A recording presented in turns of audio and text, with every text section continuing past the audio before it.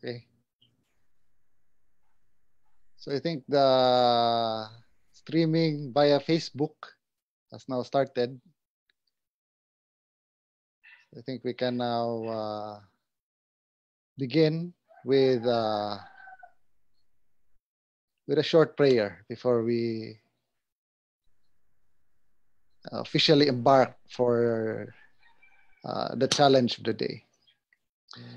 Okay, so for let's put ourselves in the presence of our God. Perhaps for those who attended yesterday's session, let's try to recall some highlights. Okay, to also transition us for today's uh, undertaking.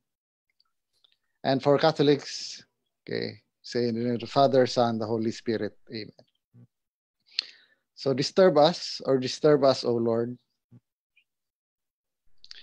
Disturb us, Lord, when we are too well pleased with ourselves, when our dreams have come true because we have dreamed too little, when we arrive safely because we have sailed too close to the shore.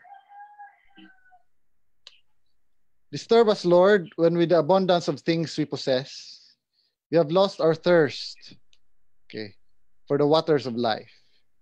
Having fallen in love with life, you have ceased to dream of eternity. And in our efforts to build our new earth, we have allowed our vision of a new heaven to dim. Disturb us, Lord, to dare more boldly, to venture on wider seas, where storms will show your mastery. We're losing sight of land, we shall find the stars. We ask you to push back the horizons of our hopes and to push into the future in strength, courage, hope, and love. Amen. Okay. Father, Son, Holy Spirit. So again, uh, good morning, everyone. I hope you have a good day. And uh, hopefully the prayer was able to transition us to this day's event because yesterday was actually full pack. We've encountered a lot of realities aside from COVID, cultural, technological, educational, political challenges which uh, challenged our moral reasoning, pushed to the edge our intellectual and moral and philosophical perspectives. And eventually, we ended up uh, in a way in a challenge mode to take part more in our political realities, political problems, okay, and have a greater engagement to sustain the vibrancy of our democracy.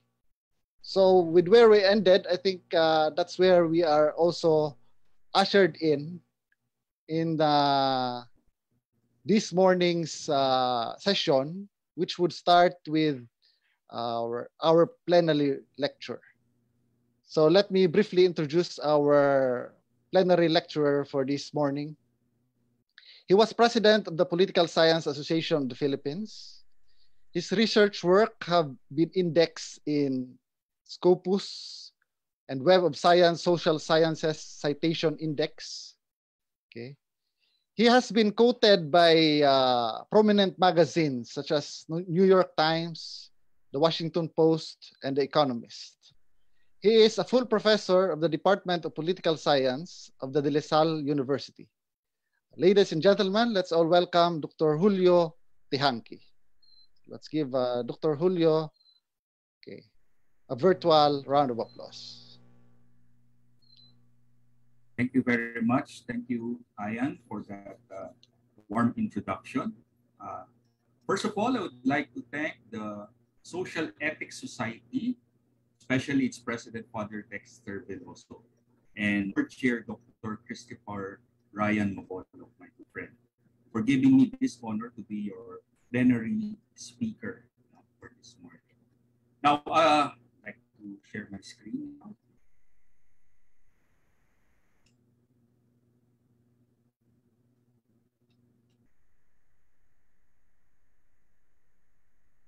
As we count down no, to the end of uh, President Rodrigo Duterte's uh, six-year term, and we are now preparing for next year's presidential election, uh, I'd like to speak about next year's election. And it seems that uh, election, uh, conventional wisdom would tell us that uh, after every term, an election is a referendum on the performance of the outgoing presidency. And it seems that next year's uh, presidential election uh, would be a referendum on the six-year term of uh, six years of the Duterte administration.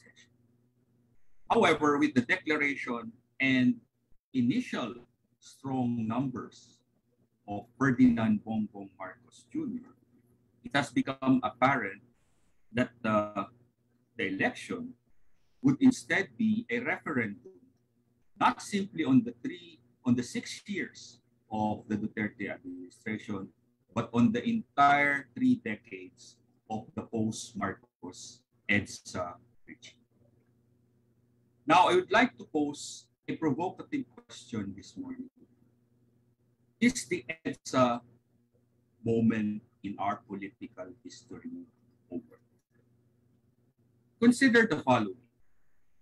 Despite all the controversial actions and pronouncements, despite the longest and strictest pandemic lockdown in the world and its problematic implementation, despite allegations that go beyond whiffs of corruption in the Pharmally investigation, President Duterte has remained popular. Although the recent uh, SWS survey have shown that uh, that uh, the high numbers of the president is slowly falling, which is expected after uh, when you are nearing the term, uh, the end of term of the presidency. Again, the question is why? Next, despite losing the vice presidential and subsequent uh, election and subsequent electoral protests. The son and namesake of the late dictator Ferdinand Marcos, Bongbong Marcos, Ferdinand Marcos Jr., has emerged as an early front runner in next year's presidential election. Again, the question is why? Lastly, BBM's candidacy has triggered the decision of Vice President Leni Robredo to finally plunge into the presidential derby. She has taken up the mantle for the EDSA forces, but abandoned the color, the very color that symbolized EDSA People Power Revolution, which is yellow. Why the shift from pink to yellow? Why? The answer, my friends, it's not blowing in the wind, but the answer lies in the nature of Philippine presidency. And in order to understand the dynamics for uh, the presidential campaign for next year, we have to understand the nature of the Philippine presidency. And I have written uh, extensively about this. The Philippine presidency is the first and most durable as a form of government, although uh, presidentialism was implanted from our American uh, colonizers, it was implanted into our land. Presidentialism, as it evolved in the Philippines, uh, tend to personalize the chief executive more than a parliamentary system. And the presidency is different in the context of the Philippines as compared to uh, its origin, the United States. And even institutionally and structurally, the Philippine president has been afforded more powers compared to the American president. In fact, some have noted that the Philippine presidency evolved out of the governor general during the Spanish period. Hence, in the Philippines, political leadership is concentrated in the president. As a political institution, the Philippine presidency has been rendered enough constitutional power to have a formal semblance of what is known as a strong presidency. while the Philippine presidency is patterned after the American template, our practice is actually rooted in Latin American political practices. Historically, the modern Philippine presidency was patterned after the Spanish and later on the American government. Philippine presidency has traditionally been accorded more coercive powers and fiscal prerogatives than its American counterparts. As historian Alfred McCoy noted, there is a strong presidency in the Philippines, reflected by authoritarian or strongman presidents. And the very first strongman president was actually Manuel Quezon. However, then he was followed later on by, of course, Ferdinand Marcos, who actually became a dictator. And then, uh, of course, we are all familiar with the strongman of Rodrigo Duterte.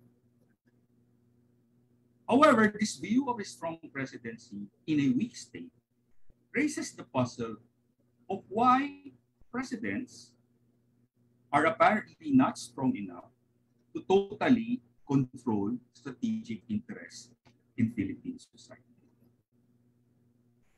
Uh, let's put it another way. If we have a tradition of strong presidents, how come uh, only a few of these presidents were strong enough uh, to go against the interests of uh, different strategic groups in the country. And uh, while some other presidents have not reached that level of strength, the state continues to be captured by particularistic interests. But the presidency, while it is structurally, structurally strong, sometimes exhibit levels of strength and levels of weakness. Another major puzzle is that not all Philippine presidents have been equally strong, and some have constantly run the risk of being overthrown extra-constitutionally.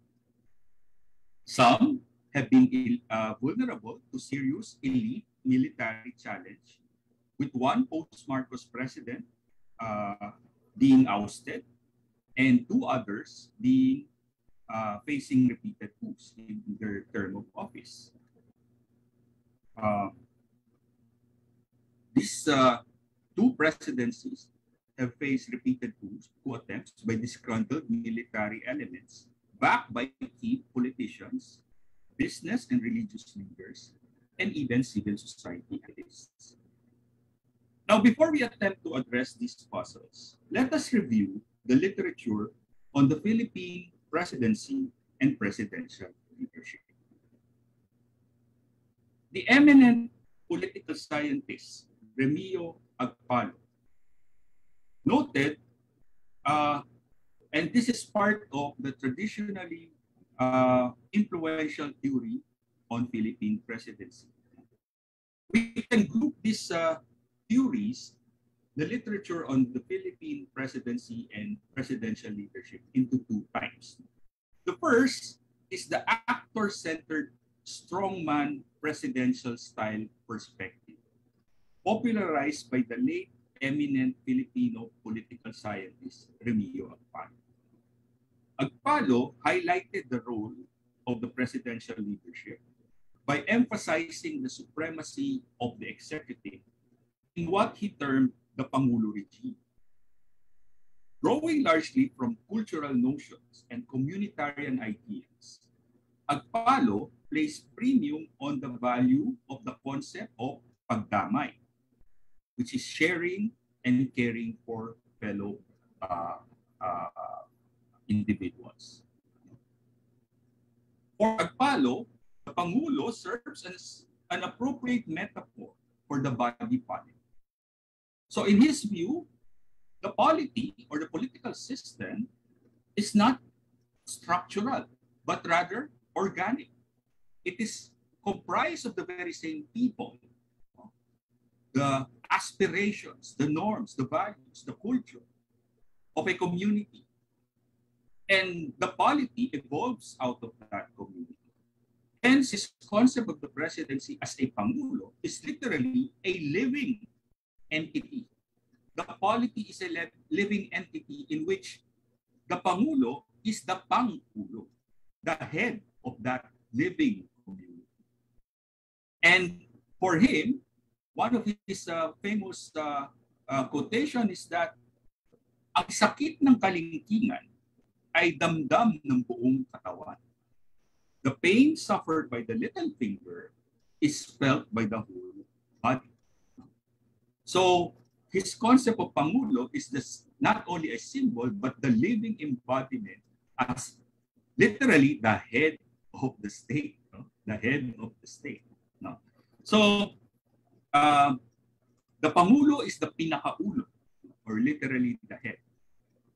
For Agpalo, the realization of his Pangulo regime, of course, he, just like Al McCoy, he identified uh, uh, uh, the presidents whom he considered as embodiments of the Pangulo regime. And of course, he mentioned Quezon. But for uh, Agpalo, the ultimate embodiment of his Pangulo regime is the authoritarian Ferdinand so, uh, Agpalo is one of those political scientists no, who provided uh, a theoretical justification for Marcos's authoritarian. And take note that this is one of the views that looks at the agential, no, the agential strongman approach to the presidency. on the other end of the spectrum, uh, the other influential perspective on the Philippine presidency is the structuralist. If uh, Agpalo's view is agential, focusing on the person, pers uh, focusing on uh, human action of the person or the actor, uh, the other influential perspective focuses on the structure and how it acts as a uh, uh, as a constraint to human action. Now, the view of the president as a patron-in-chief, you know, which derives from the larger literature about how Philippine politics is conducted primarily on the basis of clientelistic links between voters and politicians and patronage distribution among politi- politicians and themselves. So uh, this literature uh, originated from the 1960s, no, 1950s and 1960s, especially those who studied uh, post-war Philippine politics. And the most prominent among these was Carl H. Lande, an American political scientist, who was first to describe the patron-client ties that define politics in the Philippines. Uh, for Lande, the patron-client factional model uh, uh, is at the heart of Philippine electoral politics. And that model has long dominated the literature on Philippine political science. Among those uh, who have continued this tradition in the study of the Philippine presidency is a Japanese politician from Keio University, uh, Japanese political scientist from Keio University, Yuko Kasuya. Uh, for Yuko Kasuya, Philippine, the Philippine president is the key figure who controls the legislator's pork barrel through his or her control of the budget execution processes. The president's control of the pork barrel creates the logic of a party system formation called presidential bandwagon, in which incumbents who won at the presidential election year affiliate uh, with various parties, no? Uh, and they switch no, from one party to the other. So we have seen in the post-EDSA period that the president, as the dispenser of the national budget, while it is true that Congress, particularly the House of Representatives, uh, is responsible for uh, preparing and passing the national budget. It is the president who has the final say on the, on the disbursement of this budget. And because of this, no, it has an it had an impact on the entire patron-client uh, chain from the national to the local. Hence, it has resulted in politicians switching from one administration party to another. So those who were members of KBL jumped to LDP during Cory Aquino's time, then jumped to Lakas during FVR's time, then jumped to LAMP during Erap's time, then jumped to Kampi during Gloria's time, then jumped to the Liberal Party uh, during Pinoy's time, and now they're all part of PDP Laban, and soon they will be jumping to the next presidential administration. So the president has become the patron There is another view, much different from those of Agpalo and Kasuya. And this one takes a discursive, postmodern approach. And of course, uh, for Antonio Contreras, my colleague at De La Salle University, is considered the maven of Philippine postmodernism there seems to be a dissonance in a society that is inherently communitary, where ideally collective interests prevail over individual interests, but also has a tendency to engage in political ideology. So just like Agpalo, uh, he gives premium more to the cultural, to the communitarian aspect of Filipino society and politics. No? And uh, for him, no, in the absence of a grand text to define the Filipinos, no, unlike our, our, our neighbors in Southeast Asia, no, they have this grand narrative. No? Uh, the Thai have their grand narrative, no? The Indonesians and the Malaysians have their grand narratives to justify, to legitimize their nation building and state formation. In the Philippines, our state is a colonial construct. Uh, the nation is unfinished. So communities are formed from personal affinities based on pakikipagkapwa. And here, uh, Contreras no, uh, adopts most, most of the uh, uh, theoretical and philosophical uh, uh, uh, points of uh, Zeus Salazar. No? and other uh, uh, uh, Filipino social scientists. No? So political order for Contreras, therefore, is not about building political institutions in the Western sense. No? It's not about state or political parties or election in the Western sense.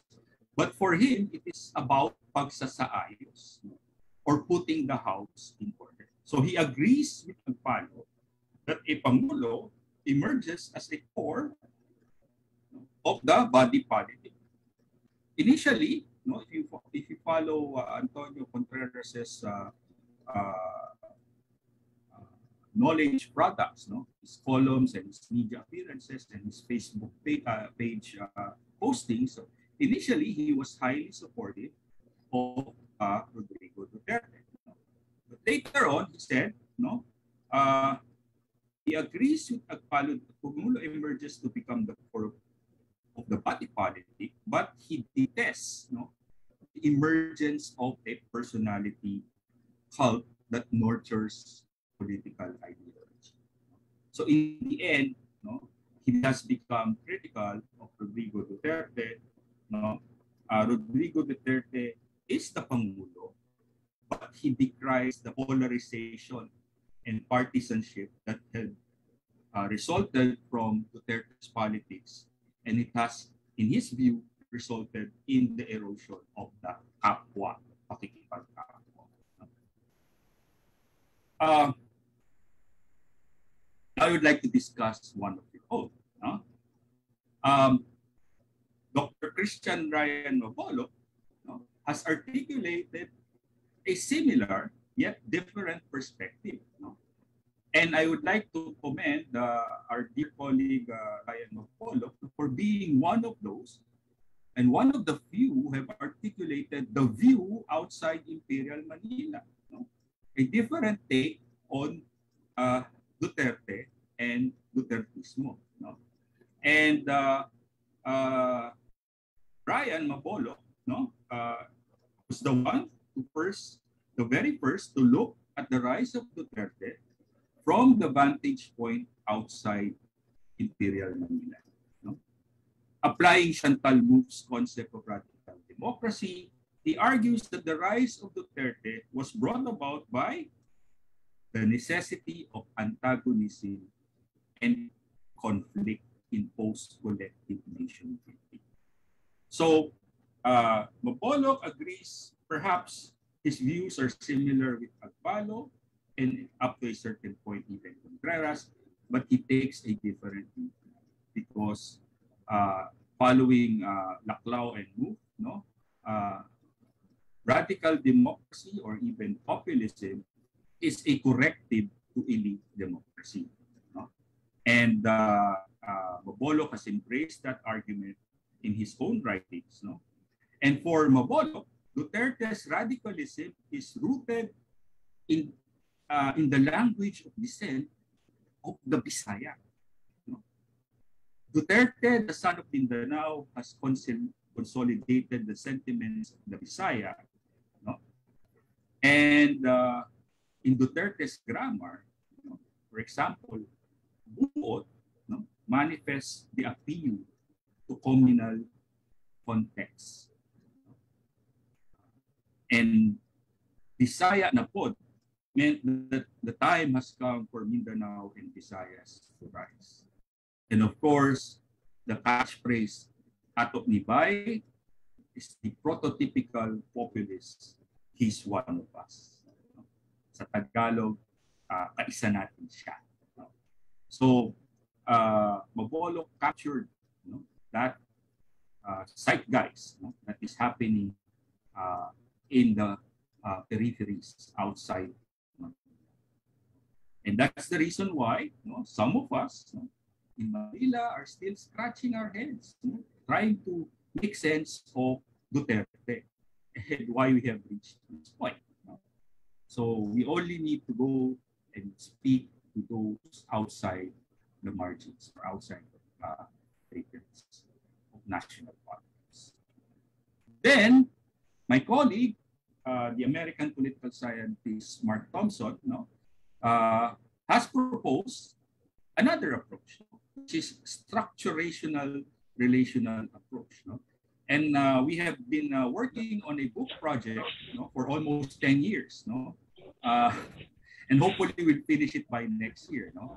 Uh, our book project on the Philippine presidency first started as uh, Aquino to Aquino. No? And then it has become Aquino to Duterte.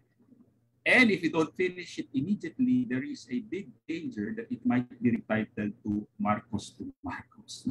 so, and uh, for uh, Mark Thompson no, and I, no, uh, we argue for a relational theory of presidential regimes no, that is situated in political time. And we adopt a theory by an American political uh, scientist, Stephen Skowronek, uh, who studied the U.S. presidency, and we uh, provide no, an account of uh, presidential uh, regimes, no, strength and vulnerability.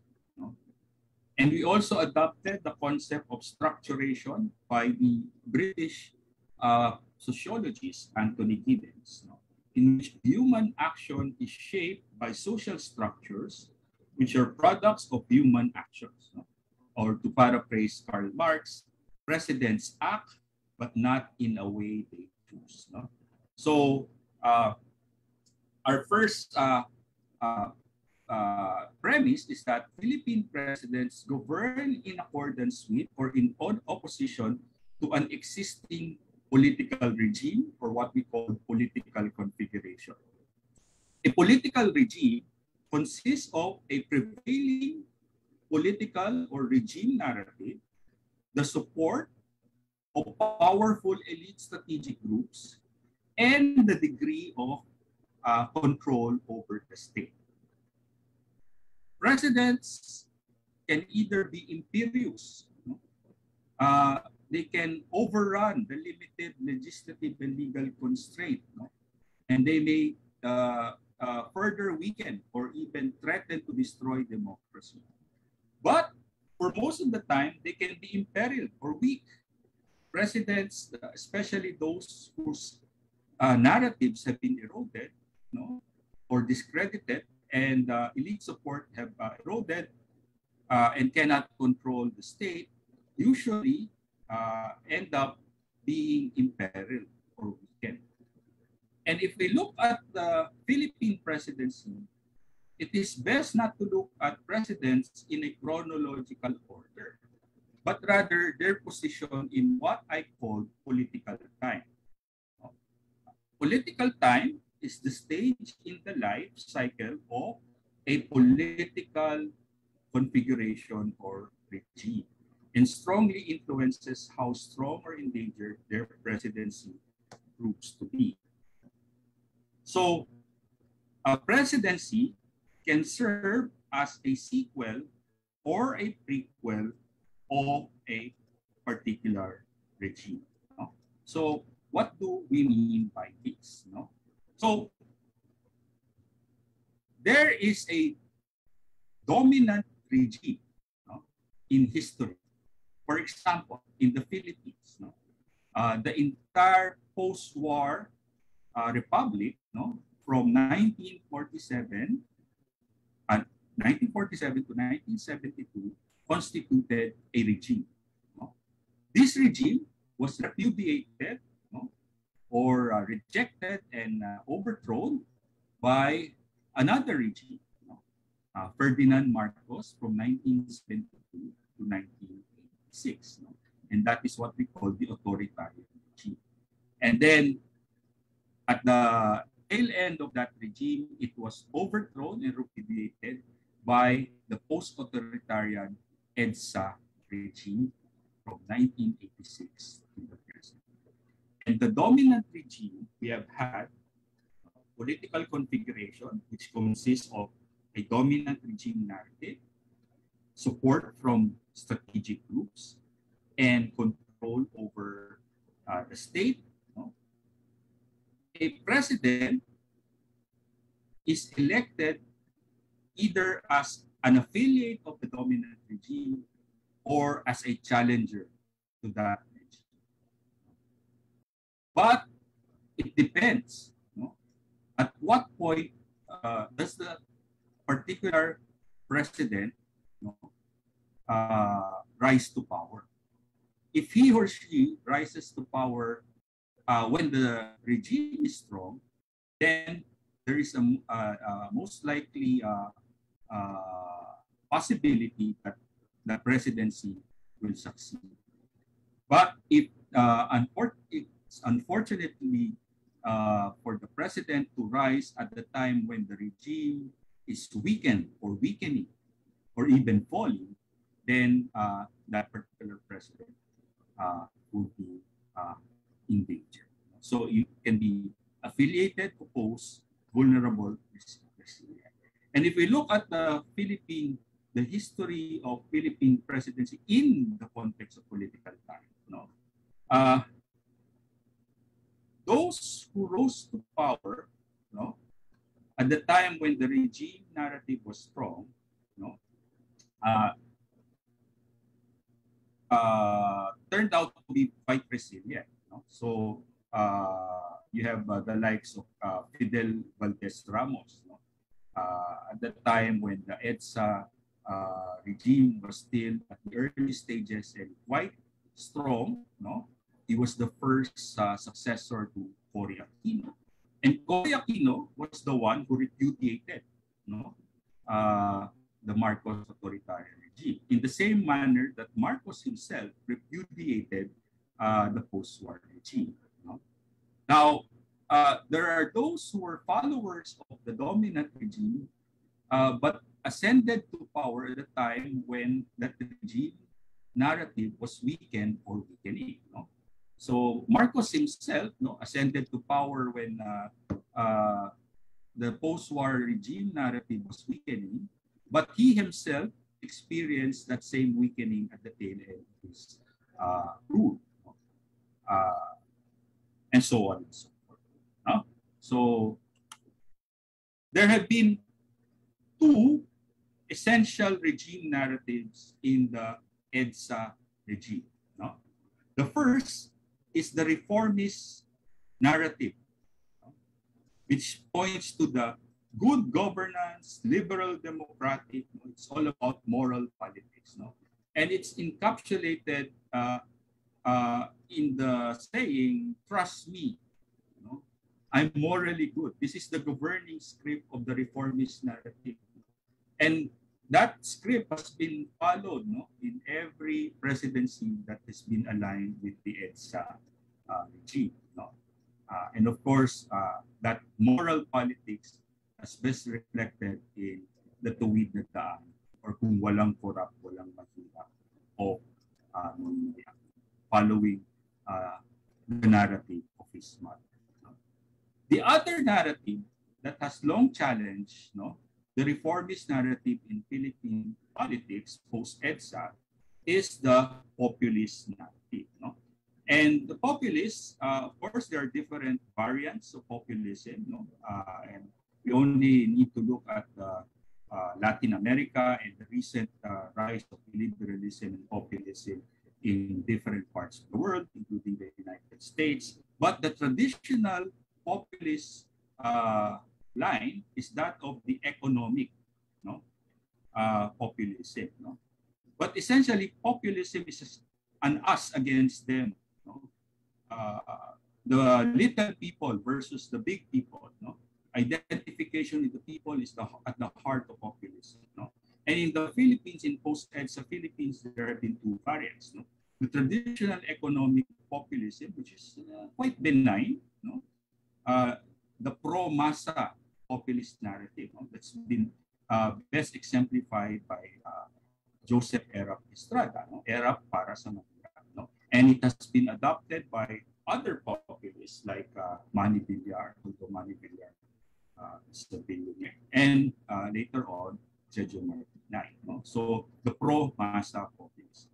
But a different kind of populism emerged with the rise of uh, uh, Rodrigo Duterte. And this is what uh, uh, Nicole Curato termed as penal populism or punitive populism, or those who uh, uh, who enforces order no, uh, through any means. No? So if for ERAP, it's trust me, I'm one of you. No? ERAP para sa mahirap. No? And uh, more often than not, no, uh, most populists are uh, in, embroiled in uh, uh, scandals no, uh, involving corruption. No? Why? Because part of the narrative is the Robin Hood narrative, no? Which uh, steals from the rich to give to the poor. So trust me, I'm one of you. But for Duterte, it's a different kind of populism. It's uh, the punisher. No? Trust me, I will kill for you. And in other instances, I will kill you. Now, we also assert that the success of a regime narrative depends on key support from strategic interests in the Philippines. And what are the strategic interests? No? It's the military, no? it's either the military support sure, not business. Uh, in, in the early years of the EDSA regime, it's Makati business. No? Later on, the challenge to the EDSA regime no, have seen the emergence of other uh, business people, you know, business persons from other parts of the country, you know, the church, you know, and civil society, and even external strategic actors like the United States, which has played uh, an influential role in our domestic politics for the longest time. Of course, in, re- in recent years, no, uh, the role of the United States is being supplanted by another external player, China. And we are caught in this uh, rising geopolitical competition. Okay, I'll make this quick for in the interest of time. Uh, so, in the EDSA regime, no, we have seen that the EDSA regime uh, emerged as a repudiation of the Marcos authoritarian regime. It was founded by Corazon Aquino, and several presidents have succeeded her. No? So uh, uh, Fidel Ramos no, was a follower of the regime uh, and was an innovator of the regime. But uh, that regime narrative was challenged by the populist uh, narrative, and uh, it resulted in the election of Erap Estrada. But uh, that narrative was discredited by allegations of corruption, so he was uh, the second president to be ousted by a people power revolution and was replaced by a, another follower of the regime, Gloria Macapagal Arroyo, who uh, who began as a follower of the regime narrative, but later on turned her back to that narrative because in order to uh, protect that regime narrative, you know, she had to uh, win uh, uh the 2004 election at all costs to defeat another populist challenger, Fernando Poe Jr.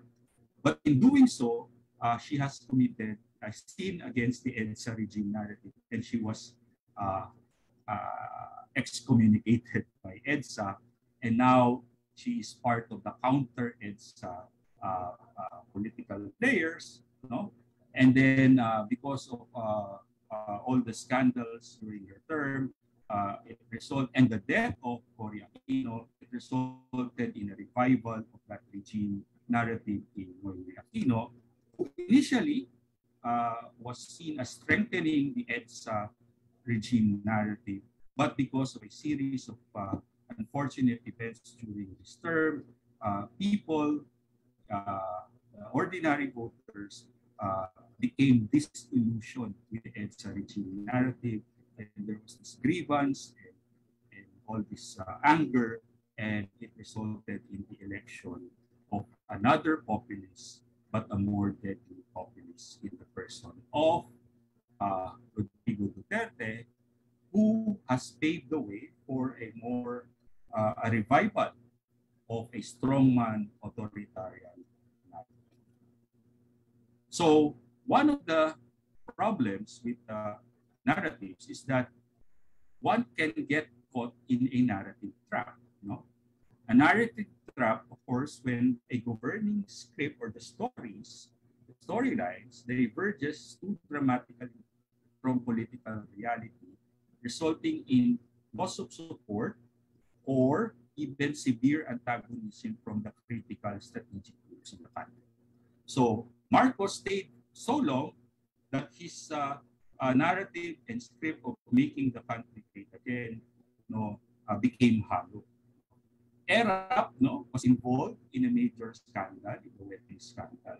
So uh, there was a, uh, a divergence from uh, the storyline and reality. And of course, I've already told you about what happened to uh, GMA. What happened to uh, Noynoy? No? Uh, Noynoy delivered no, in terms of uh, economic per performance, high growth, political stability. Uh, he was able to clean up uh, uh, whatever uh, corruption scandal happened during the time of uh, the administration. But he himself faced some challenges. No? So, uh, despite his personal uh, popularity due to his clean image and lack of personal scandals, he failed to institutionalize the reform agenda of the AMNOP. So it was still politics as usual. In order to achieve all of his economic reforms, he had to play patronage politics as well.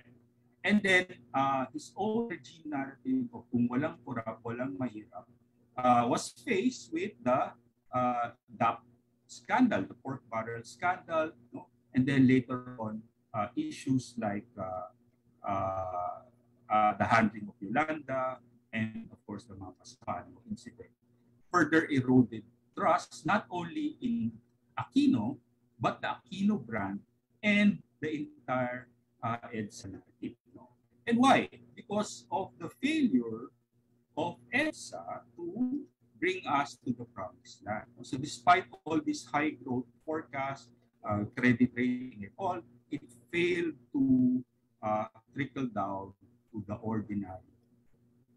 So this resulted in a politics of anger, politics of resentment, and this resulted in the rupture in the post-Marcos EDSA liberal regime with the victory of Rodrigo Duterte, who is a major challenger to the EDSA regime. But Duterte himself no, uh, has become so controversial. No? Not only in his uh, own populist style, the way he speaks, no, the way he offends people and all that, uh, but for some, that is part of his authenticity. That's the way, and it's part of uh, uh, uh, the non-elite, no, slapping the elites, no, in their faces, no. And uh, but of course, it has resulted in the death of many in the war on drugs, the encroachment of China in West Philippine Sea, the handling of the pandemic, no, uh, and of course, uh, the ongoing Senate investigation on the Pharmally scandal.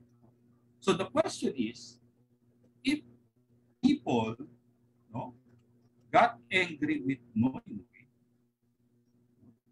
given uh, the uh, given the performance of Noy and some of the things that Noy Noy failed to achieve under his administration. Uh, some are saying Duterte has also failed to deliver, and in fact have done uh, things that are more, uh, you know, uh, more uh, controversial than the previous administration. How come no, there is no anger yet? There is no resentment yet. How come he remains to have high satisfaction numbers? So, uh, of course, uh, SWS came out with this uh, uh, satisfaction rating and it, it uh, confirms no, what Pulse Asia had been uh, saying all along. No? That despite you know uh, his numbers falling, he remains to be popular, and his approval rating remains to be high compared to the previous presidents uh, in the EDSA period. No? Uh, why? Because, well, according to SWS, he still has strong base of support, particularly in Mindanao and Visayas. And uh, because of the ayuda perhaps, no, there, there's satisfaction in his pamamalakad. And there are those who approve of the war on drugs. No? And then there are those who are uh, attracted no, to his uh, authenticity, no? the way he speaks. It's uh, it's how the, your your your your uncle or your tito or your tatay no, would, uh, would usually uh, act. No? Uh, well, for the uh, ordinary Filipinos. But according to SWS, the three types no, of uh, explanation, the strong base support uh, per, uh, and uh, satisfaction with his uh, pamamalakad and even his uh, personal traits, it's the perception of the personal or character that appears to be the strongest source of support for the president. And Duterte, compared to other post-Marcos presidents, still maintain a very high uh, uh, rating even beyond the midterms. No? And uh, SWS have tracked no, the so-called honeymoon period. Uh, for Cory Aquino, it's three and one-fourth years no, uh, that her administration enjoyed a honeymoon period, strong support from the public. For Ramos, it's two and one fourth years. No? For Estrada, it's just three fourth. No? And it, it went south all the way. No? Uh, Arroyo did not even experience any honeymoon period because her ascent, ascendancy to power was uh, quite controversial and polarizing. No? Then Benigno Aquino, just like the mother, no, almost three years of high uh, uh, support, no, honeymoon period, no. But uh, Duterte, no, has always been high, no? and uh, uh, uh, it's only recently that his numbers are falling, which is again part of the trajectory of a single term presidency. Some have said again, the question is why. No? Well, some uh, social scientists have pointed to social desirability bias. Uh, when when uh, these firms are taking surveys, no, uh, the respondent, no, and just imagine if you go to uh, class D and E in a very small, tight community, no, in the in the urban poor communities, for example, where your answers might be within hearing distance of your neighbor. No?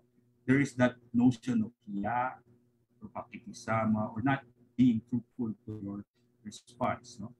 Then, of course, there are those who are saying, uh, pointing to fear factor no? because of the war on drugs. No? Uh, people are saying positive things about government because they're afraid that they may not get their ayuda. And there are those who are saying it's part of the performative populism. Uh, for the elites, no, uh, they get rattled, they get angry with the way the president behaves on TV in the not so late night with Tatay. But that is actually the, the source of his strength because the president is not talking to the academicians or the elites or the businessmen. He's directly talking to the ordinary family.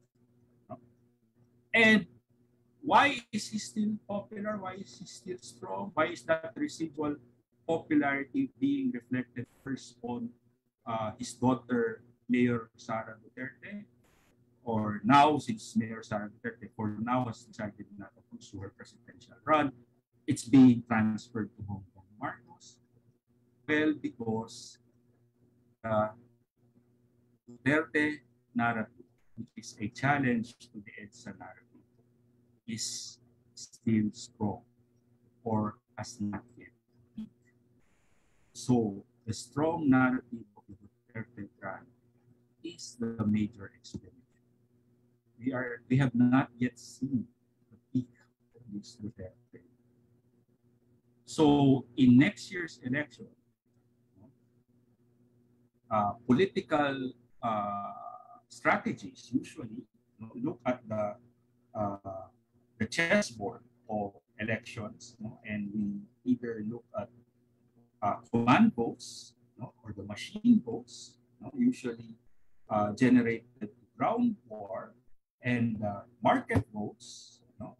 Uh, usually generated through popularity, uh, and popularity is uh, generated through a strong, compelling narratives, strong, compelling narrative, so if we look at the declared uh, candidates for next year, uh, Bongbong Marcos has the money, some support from the government. Then the challengers, actually, the two major challengers, uh, you have the two who are variants also of the populist narrative. Uh, Isko Moreno is more like uh, the Erap Estrada, more benign pro-masa uh, he's more actually technocratic. No? So he's a mix of both reformist and populist. No? Uh, Manny Pacquiao is also uh, uh, the quintessential populist. No? Uh, the only difference now is that we have Isko and Manny Pacquiao, populists who really came from the poor, unlike the previous populist politicians that we have. I'm about to finish, no? I'll wrap this up, no? So, but now we have uh, VP Leni Robredo as the avatar of the EDSA narrative. No? And it is upon her shoulder to defend and protect that narrative. But since the, the brand has been tarnished, has been sullied, no, has been attacked, and has weakened uh, by the followers of Duterte and Marcos, and because of uh, its own uh, shortcomings, uh, now there is a repositioning, rebranding. No? Now think is the new yen.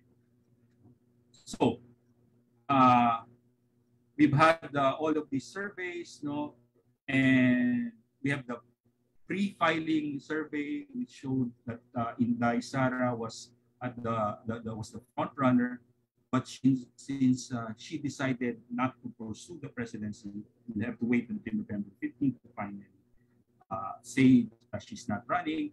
But uh, she, her votes, no, her numbers, no, transferred to Bongbong Marcos, and Bongbong Marcos running, no, has triggered uh, VP Leni to, to run. So the two of them uh, now benefits from the bounce, no, uh, after the declaration, and then uh, you have Isko Moreno coming in third. No? At least uh, this is one of the many surveys that I've seen, but somehow that is the trajectory. No? So uh, at this point, no, Bongbong Marcos has emerged as a front runner with Leni Robredo coming behind. No? So uh, before the filing, it was, you know, uh, the storyline for next year's election would be is it Duterte again or who can best challenge or continue Duterte's uh, presidency. But now the entire narrative has shifted to again Marcos Aquino, but not Marcos Aquino, the person, the personalities, but the Marcos authoritarian regime versus the EDSA democratic regime, no matter how flawed. So it's a question of are we going back to uh, the strongman authoritarian and uh, Duterte was simply the John Baptist to a revival of the uh, Marcos authoritarian regime in the person of Bongbong Marcos? Or uh, will this challenge rejuvenate and finally correct the elite democracy that was EDSA? That is the question. And the race is on for 20 With that, I would like to thank you for your time. Uh, thank you very much. Maraming salamat. Okay, thank you very much, uh, Dr. Julio, for a very interesting but also clarifying presentation, which uh, clearly contextualizes the, the situation before the 2022 election. So now we open the floor for questions. I think we have uh, roughly 15 minutes for questions. So we allow room first for those who would like to ask questions. Okay. Verbally, but you can also write your questions in the chat box, Sir? which we will try to entertain later. Okay, so it's the first one. Tricks. Can, can I hit the first question, sir? Uh, this is uh, Sir Edgar. Okay, go Yes, ahead. sir. Go Uh, ahead. before anything else, I would like to uh, greet all participants of this conference. Pleasant morning to each and everyone, especially to my uh, professor in USET, uh, Sir Christopher Ryan Mabolo and Dr. Sable. Uh, actually, sir, the topic uh, was very interesting. And thank you very much, uh, Sir Teehankee, for sharing that one. But I cannot help no, to also air my personal reaction based on the topic, which actually will lead me to my questions. Uh, the topic actually has 90% inclusive of political issues. Uh, before social media actually came into being as an integral form of the fourth estate, uh, I'm sure uh, Professor Teehankee is also a columnist no, in one of the prestigious uh, newspaper outlets. I, I've heard uh, one specific siguro before. Uh, yun nga, no, uh, the social media became as an integral form of the fourth estate. No? Uh, traditional media or mainstream media controlled or all information before, no? Uh, all information and shows only news information that serves their purpose. I am referring to the to the to the oligarchs now, which control media outlets like TV, radio stations, uh, news outlets, telephones, as an institution of information. But with the onset of social media, everything shifts from the mainstream to the common or the masses, meaning even the most destitute who lives in the far-flung areas can now access information, process this information, and decide based on what they see and believe as seen in any social platforms. Uh, my question, sir, actually, these are three uh, questions. No? Number one, can social media really make and make a president? And number two, is social media popularity, social media popularity, sir, huh, can slowly make uh, the demise of the mainstream media? Okay. Number three, what do you think is the best solution of the minority at this point in time, huh? Uh, because the election is already about to take place next year, uh, to counter the popularity of the current administration with the combined power of social and mainstream media at their uh, disposal. Right. Thank you, sir. Okay. Right. Uh, okay. Uh, quickly, no. Uh, social media. This is a topic for another plenary talk. No. So perhaps next year you can invite me again. So uh, uh, but yeah, at the heart, when social media, just like traditional media, are tools. No? So, you know, print, it, it used to be uh, broadcast and print. It used to be print, no? newspaper. Then later on, broadcast radio, then TV. And then social media emerged. No? These are all part and parcel of what we call in political uh, strategy as uh, air war. Uh, but air war, no, which is uh, media, no, uh, now has uh, again a variant, no, net war, no, which is the social media or internet war. No? Now, uh, internet is uh, and social media are tools. No, again, I point to my uh, primary thesis. It's all about the narrative. No, if you don't have a comp- compelling narrative, then will not uh, resonate with the people, or with the masses, with your target constituency. Now, um, uh, it, the latest uh, Pulse Asia survey have shown that uh, the main source of news is still uh, television. But the, the dynamics is correct that uh, in the past, traditional media uh, was one of the primary uh, uh, capital of the oligarchs, no? and they control this in order to protect their business and political interests. No? And uh, that's the reason why uh, uh the closure of ABS-CBN will have a big impact on next year's election no? because uh, it, it totally shatters the dynamics of the usual uh, presidential campaign in country. So, ang ang sinasabi natin dito ay uh, the use of social media should not be treated. And by the way, Pulse Asia has shown that half of the population are uh, connected to internet and social media, and the other half are still connected to traditional media. So, uh, hindi na alam ngayon where the pendulum will swing. No? Kasi half uh, get their information. And usually these half are the OFWs. No? That's the reason why uh, uh, uh, President Duterte and even Bongbong Marcos are strong with the OFWs because those who are abroad no, have only one source of information about the Philippines, no? which social media. Right? Makes sense. Right? Uh, but you have also understand that internet uh, connectivity and penetration is still not high in the Philippines. No?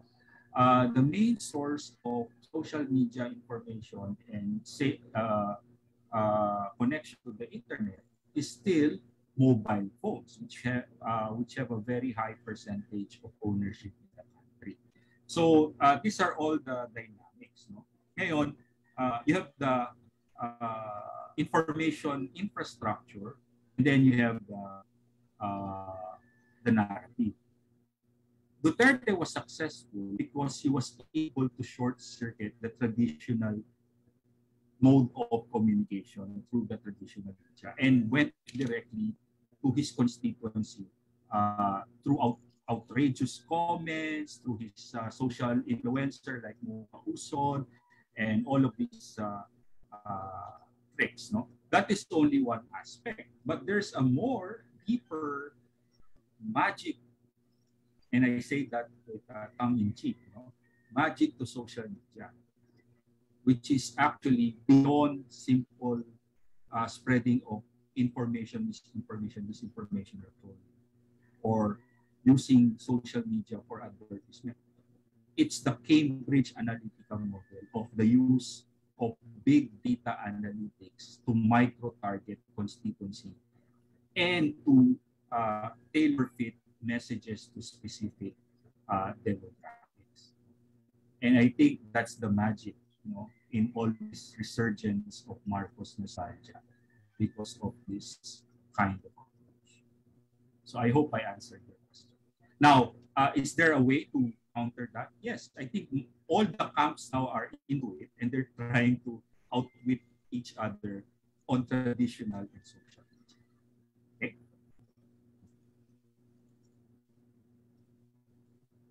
Thank, thank you, sir, for uh, the indulgence of answering those questions.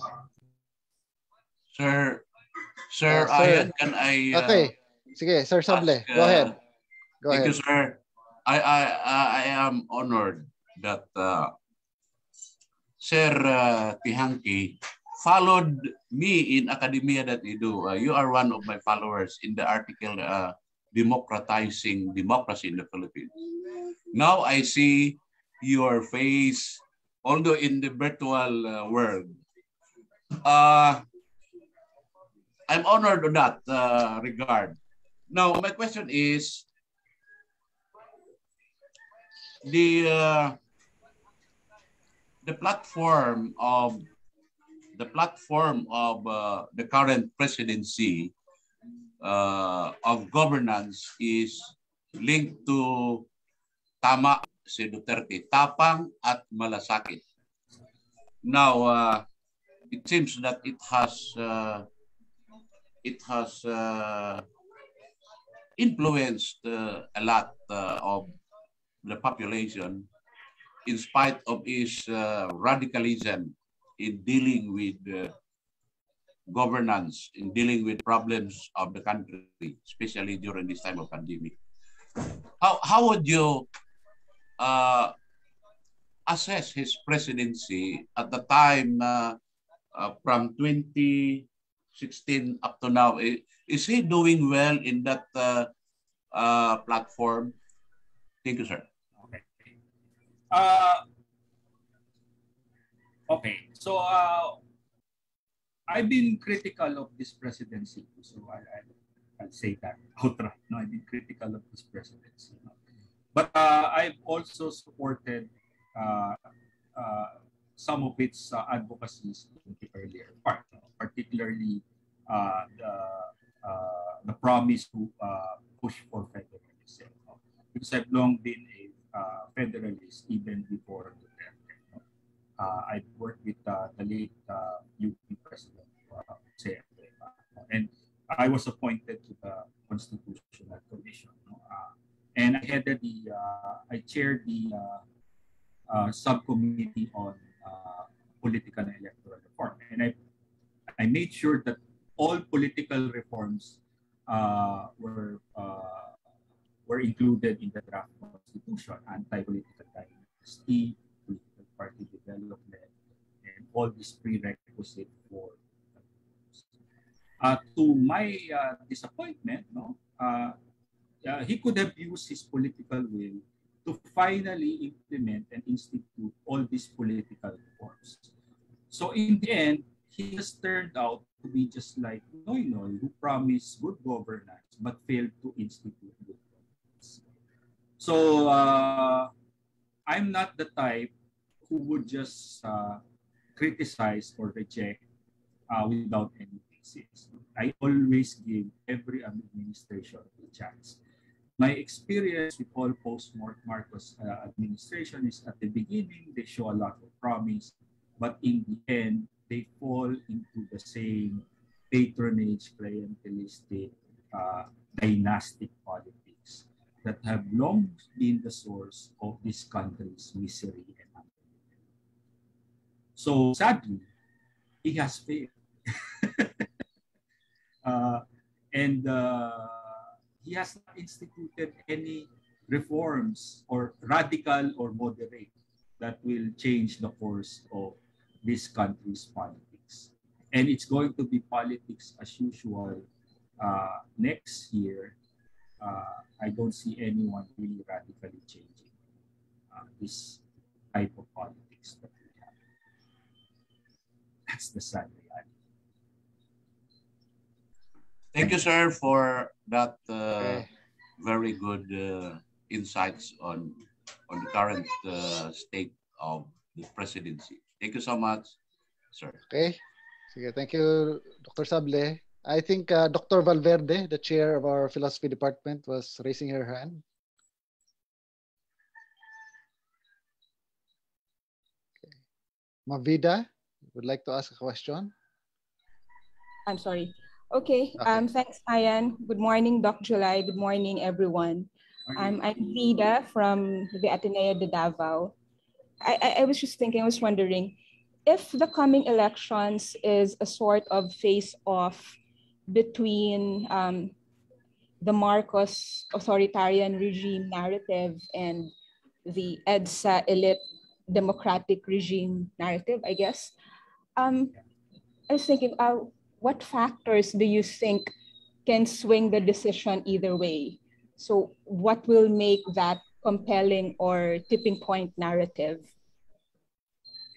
since thank you very much. Thank you for that very interesting question. Uh, indeed no? Uh, since i am now speaking in front of uh, fellow philosophers I, by the way i minored in philosophy so i am one of so uh, uh, in philosophy social philosophy no, of course uh, there's that structure versus agency debate no? so uh, while history and political time may be structural constraint no, to the narratives no, and dynamics of the Philippine presidency, there is always uh, that thing called human agency, our capacity to act. No? So it is not cast in stone. So uh, as we have seen, no, uh, before the filing of the candidacy when Inday Sara uh, was at head of the pack, no, people were looking at Isko Moreno no, as the possible competition to because of the mayor narrative, no, uh, doing uh, things for the masses and all that.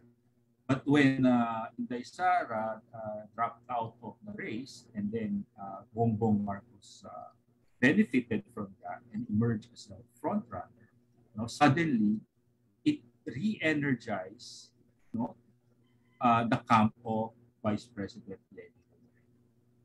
So suddenly the terrain has shifted from a potential uh, may, two young mayors facing off to suddenly a return to that Marcos versus Aquino. no?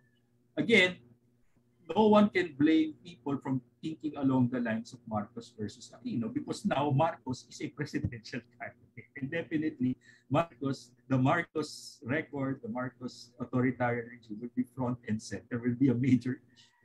And uh, now no one can speak of other things, not other narrative, but that narrative. Uh, do you want a return to a strongman uh, regime? And apparently, there's a growing constituency who believes in that. no?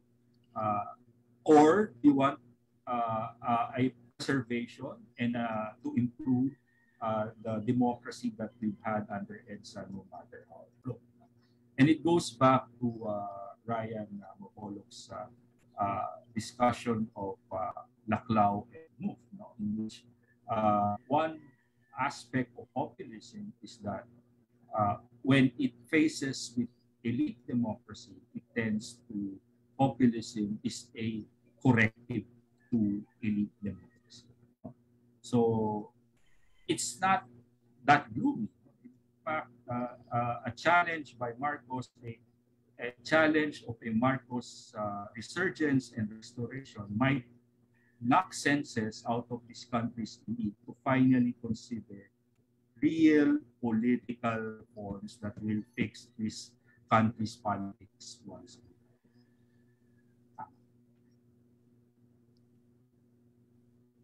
Thank you, Dr. July. I like that.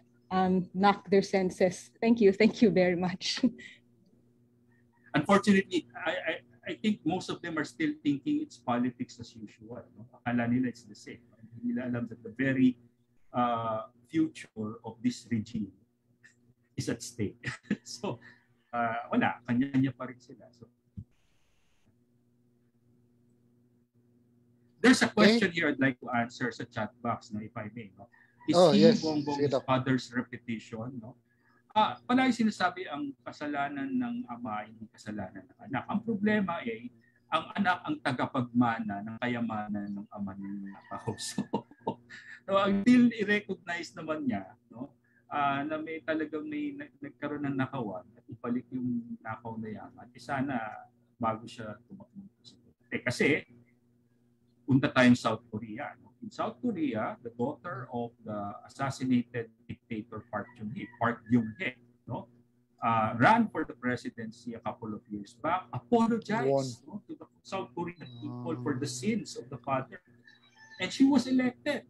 No? Unfortunately, she was ousted. Uh, because hindi, kasi nga dahil sa narrative pa rin ng tatay niya, she got embroiled also in a corruption scandal And a people power uprising happened in Seoul in South Korea and she was ousted from the presidency. She was impeached and ousted. So even if we see a restoration of Bongbong Marcos in Malacanang, I don't see any stability because it will be a polarizing regime na. So, yun. Yun ang potential. Okay. Thanks. Sige. Can we have uh, one last question? Because I know even if we are interested to engage more, we might be uh, running out of yeah. time. uh, Doc, there's something else in the chat box.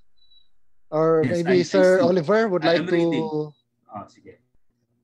Sige, maybe Sir Oliver would like to verbalize his question.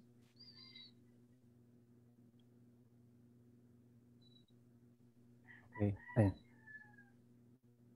Okay. Uh, good morning, uh, Sir Julio. Uh, thank you for the presentation. So by the way, I'm Oliver Pirater from Inicio IIT. Uh, so yeah, I just want I just want have to read uh, read my uh, question. Given the data we have, the presidents of the republic always uh, uh, enjoyed the, the honeymoon period, diba? Uh, it seems that this honeymoon period is a chance given by the people to the new president to prove himself or herself. So basically, after that, uh, at the, the, the second half of their, their career as the president, so the survey will, uh, will, will, will uh, fall down. Uh, so basically, except Duterte, is, yun, as you have said. Uh, so basically, still, if even if Duterte uh, managed to stay at the top of the honeymoon period, even until now, uh, still, uh, as you said, he, he failed to del- deliver a lot of a lot of reform somehow that he could possibly do because uh, he's a popular president. He could do a lot, pretty much a lot. Uh, but still, he he did not manage to deliver that. So my, question is, do you do you think uh, the, the Philippine political system really work for the Filipino people uh, in in this? Yeah. So uh, uh as a political scientist, I'm uh, uh, an institutionalist, no? Uh, but I'm also uh, a structurationalist. So I'm, I believe both in ideational, discursive, and structural factors. No? So uh, uh, as I've already elaborated, narratives are ideas, no? are, are, are, are discourses, no? but they affect structures and institutions. No? We also have to consider really addressing structural and institutional issues. So uh, a change of institution will also result in a change of mindset.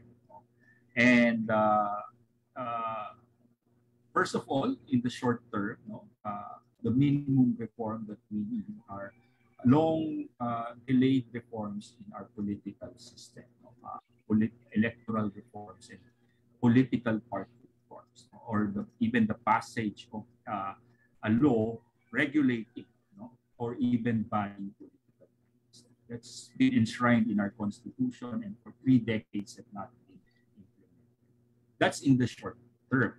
In the long term, we really have to seriously consider uh, uh, reviewing and revisiting our constitution. But uh, cons- any attempt to re- revise the constitution has become uh, a life and death political situation for the country because there's that suspicion that the president would tinker and would simply want to extend his term, which is a result of a one-term presidency. So uh, there's a need to seriously consider uh, revising the constitution and reviewing whether we want a presidential form to continue with this type of system or to shift to another form of political system that would best represent our interests. No? Uh, and then there's also that idea of whether to stick with the one-term presidency or to go back to a two-term presidency, no? uh, which is which has some impact on party building and uh, would have an impact on this so-called uh, uh, honeymoon period. No? Kasi if there are, we go back to a two-term presidency, then the midterm, uh, then the president will perform based on the incentive of re-election. No? And then the people can, you know, what they say, you know, six years is too long for a bad president and it's too short for a. So these are uh, uh, uh, institutional engineering that might help us in the long run. But uh, it's a combination of both a change in structure and a change in mindset. it will take a long time because uh, of other factors like uh, political education, active citizenship. We have to nurture this.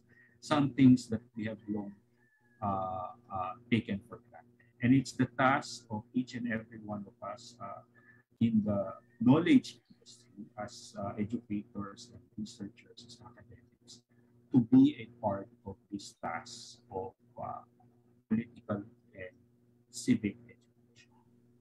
So, Thank you. Okay, thank you very much, uh, Doc July, for leading us into that uh, very productive okay, and engaging discussion. Okay, uh, for those who might want to have more questions, I don't know if uh, Doc July is open to engage them in the chat box later. Ah, teka sandali. Or, may, or maybe request.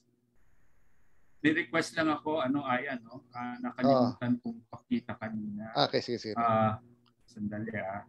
Uh, for those of you who are interested in, in my media appearances and my uh, lectures and ah, webinars, no, please visit uh, my YouTube channel, ah, there, Politics there. with Tihanki. And please, uh, I would like everyone to uh, subscribe, like, and comment on my videos. My It's a uh, repository of all my uh, interviews and lectures and I hope to engage uh, you know, uh, more on this YouTube channel. So thank you very much. Okay. So there, yeah. I think that answers our question where we can engage uh, Dr. July more after this uh, session. And I think we have to give in to his request for a group photo.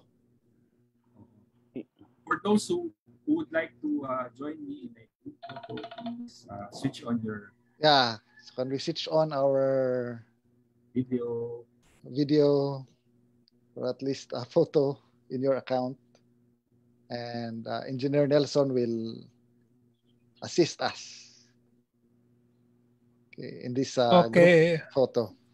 Okay, there are 110 of us, so we will have uh, five screens frame. in, in my frames. Okay, so uh, please smile, everyone. I'm taking screen number one. Okay, mangangalay kayo pero continue lang yung ngiti. Uh, I'm taking screen number two. Okay, please open your cams.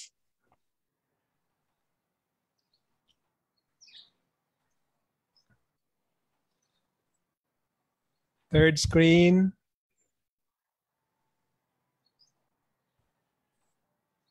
fourth screen, last screen. There you are. Thank you very much, everyone. Okay, thank you very much, everyone, for your participation. And again, thank you very much, uh, Doc July. I hope we can still have you in the future for more engaging discussion. So let's give uh, Doc July a virtual round of applause.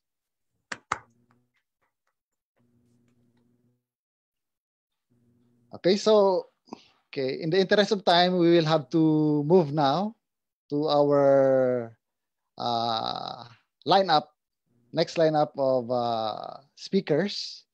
Okay, let me remind the speakers to at least limit their discussion to uh, 20 minutes, okay, at most maybe 25 minutes, so that we still have room for discussion, which I think is also an interesting part aside from your uh, presentation.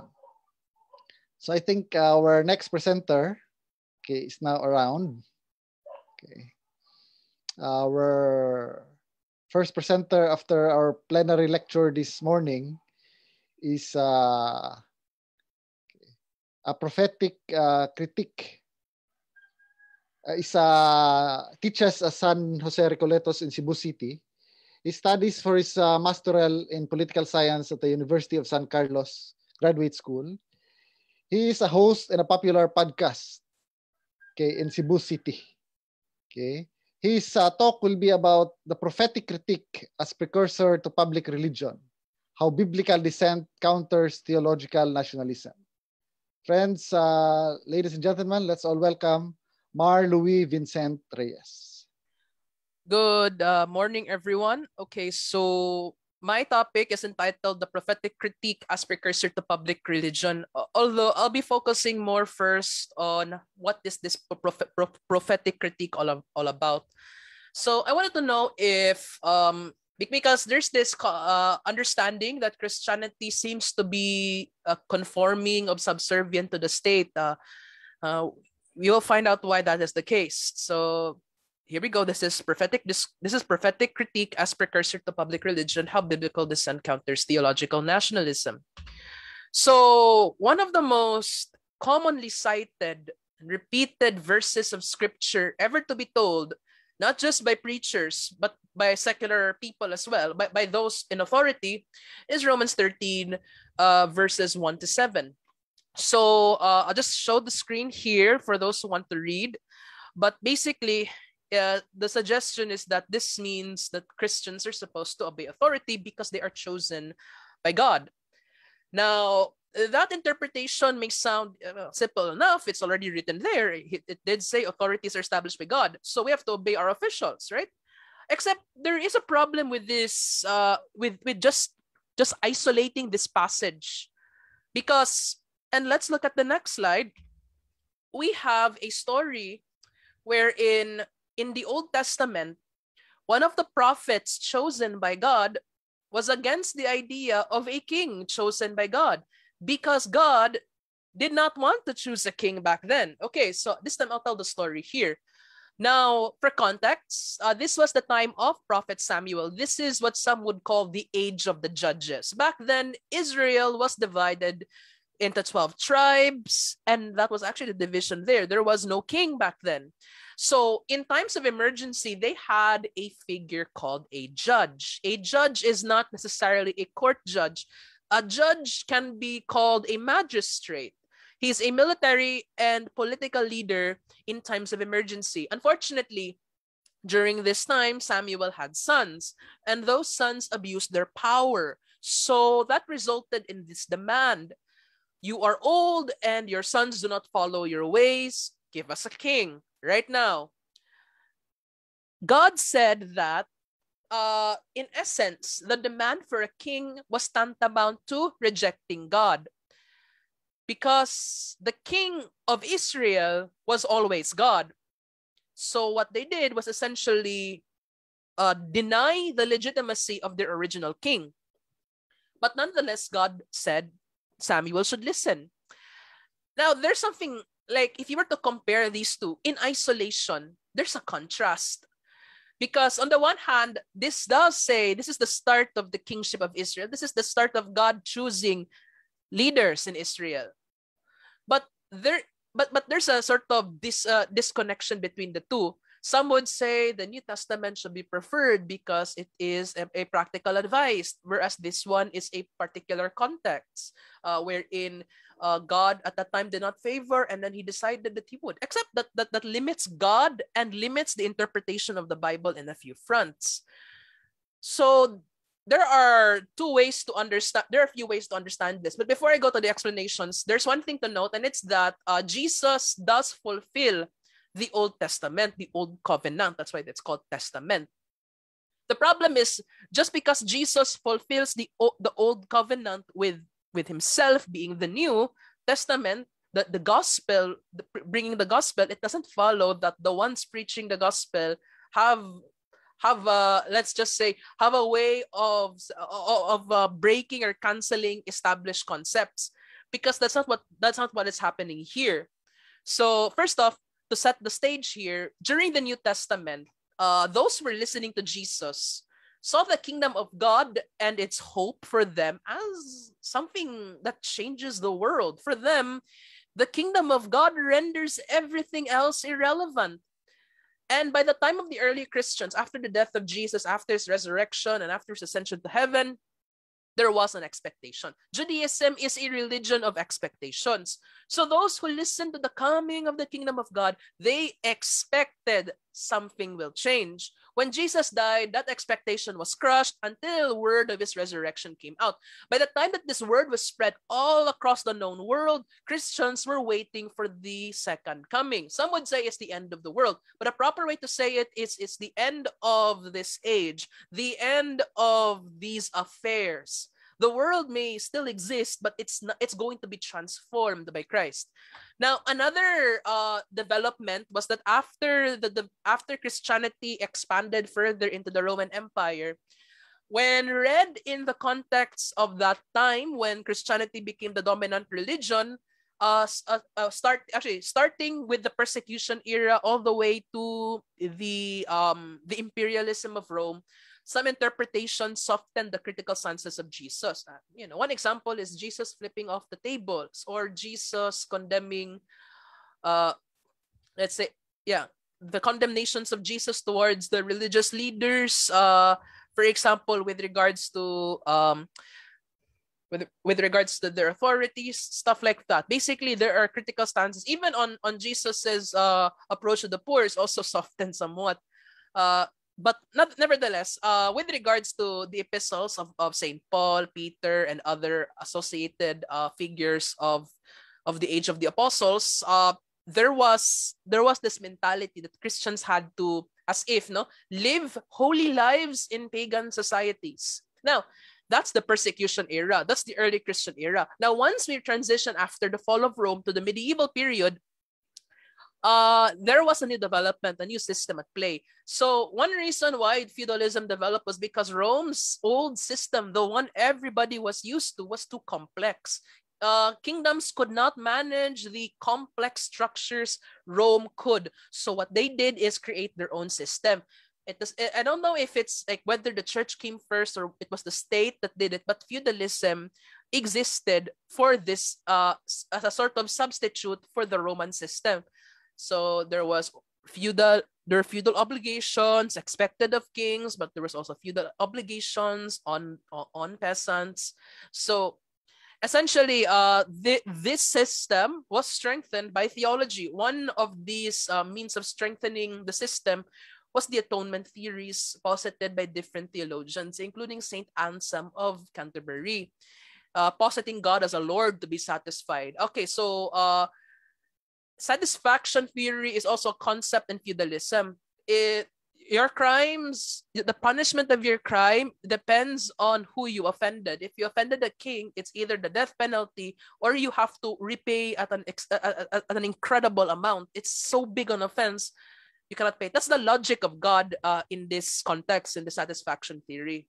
So there are contrasts between what is said in the scriptures versus these these interpretations. Now, Let's look at the context of ancient Israel. Why was it not ruled by kings? Now, when Moses led the people out of Egypt, one would wonder why didn't they make Moses king? The simple answer is God is their king. Moses was simply a magistrate, a representative. Some called him Lord, but nonetheless, Moses did not hold authority outside of God. Now, that's important that uh, judges were appointed by God. Their, their authority comes from Him, absolutely. Not from the people, not from the king, from God directly. But that doesn't follow that they can do whatever they want. In fact, every time a judge appears, God's eyes were really focused on them because the judges are impermanent officials. They only appear in times of emergency. They have kingly power to enact justice, you know, the literal term judge. But at the same time, their uh, their place in the society their place in this society is limited. For one, uh, let, let's compare it to Rome's dictators. You know, the, the Roman dictator has six months or less or more of power. They were appointed from, from the consuls, from the Senate. They were chosen to be the emergency leader. They have absolute power. Judges are like that, except there is no such thing as absolute power in the judge system. The only thing they can do is God's will. That's it the problem was uh, we'll go to the problem later but first uh, let's talk about the distinctions between king and judge. A king is different. A king has his own authority. Now yes the kings back then were justified by divine right. That's very true. Except uh, what made Israel distinct was that there was no middleman. There's no middleman well, except for the judge, but he's not even as powerful as he seems to be. Because Israel's relationship with God was that close. The closeness of the relationship with God resulted in this idea that there is no other king but God. There was no separation of church and state because I and, and I would argue state belongs to God. That's the idea. So uh, the problem with the king was that regardless of religion, the kings would create a distinct class. The king would be outside the community. Power makes him a god. Uh, the concept of the, of the Leviathan, for example, gives him this godlike power. But nevertheless, uh, that concept of kingship was shared mostly by the people of the Near East, except Israel. So the, the problem for them was actually, it was also mentioned later on, that the problem was that this king would limit the rights of the people based on the authority on, given to his title. And also, most importantly, for the context of First Samuel, to call for a change of the system is to say God's system did not work. In other words, it was a defiance, a rebellion against God. That was why Samuel and God were offended. but at the same time, there was there was merit to this system. Uh, it's not the Samuel's sons; it was also the sons of Eli. Now, Eli's sons, the predecessor of Samuel, who was also a priest, they were also corrupt people. So the experience, the recent experience of the people with the corruption of the judge system, which by the way is God's system, made them think that God's system was inefficient. Another problem was that there was an in there was an upcoming invasion and there was not enough time to prepare. So if a judge like Samuel would say, okay, let's rally the armies, let's attack. That's a problem because they don't have the way to extract more resources from the people. They owned many things in common. So resource acquisition would be very limited. So their idea was let's create a class system that is more clarified instead of a priestly class and the tribes. Let's create one more class because the priestly cl- class gets the offerings, the taxes of the people, but those taxes are used for the rituals. Let's put that money to good use in the military. That's what makes ancient Israel distinct from the other nations because to put money on military affairs like that without the consent of the priestly class or God, that, that would essentially mean that people were acting on their own authority. But yes, there was merit to it. The corruption of the judges, the invasion, the role of the king is it's much more simplified and much more clear that he would face international threats more directly and he would have better control over the bureaucracy. It would not only ensure national security but expand political and economic influence. So there was a cycle here. Once people wanted kings, they wanted more. They wanted power. So essentially, they created a class system in order to become more powerful, which is an irony in itself. So interpreting First Samuel's texts, on the surface, this pronouncement by Samuel is quite anti-monarchical. And there is a reason for this.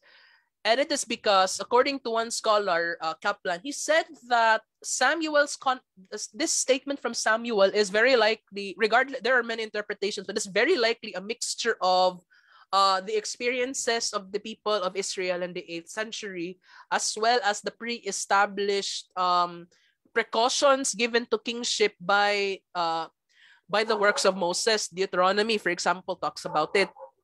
So this is what is called the mirror for princes interpretation. That the Bab that there was there, there, this was comparing uh, a work by Babylonian scholars on on the advice for the kings of Babylon or Babylonia rather uh, that uh, their behavior was being monitored by the gods. So there was go- there was going to be punishment. It's the same here, suggesting that there is a broad Near Eastern genre of discourse. That First Samuel is not unique. First Samuel is actually part of something bigger, and that's being discussed here. Okay, so this is the text from Deut- Deuteronomy. Now there's one commonality, and I want to, to, to go to the slide here. Let's check here the lines. So God says, "Let us." Uh, he predicted, by the way, not just predicted, this was meant to be, so to speak, because that is how the people would act. Uh, say, let's appoint a king to co- to rule over us like all the nations around us. Now, that line is important because let's go back to the previous slide of Samuel. What were the words of the people of Israel? They said to him, You are old, and your sons do not follow your ways. Now appoint a king to lead us, such as all the other nations have. Very close. And this is the basis for First Samuel's precaution that a king essentially uh, would be a problem if it wasn't God. Why is that? Uh, because the king here creates his own class. The king would uh, change the distribution model of resources. People were fine with the distribution model of from the pre, from the regular people to the priestly class because the priestly class doesn't actually hold a lot of land. They just have a specific role, meaning that landowners had limits to how they would gain power. Additionally, there Israel back then wasn't economically successful. So uh, by the time that Samuel died, by the time of the monarchy, uh, the, the structure of governance in Israel became more complex. So I would like to ask, is Samuel an early model for, for, for prophetic critique? And I would argue he's actually one of the best models for this. Later stories, for example, uh, the rebuke of Nathan when David uh, killed uh, Bathsheba's husband uh, because uh, he was lusting over her. That's a form of prophetic critique. It was directed at the abuse of the king. But Samuel had a bigger outline. He followed Deuteronomy. He was talking to people about it, reminding them, you know what you're doing? You are basically abandoning God. So you paid the price for it. So go, you have your king. But remember, the king decides how you would live, decides the distribution of resources. And that is because, as I said, a king acts on God's authority. That is where we get the basis for divine right theory. Divine right theory suggests that the one who rules over the people decides the way that the people would live. So Samuel's concern was twofold the offense of deciding that God's dominion felt inadequate and the example of pagan kings. So they all, Deuteronomy, Samuel, they all had a basis uh, they were based on the behavior of the kings outside of the region. Their interpretation was that because they were kings, because of their existence, uh, being uh, not being the same as theirs, which is a structure of, of, of limited authority, then it would threaten the rights of the less fortunate. And by extension, how a king would promote greater social cleavages and class conflict. So, if I were to connect um, the transition of, of time periods, I would argue that the, the 8th century or the kingdom of Israel periods, this was where there was greater class division because the king promoted a greater economy, which in turn benefited the, the more powerful landowners. There was inequality in the economy, but by the time of the kings, it was much worse. So prophetic critique and public religion. So Casanova had this idea of the division between the private and the public. But for him, this, this dichotomy is a bit limited because it's a binary relationship that suggests that there should be a separation of sorts. that was the uh, sort of phenomenon that took place in Europe, that there was a separation of church and state, except that's not actually the reality in different parts of the world. Like in Japan, for example, unfortunately, because of US intervention, there had to be a distinction between Shinto religion and the imperial cult. Now, in the case of uh, Israel, now the thing is, public religion is a modern phenomenon because it's a it was created by the complex dynamics of modern democracy. So rather than the public sphere being government alone, there's civil society, there are different spheres at work. And in fact, comparing the complexity of dynamics in Israel's uh, so, uh, socioeconomic framework is a good starting point for comparing the two. It's not so much that the uh, that um, Casanova's types of public religions are applicable. It's the movements happening in this analysis made by Casanova. So I would argue it's more of a it's more of a proto public religion kind of framework here, prophetic critique, that Samuel exists as some sort of second civil, uh, second public sphere. The priests and the king are tied. No matter how we look at it, the priestly class and the kingly class, uh, the, the royal family, they're tied. And that's because the royal family built the temple of Jerusalem. It was not so much a separation of church and state, the prophet became an independent agent of God, distinct from this matrix, this institution, the, the, the, the temple cult and the monarchy. So that's the contestation brought about there. It's also to contest the moral ascendancy of the institution established by God by another institution established by God, prophets. So, what are the elements of prophetic critique? Now, this was from a work by Gossai. He says here there are a few elements to this. The first is the rejection of God. This is probably the most important element of prophetic critique. In fact, this transcends even biblical prophetic critique. This is the very idea, this is the very reason why there is prophetic critique in the first place. So, uh, before go, so rejection of God. What is this? So, all the reason why society is broken is because people broke away from God. Now, this passage is the Song of the Vineyard. The vineyard has God as the vine dresser who shows so much care and love for the vineyard. But then he looked for a crop of good, good grapes, but it yielded only bad fruit. Now, that's a problem. So God asked, What did I do wrong? Israel, as the vineyard, had not responded in a manner which reflects the care and love that God has given. So God planted a vineyard of holiness. Now, that's the thing. Uh, Sir, five, five minutes more. Okay, that's the thing. God's one reason why there's a distinction between kings of the pagan world versus uh, judges is that the people of Israel were set aside. That's not their behavior. The outside world, the worldly behavior is not supposed to be their behavior. But the reflection here is that because they broke away from God, then well, they, the, they deserve to be punished because they this is the cause of, of, of everything wrong with society. What God what did God wrong? Uh, did God do wrong? Was it his care for the people or was it Israel's response? So what he does is he removes the care and stops the rain and le- let's see, is there something wrong with me or is there something wrong with Israel? That was his mentality there. The result was, unfortunately, it was Israel's fault. Ultimately, they did not respond kindly to God's grace. Now, we've seen this a million times. Why is it it took 40 days for the people of Israel to leave the desert? Because they kept rejecting God. God gave them manna. God gave them water. God gave them safe passage. He, they could have gone there in over a week or a month. That didn't happen. They were in circles because God would not open the gate for them to the promised land because they reject him over and over and over again. That's the history of ancient Israel. Now, the second is religiosity and the cult. By the way, the cult here means the religion. It's not like uh, the, the one that we know right now in the modern age. So basically, uh, to summarize, grave social crimes cannot be remedied by grand cultic ceremonies. It seems like these ceremonies are so uh, so separated and disjointed from the realities of the poor. And more importantly, there, there's a problem here. There's misplaced priorities. In that they believe that the only way that they can go back to God is make more sacrifices. The problem was they keep forgetting to be merciful. The affluence at the poor's expense. Again, um, the king is responsible for the creation of rent capitalism. Because of um, because of the wealth of those uh, because of the wealthy of the wealthy who had who, who had much were blessed by God. Now here's the thing: uh, Israel believed that wealth is a blessing.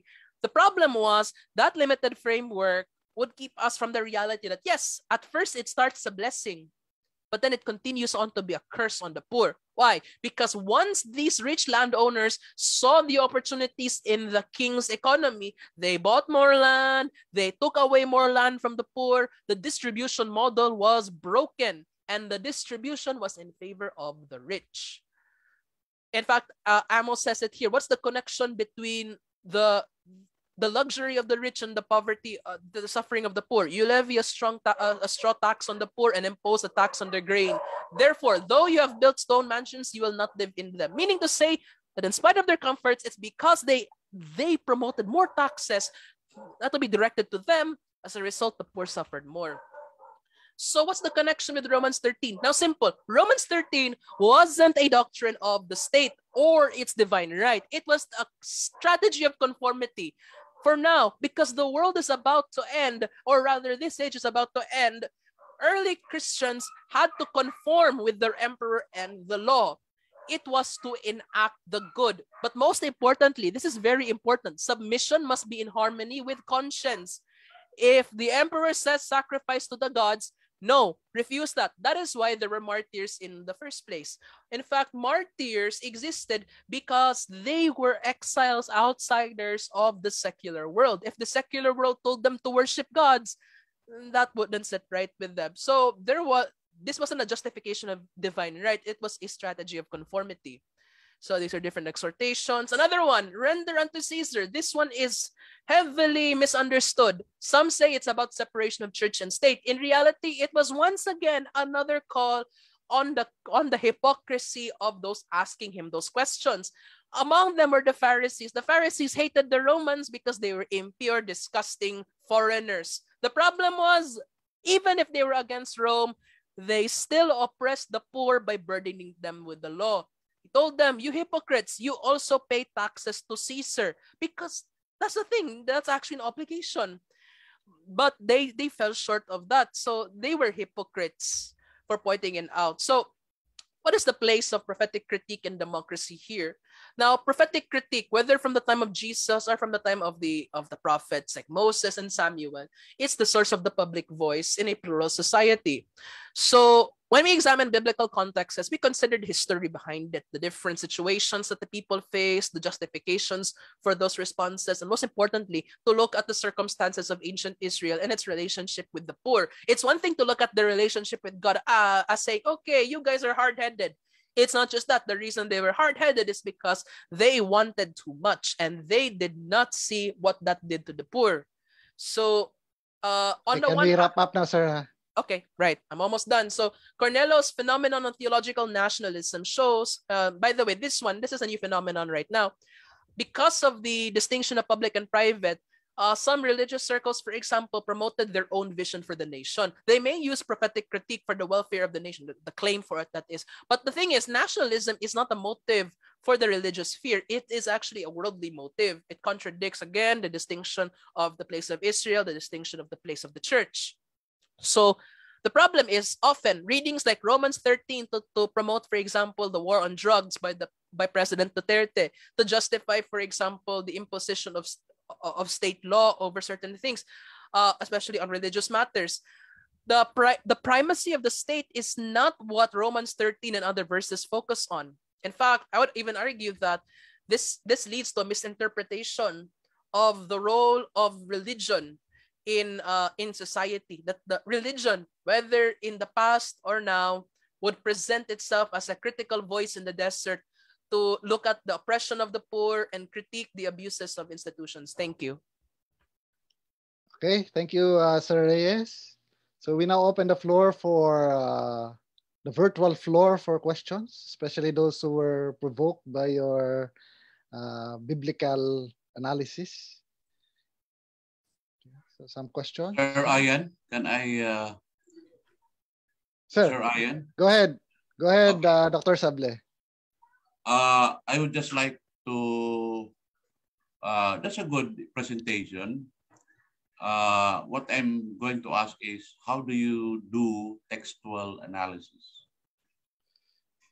Uh, okay, actually, um, this one involved uh, analyzing the um, social, cultural, and historical context. Uh, although, uh, if I were to expand on this further, for example, because it's, I actually used a limited number of verses for this situation. I, I would say uh, there was this method by uh, I, I combined first uh, Gossai's elements of um, social critique as a part of text analysis. Uh, it, it's actually actually I'm actually some, I'm actually somewhat new to analyzing Bibli- uh, scriptures, so I use te- textual analysis on this. So I combined the framework of Gossai with um, uh, Nissen, I think the one who analyzed uh, Romans 13. Okay, uh, his analysis was combining um, the the literary um the, the narrative itself of Romans 13 he connected it to Romans 12 it's it's they're connected as well as the social historical context. Because uh, if if this interpretation was separate from from the context of, of for example Paul's relationship with Rome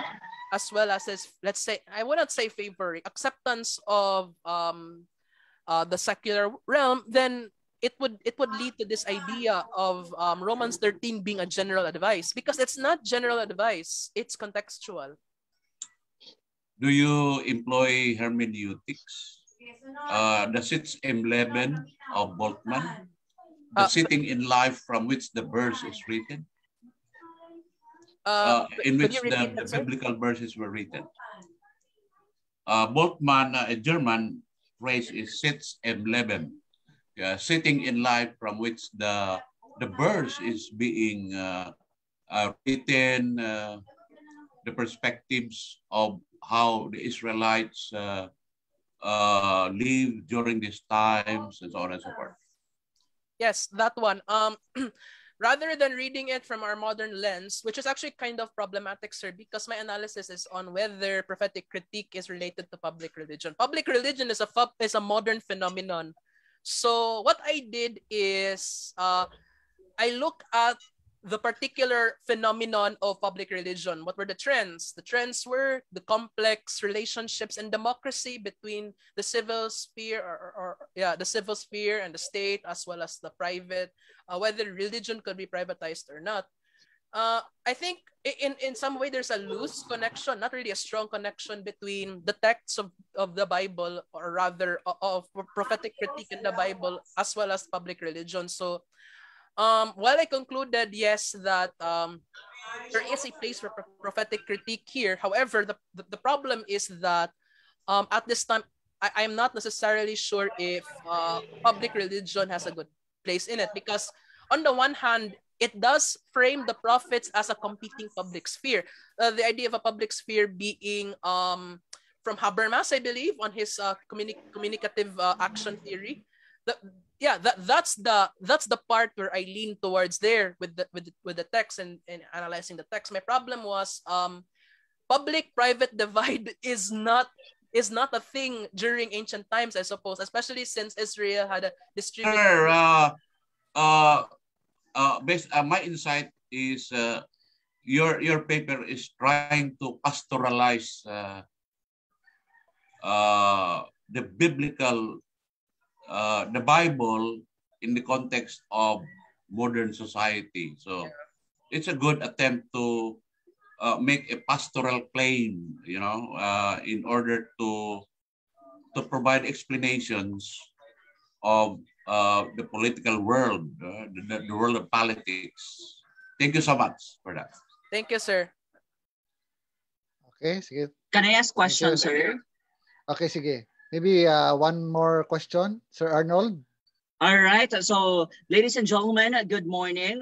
By the way, I am Mr. Arnold Opon of uh, uh, DepEd Davao City, spec- specifically Biao National High School, a student of uh, Dr. Mabolo. So, my question to the presenter. So, in in philosophy and theology, the link between religion and, and science in a matter of ongoing debate. What is the limit of religion and science ability to coexist? Are religious belief ever conducive to scientific study or they always black on it? Please, uh, what is your stand on it? Thank you so much and good morning. Uh, hello, sir. Okay. Um, I think this question. well, while it's not entirely connected to my paper, I appreciate the question because I think, um, okay, I think my uh, my approach to this was that uh, prophetic critique serves as the voice of uh, let, us call it popular culture, the people. Uh, but popular culture, okay, uh, confession, I think I'll explain that I use a particularly Catholic lens for this, not necessarily for the majority of Christendom, I'm afraid. So, for example, uh, talking of um, talking of prophetic critique, uh, the church's role in prophetic critique is not to try to supplant, supplant science. Religion and science have their own respective voice. They have their own life, they have their own framework of analysis, and they have their own expertise. Science, for example, talks about uh, the necessity, uh, uh, no, talks about the, the vaccines, for example, talks about the production of vaccines on one hand. On the other hand, religion talks about the ethics of such vaccines. And most important, just recently, with Pope Francis suggesting that there's an ethical responsibility to take the COVID vaccine because it, it is to ensure the security of your neighbor. So uh, there's a harmony, so to speak. Religion, uh, there's there was a line from another conference I heard. Uh, it is says it, it, it says that the Bible uh, talks about how to go to heaven, not how the heavens go. Thank you. Okay, thank you, uh, Sir Mar Louis Vincent Reyes. Can we give him a virtual round of applause? There's actually one question in the chat box. Maybe you can reply, sir, in your time and uh, engage that one. I think in, I actually uh, replied a while ago that I, I yeah. use a Catholic lens. Sige. So maybe you can engage uh, him in a private discussion later. So let's move okay. now to our next presenter. Our next presenter is a faculty member of the Abra State Institute of Science and Technology. He also serves as a designated university guidance counselor of that university's uh, of that institute's main campus. Okay, so from uh, biblical we move to existential. His topic is on in defense of death and existential approach. Let's all welcome Dr. Roberto Roldan Jr.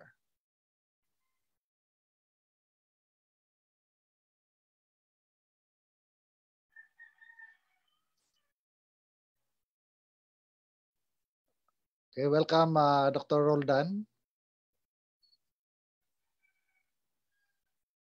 He's still uh, trying to share his screen. Maybe while doing it, you can already start uh, turning on your audio, your audio, sir, so that we can hear you.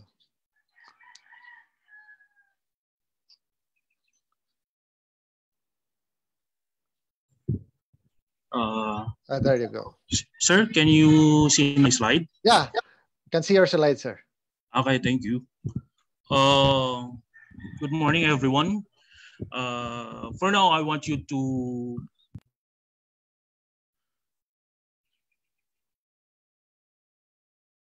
You have turned off your mic, sir. Okay. There you go. Okay na, sir? Okay na. Okay na, sir. Okay. So, okay, sir.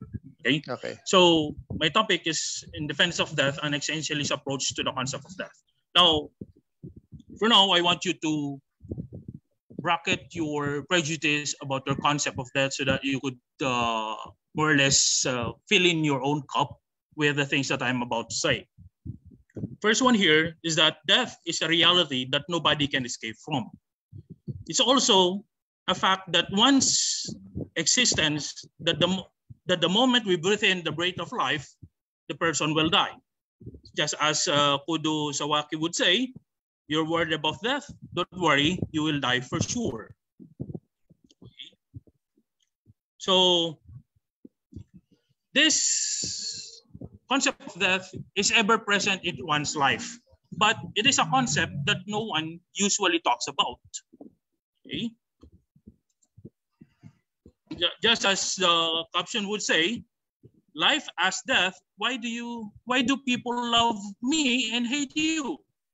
And that would say, because you're a beautiful lie and a painful, I'm a painful truth.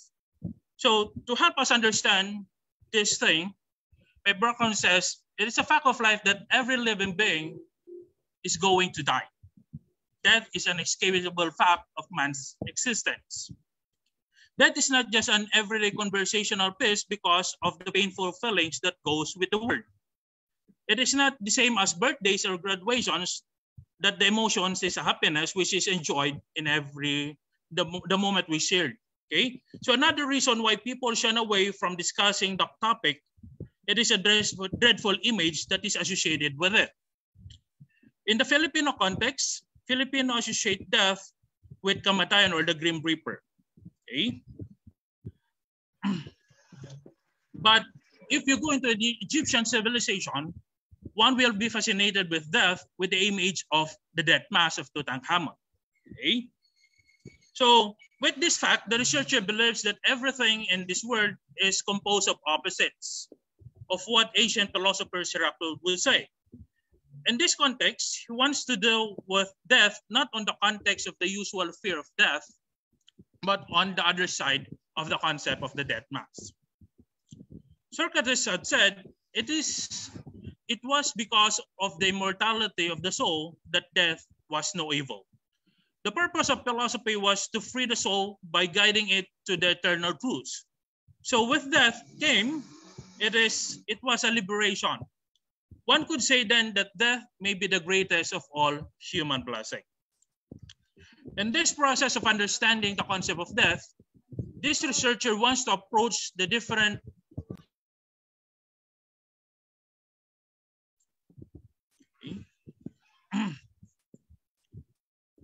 Can you hear me now, sir? Okay. So for things to unravel themselves, so we need to barely abandon our views about them. And it's then to abandon for a while his negative thoughts about death in order for death to reveal itself. Another approach that the researcher wants to adopt in this research is that with the words of Thich Nhat Hanh, the quieter you become, the more you can hear. Therefore, the researcher does not only abandon his negative thoughts and feelings towards death, but also imbibe the values of silence. Another, another author pushes this ignorant author to work on this paper by Norman Cousins.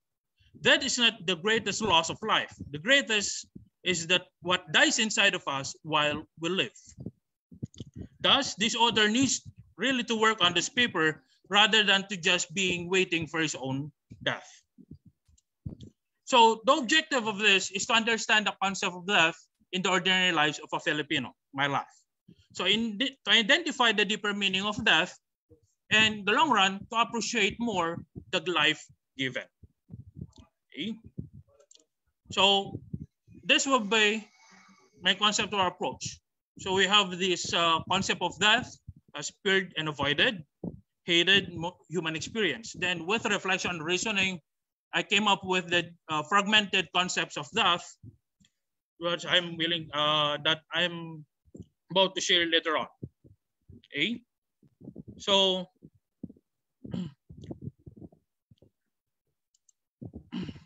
so the results of my reflections about death are these points. First, death is an event, and every man should prepare for this unscheduled death.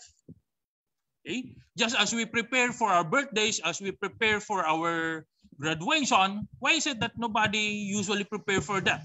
Okay?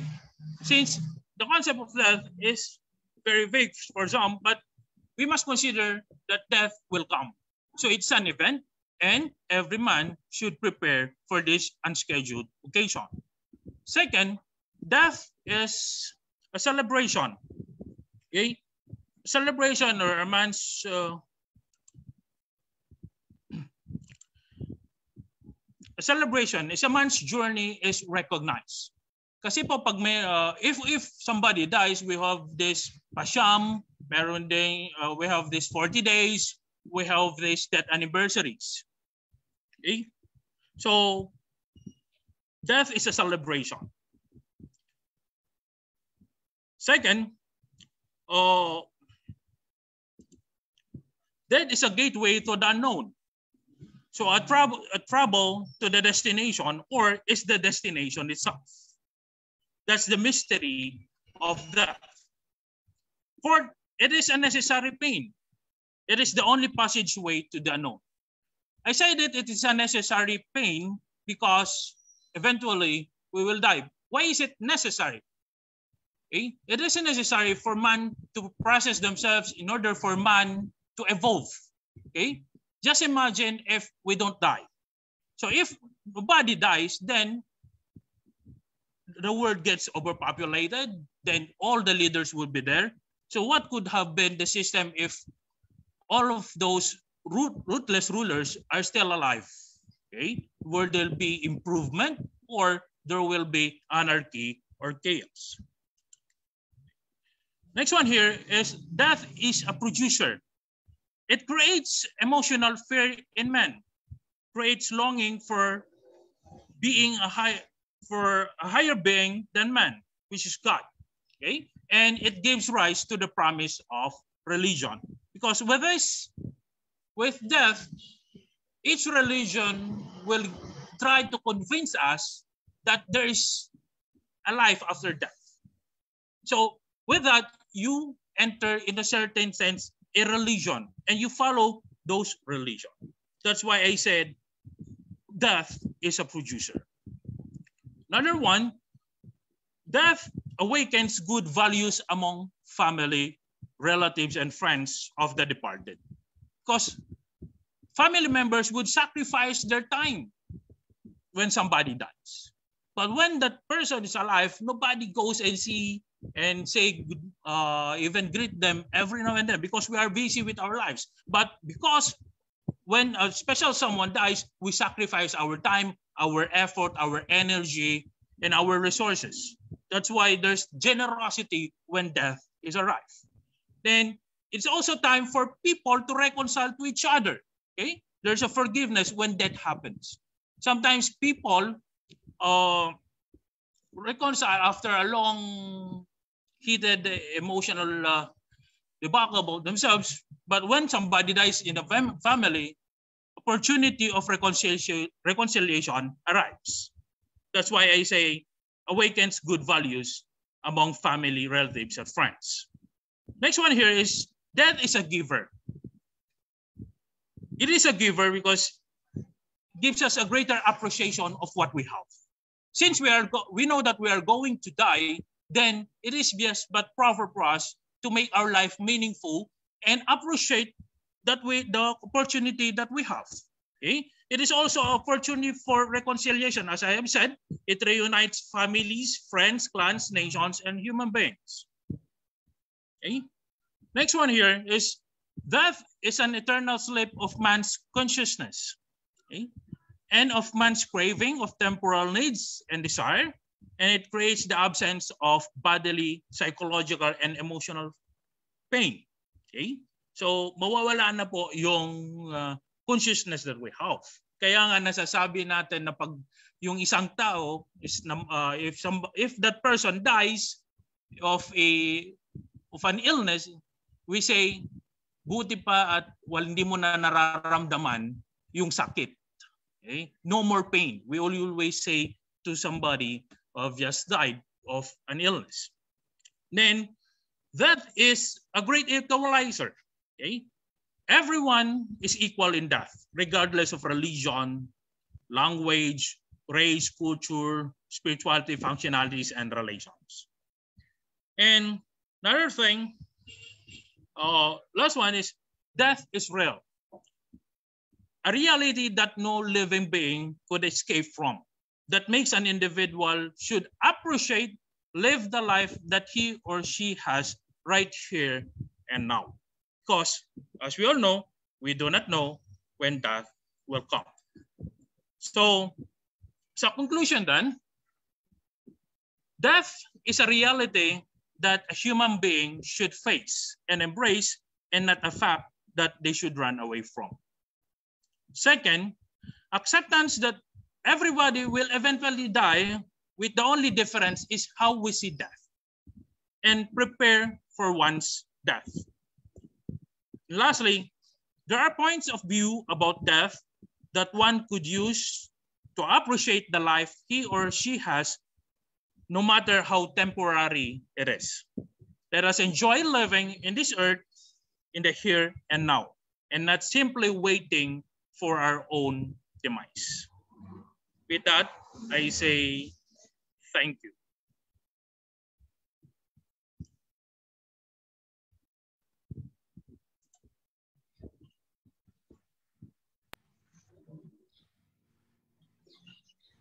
Uh, Sir Ian, are you there? Ah, yeah, you are here.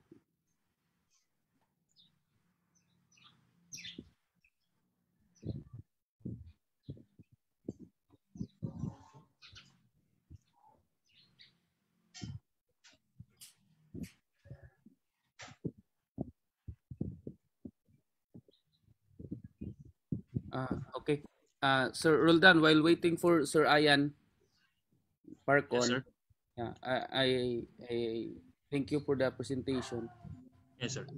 It reminds me of uh, not only the inevitability of death, but also the the, the benefit or the importance of death. Uh, my, my question, sir, is uh, what do you think? This is uh, somewhat personal. I just want your opinion. What do you Yes, think? Uh, what do you think is the necessary death that we philosophers, uh, teachers, citizens should should undergo this time to be able to acquire a, a, a rebirth? Because death uh, necessitate a new life. So what Yes, what sir. what do you think is the kind of death that we should experience as of the moment?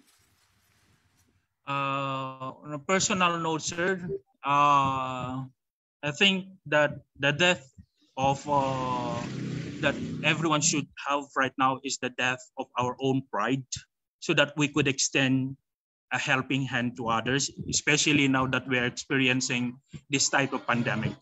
Because if we just think of our own selves, we might be enjoying the fruits of our labor, but we will see suffering and death all around us. And I think that would be a miserable existence, sir.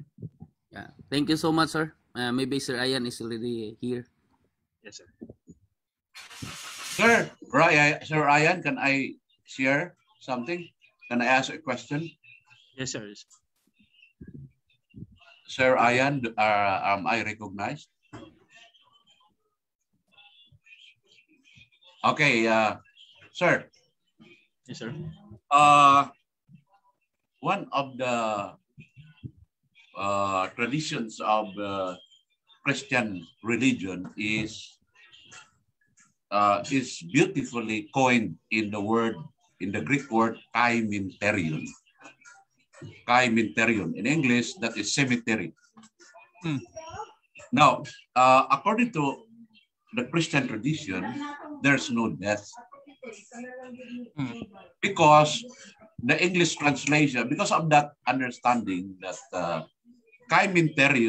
is a place for rest. Hmm, okay. You just rest there.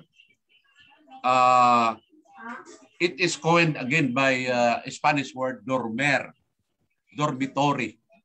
So Hmm. uh, the cemetery is a kind of a dormitory where a Christian sleeps there and wait for Christ's second coming. Hmm. Uh, it's just uh, a temporal state. Yes. So uh, from that point of view, death is science defined it as the stoppage of vital parts. Uh, Yes, medical, uh, the medicine, science of medicine uh, defined death as the the collapse, the paralysis of the vital parts, the heart, Yes. the kidney, the brain, etc. That's what science is. It's just a biological death. Mhm. But in essence, there is no such thing as uh, death. Uh, in the end, the eschatological views of theologians is that uh, they are just resting in the dormitory. they are just sleeping there uh, in the cemetery. Now, Hmm. so why should I fear death as a Christian? What, what what's your reflection, sir?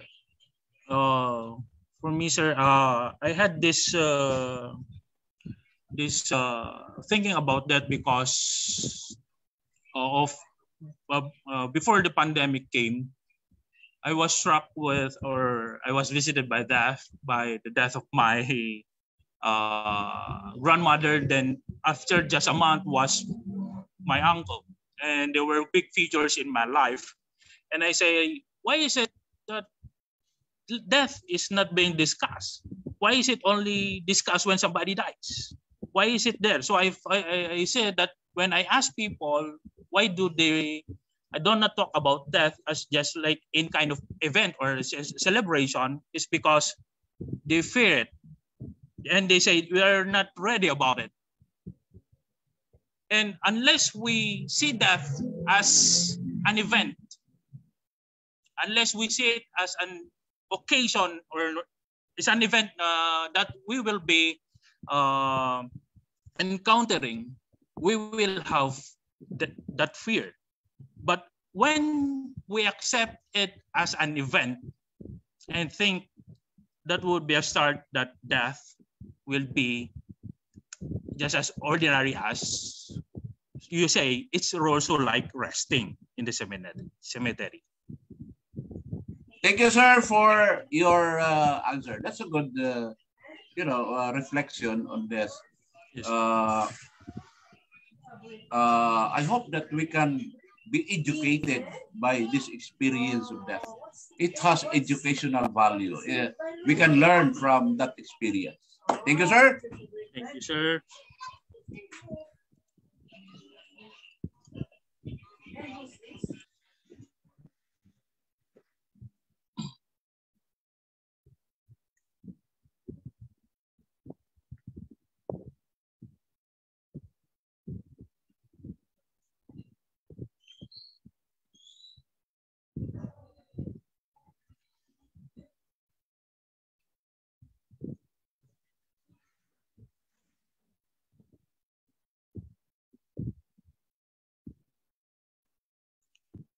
Uh, Sir Ayan.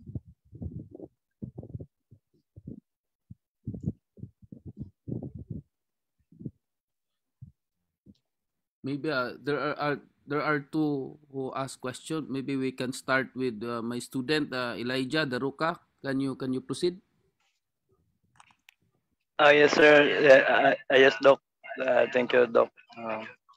My question is um, in line with the so-called uh, death. Uh, uh, this is for ev everyone, a question for everyone. We know for sure that we will, um, after this life, we will uh, experience death. My question is for for everyone is that uh, when we die, we have uh, uh, soul, you know. Uh, when we die, um, do we know what? Uh, Shin, Shin, hinay sa ragot, Shin.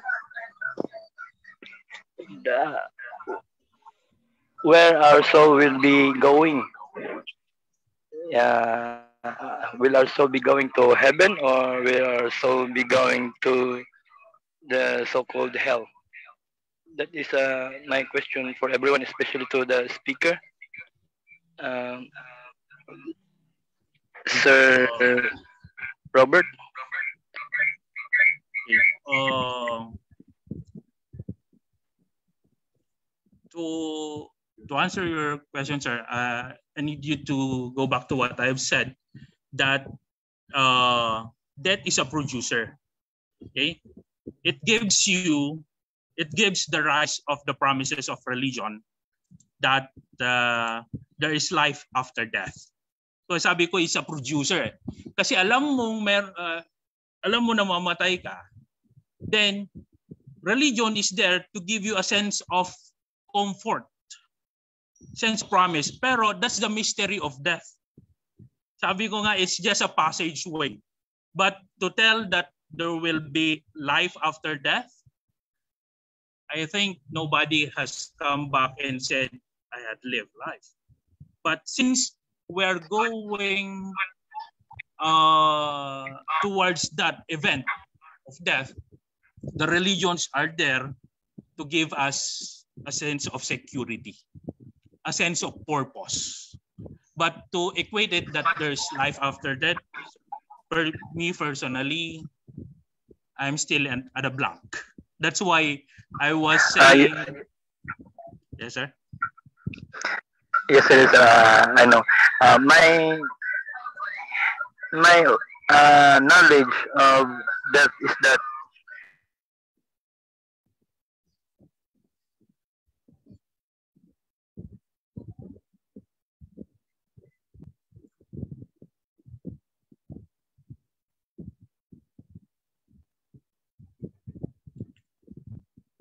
Hello, sir. Hello, sir. Uh, my signal is here is very weak.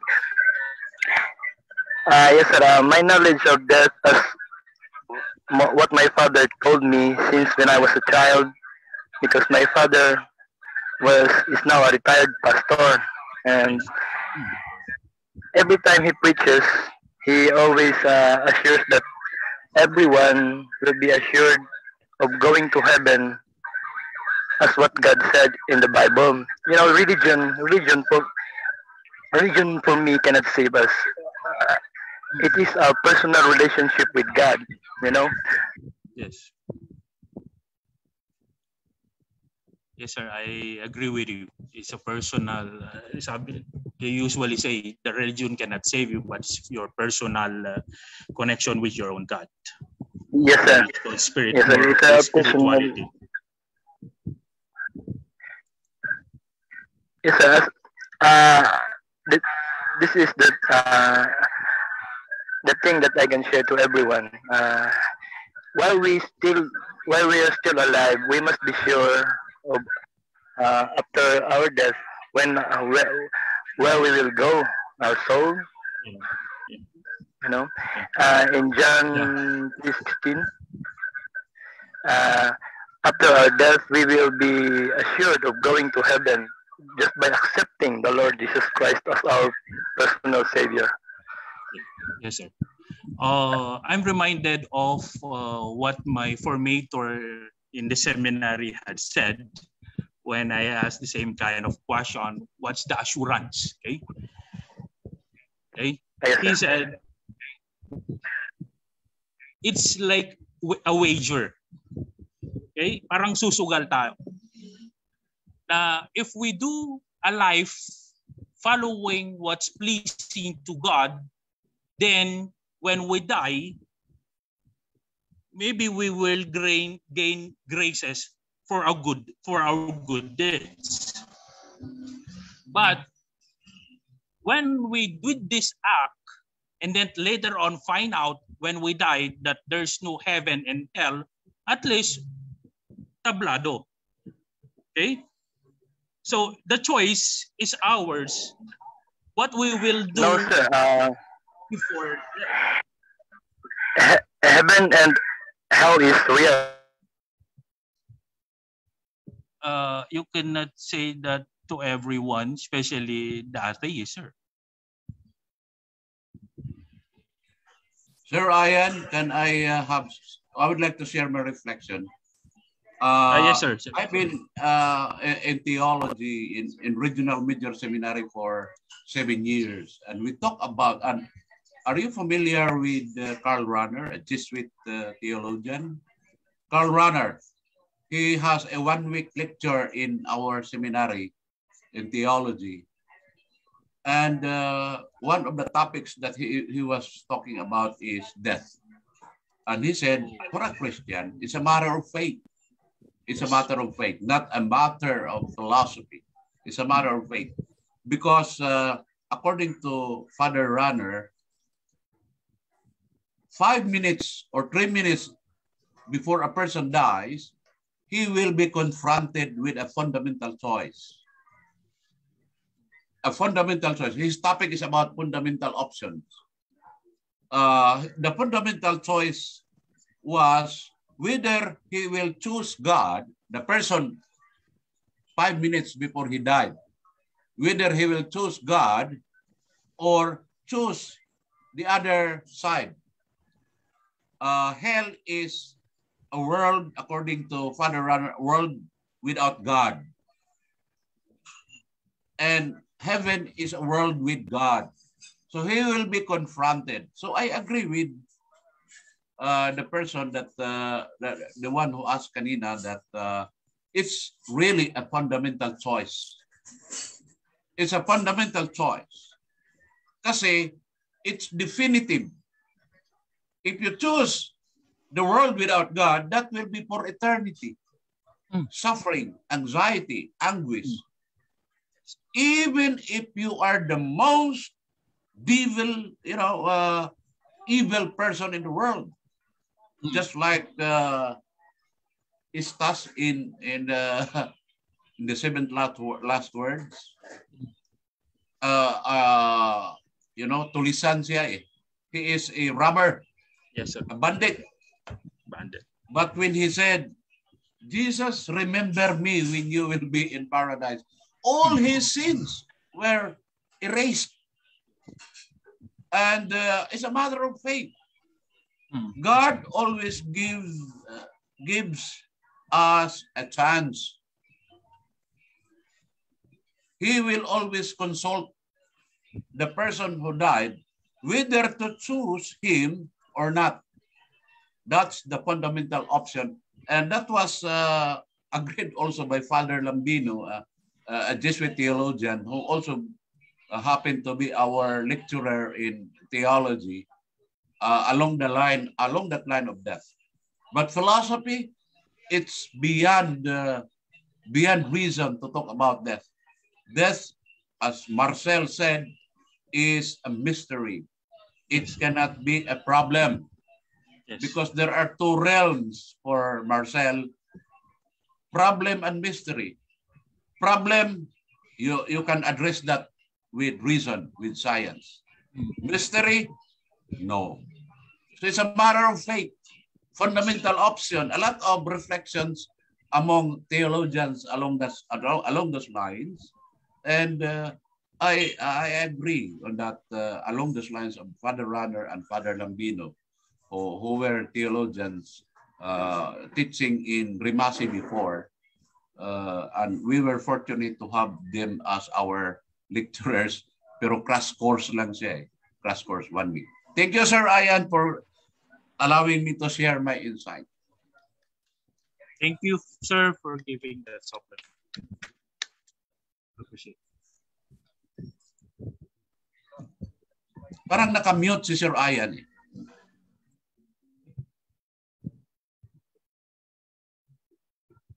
I ask?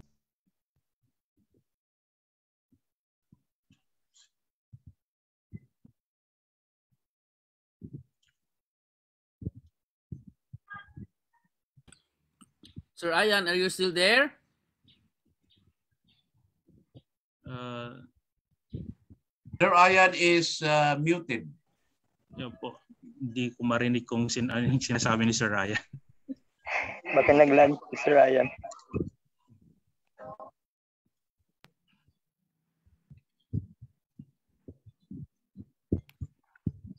Maybe while waiting, maybe we'll we'll ask uh, because uh, Sir uh, Cartagena of Notre Dame of Marbel raised his hand. Uh, can you proceed with that question, sir? Um, uh, good morning, everyone, and good morning, sir. Um, thank you for a very um, relevant topic for today. Um, I would like to ask, sir, uh, in in, the lens of existentialism, particularly on on Mart- Martin Heidegger's view on death, um, because because as as we are go, as we are going along the discussion, um, there's a one passage of, of Martin Heidegger that that it it it like kung kumbaga parang tumatagal sa akin. Um, that that that is the most certain possibility. And also in the in the view of, of existentialism, um, to to accept death is somehow to to live in an authentic life. But I I would like to ask sir if if there will be an instance of a particular person who would not totally accept death, what would be his consequences? Would he still have a meaningful life? Would he still have would would he still live authentically? Just like what, the existentialist might, might have might have proposed in in in acceptance of, of death. But but but on a case of a particular person, because there there are instances na hindi niya po talaga matatanggap yung death because there there is a sort of attachment and he's indeed afraid of, of what will happen if if he will die and so on. So that that is that is my question po. Okay, sir. Thank you. Uh, that note, uh, maybe that if that person doesn't accept death, then he will still have the life that he chooses. But to say it meaningful as a meaningful life, I think he's not looking forward towards an event, therefore he's not preparing for it, he's not doing anything. He will just be living life day by day as he wishes, but it will be unreflected life. It will not be a meaningful life in that sense because he is not looking towards it. He is not preparing towards it. He is not thinking towards it. He is not doing something towards it. Yan lang. Thank you po, sir.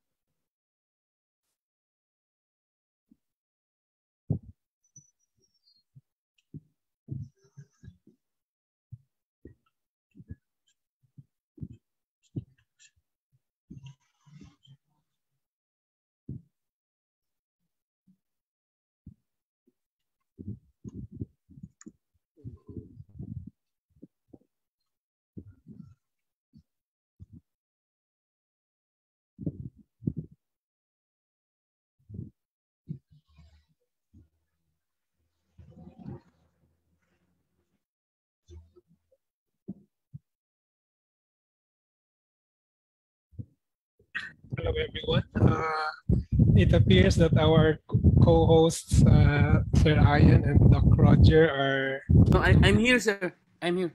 Sir Doc Roger. Yeah, I'm in the, here. In the interest of time, may I suggest that we proceed to our uh, next presenter. Yeah, yes, sir. Uh, actually, uh, that's uh, that's my thinking. So, uh, thank you, uh, Sir Robert. And uh, Sir. while there are uh, many questions in the chat box, you can just engage the the the one asking you for a there in the chat box. So let us proceed. Okay, yes, sir, yes, sir. Next uh, presenter. Our next presenter is from uh, the the University of Santo Tomas, and uh, he will uh, discuss. Uh, she, will discuss a case study on the role of community participation in health program in San Isidro Rodriguez, Rizal. Uh, Concepcion uh, Regalado is a faculty member of the Department of Philosophy of the University of Santo Tomas, and she is a graduate of AB Philosophy and Masters of Philosophy from the University of Santo Tomas, Manila, and earned her master's degree in public management from Ateneo School of Government. So, uh, friends, uh, help us welcome, uh, help me welcome uh, Ma'am uh, Concepcion Regalado. Go ahead, ma'am. Hi, good afternoon. Ah, good morning. Good morning, Paul. Good morning to everyone. Um, first of all, thank you very much for accepting my paper for this. Um, thank you for this opportunity to present a little bit uh, of uh, the project that uh, I've been part of or we've been part of. So, she now okay. So.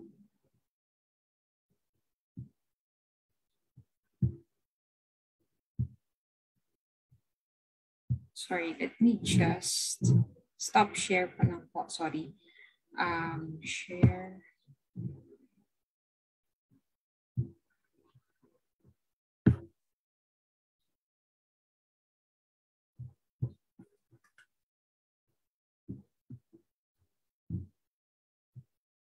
Okay, sorry, sorry again. Mm.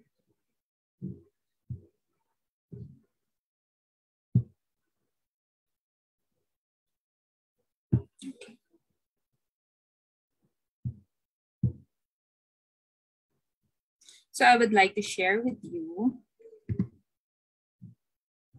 Um, so I would like to share with you the.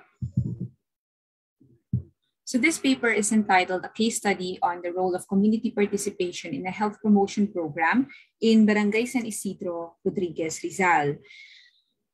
Um, COVID-19 crisis caused unprecedented challenges in many countries worldwide. It affected health, economies, and even the educational sector. In order to contain the virus, there was a need for large-scale lockdowns, which eventually caused socioeconomic impacts like loss of income and health concerns. Dr. Mike Ryan, Executive Director of the World Health Organization's Health Emergencies Program, said at a press briefing that COVID-19 is likely to stay with us and will become one of the viruses that affects us. It is because of this that I would like to suggest to consider using health promotion to enable the people minimize the damaging effects of the virus. The core of health promotion is to enable the people to increase control over their own health and its determinants by means of behavior change, aided by community participation.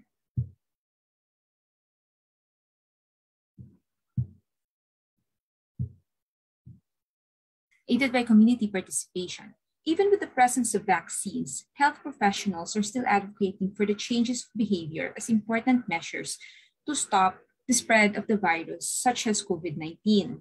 Hand washing, wearing of face masks, and physical distancing became essential parts of our everyday routine.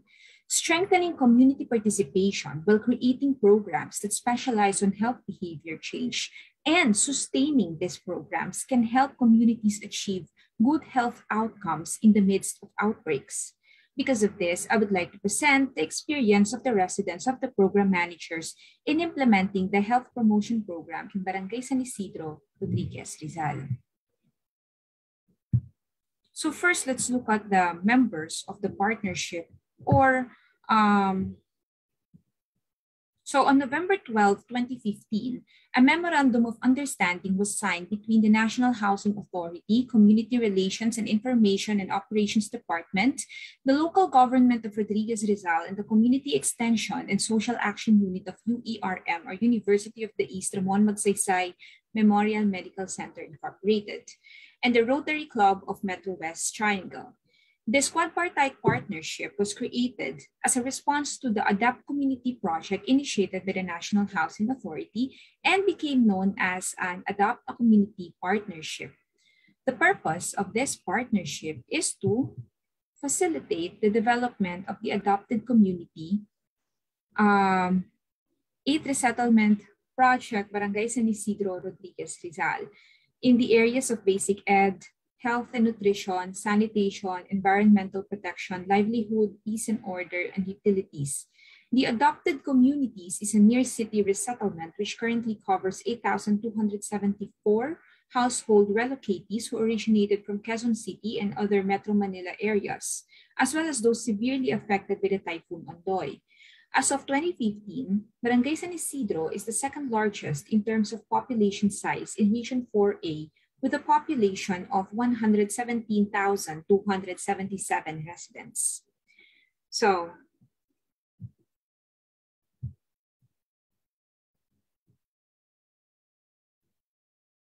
one of the goals of the partnership is to improve the level of community health. And to achieve this, the partnership has two objectives, and these are first, enable the citizens to take control over their health, and second, assist the Rural Health Unit in providing healthcare services to the beneficiaries. The programs under, under these objectives need sustainability in order to reach the ultimate goal, which is healthy population.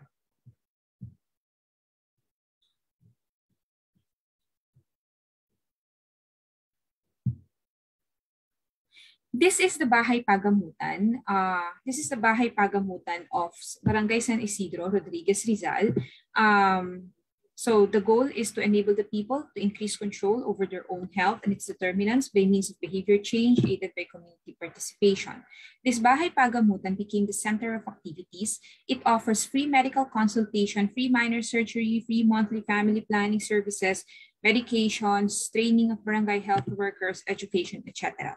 Moreover, it became the location for the different health programs such as um, disease prevention, modification, vaccination, uh, and periodic health examination, At the garden or at the back of that barang, uh, Bahay Pagamutan, we set up a, a, an herbal clinic. We created um, diabetic club, hypertension club, club, and metabolic syndrome club in order to support and to um, to help prevent the problems of uh, the health, some of the health problems of um, the residents of the community. We had a healthy aging program for the geriatric community members, nutrition program, deworming program, environmental sanitation program, etc. So we all have these programs. Now, the two goals of the partnership is to first enable the citizens to take control over their health, to enable the residents of the community to take control over their health within five to 10 years. That means that after five to 10 years, um, the in five to 10 years, the partnership should be gone and the community should be empowered enough to create their own programs.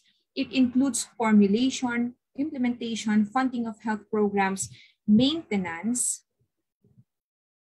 and maintenance of the health of the community without the need to ask for assistance from the government.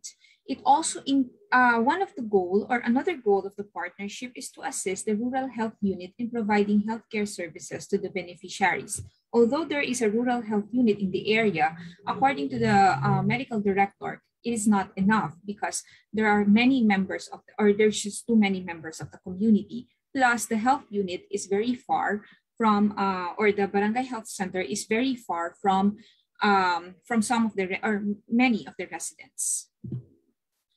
So for the first goal of the program, if you would notice, these are the programs that, uh, that were started before the pandemic, uh, before the lockdown, the BHW trainings, herbal garden, nutrition program, metabolic syndrome, and the healthy aging program. So these were already started. For the second goal, we have the Bahay Pagamutan, but the Bahay Pagamutan is um, currently closed because, um, because of the lack of staff, who are mostly volunteers. Um, they are faculty members of the College of Medicine of UERM. They are uh, faculty members from College of Nursing and College of um, Allied Health Professionals and um, volunteer physical therapies, etc. And also junior interns and um, students. So the, the, the design is that these two goals will be, uh, the design would be make it sustainable. So how are we going to make it sustainable? Make it sustainable by engaging the community in formulation, implementation, and funding of the programs. It is our hope that after this, um, the community itself will be able to create their own health organizations.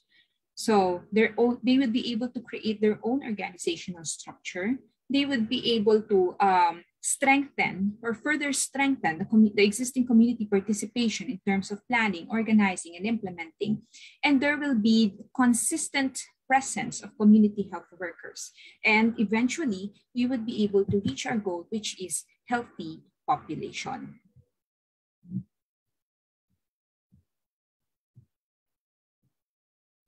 So before I have to start, um, we find sustainability through community participation. Community participation plays an important role in this project, which is why collaboration has to be seen in every step. This quadpartite partnership believes that community, community's participation during trainings can empower the community and has to be given importance by providing funding for trainings, especially the training of barangay health workers. According to WISE, According to different studies, the presence of health organizations and organizational structure promotes are structures that represent the interests of the community. And at the same time, uh, organizational structure defines roles that leads to accountability.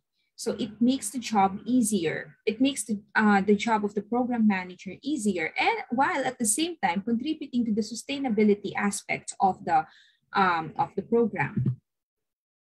Now, so we try to demonstrate collaborative aspect in program planning and organizing, implementing, evaluation, research with other stake and research with other stakeholders and other people who will participate and contribute to the development of the community. Empowerment expressed as participation and engagement has been shown to contribute to the effectiveness of health promotion interventions directly and indirectly. So barangay health workers are very important in this. Um, the training of barangay health workers are also important.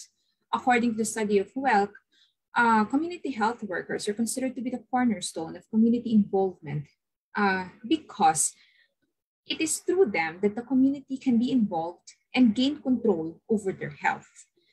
BHWs in health promotion, the role of the barangay health workers in this particular project in uh, Barangay San Isidro it, are information dissemination, monitoring of attendance of the participants, maintains the upkeep of the Bahay Pagamutan, and represents the residents during the meeting.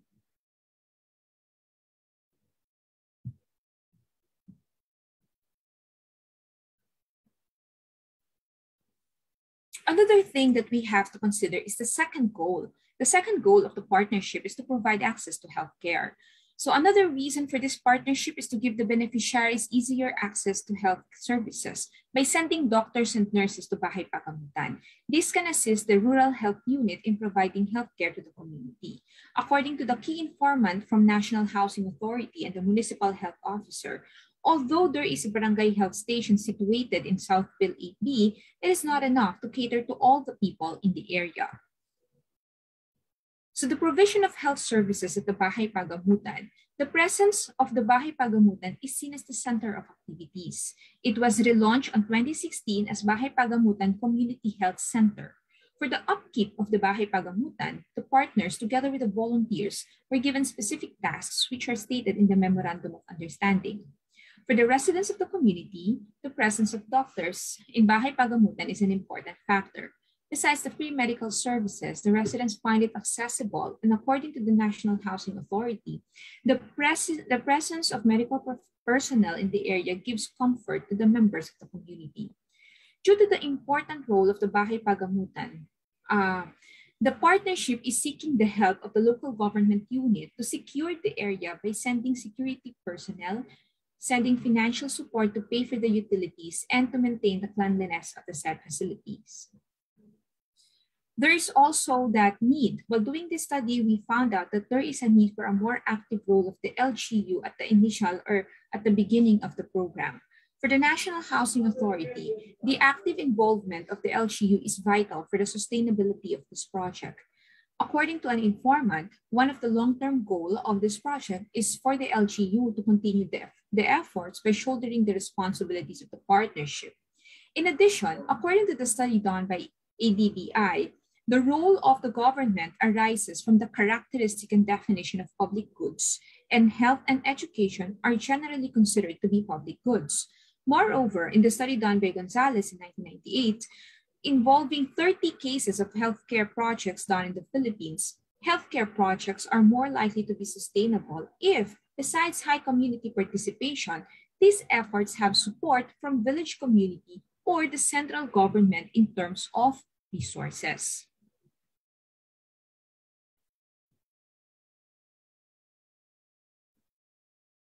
This paper found out, or the researcher found out uh, during this study, that in order for us to be able to track the progress, success, and sustainability of this health promotion program, uh, we need active participation of donors with um, active participation in terms of suggesting, planning, evaluation, very important is the active participation of community members in planning, implementation, and evaluation. And number three, the presence of government support in terms of financial support, material support, and personnel support. Now, what is the uh, relevance of the health promotion during uh, the COVID-19 pandemic or in the post-COVID um, scenario? Strong community participation helps in coordination between the health sector and other sectors in pandemic response. In addition, it helps to ensure that the right information is available, understood, and accepted and applied in the community. According to the research done by Brooke, during the Ebola epidemic in African communities, community partners can help improve the understanding of disease control protocols and suggest moderate changes that better reflect the community's sensitivities without compromising safety. In addition, although face-to-face encounters are discouraged during outbreaks, community engagement can strengthen the capacity to deal with disruptive effects of the pandemic. Strong community participation shows the community's resilience and provides a strong basis to build on to help organizations and communities cope with the unfamiliar situation, reorganize, and regain control. So it is our hope that during the, uh, the post-pandemic, um, or we see that the post-pandemic um, scenario, health promotion will be very important because it aims to ensure, like what you said earlier, the right information to be available, understood, and accepted and applied in the community because they do have their own culture and they do have their own language. Improve the understanding of disease control protocols. The presence of community support is very important in those in that area. And that the community would be able, if they are empowered enough, to suggest moderate changes that better reflect the community's sensitivities without sacrificing the safety of everybody else. That's all. Um, thank you very much for allowing me or for this opportunity to share with you the findings of my research. Okay, thank you, ma'am.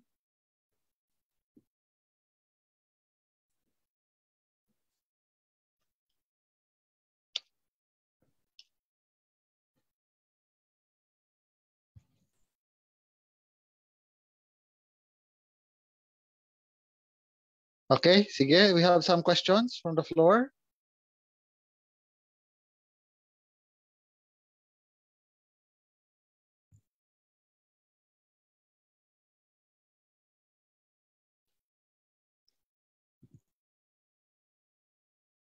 I hope I can be heard now because I uh, okay. I have changed gadget due to internet connectivity problems. Sir, you're coming in clear. Okay, sige, sige. So we open now the virtual floor for questions.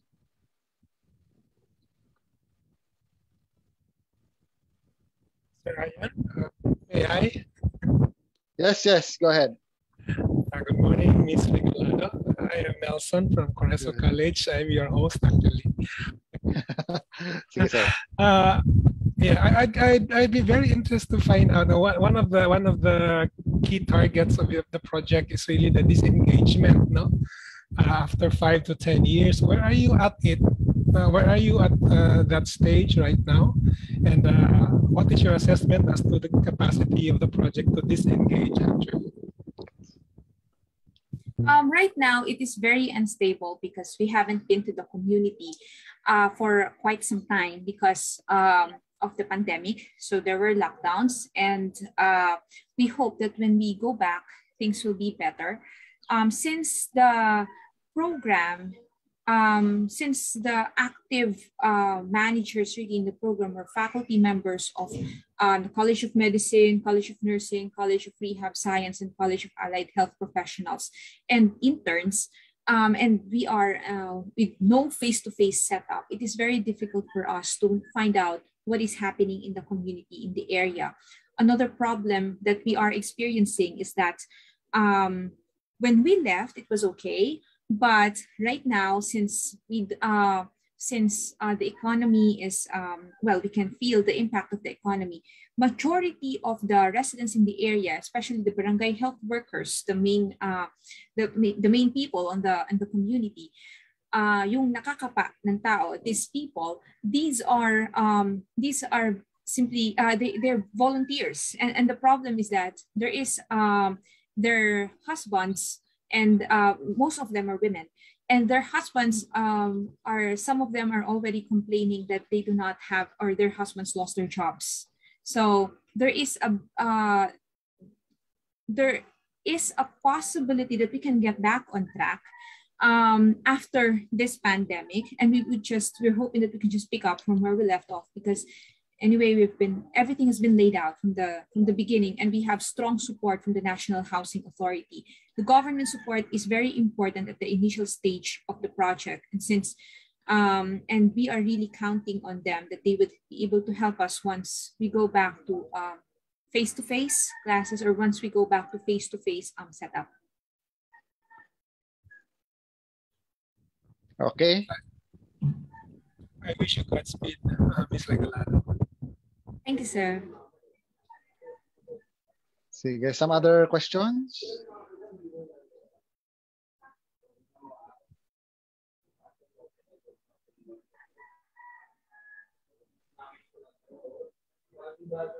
We have one in the chat box.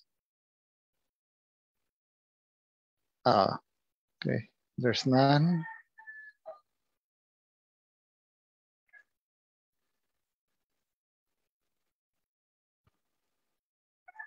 So if there's none, okay, we give a virtual clap to Ma'am uh, Concepcion. Okay. Thank you And very much, sir. Thank you very much. Thank much. you, thank you, thank you very much, ma'am. And we move on. So like uh, yesterday, we uh, okay have to go. Okay, have to proceed despite uh, lunch. So we leave it up to you how you manage your lunch break. Okay, especially here in the Philippines. Okay. So our next presenter, okay, is actually a colleague of mine before. Okay. He is a professor at the University of Southeastern Philippines in Davao City.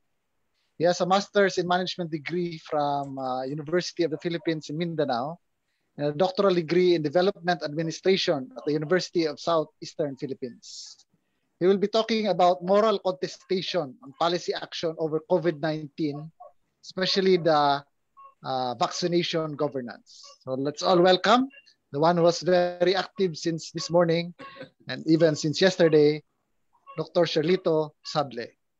Okay, Thank sir. you uh, for that uh, very inspiring introduction, uh, Sir I. right. I, okay, I will share my screen. Where is it? Ah, ito.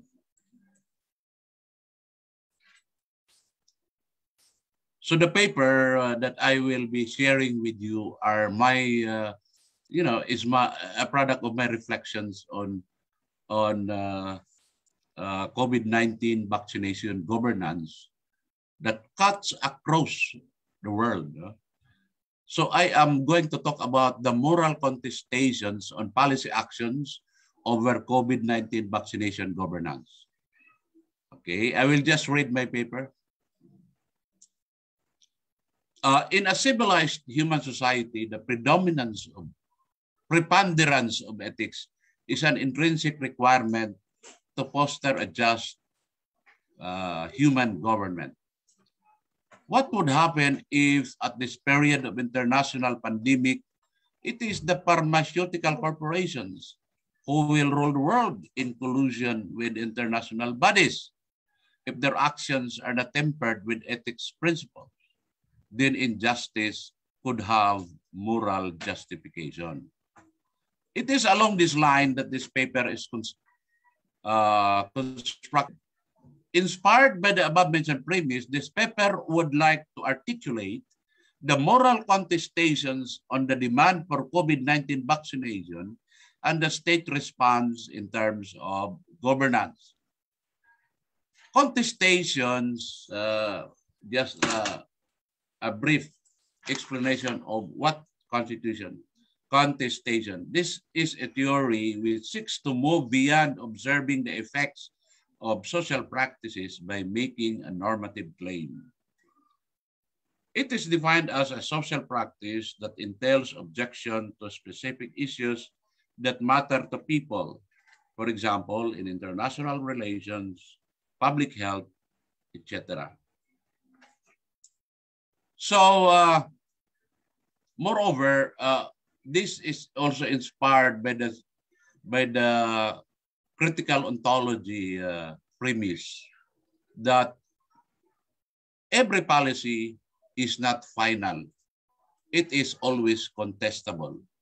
Any policy, it's a theory in political philosophy that uh, uh, a state action or a state policy should be open for contestations, moral or political. Uh, that is basically the, the direction of this paper. The paper seeks to highlight the basic moral issues surrounding on the issue, does the state have a moral claim to implement mandatory vaccination? This paper defines vaccination governance as arrangements and strategies in the conduct of vaccination in terms of policy instruments and procedures. Ethics of policy actions in this paper refers to applications of moral principles regarding policy actions of the state in securing public health. In view of this claimed proposition, a good number of moral debates arise. First is on the question of moral ascendancy uh, slash authority of the state to make vaccinations mandatory in the name of public health.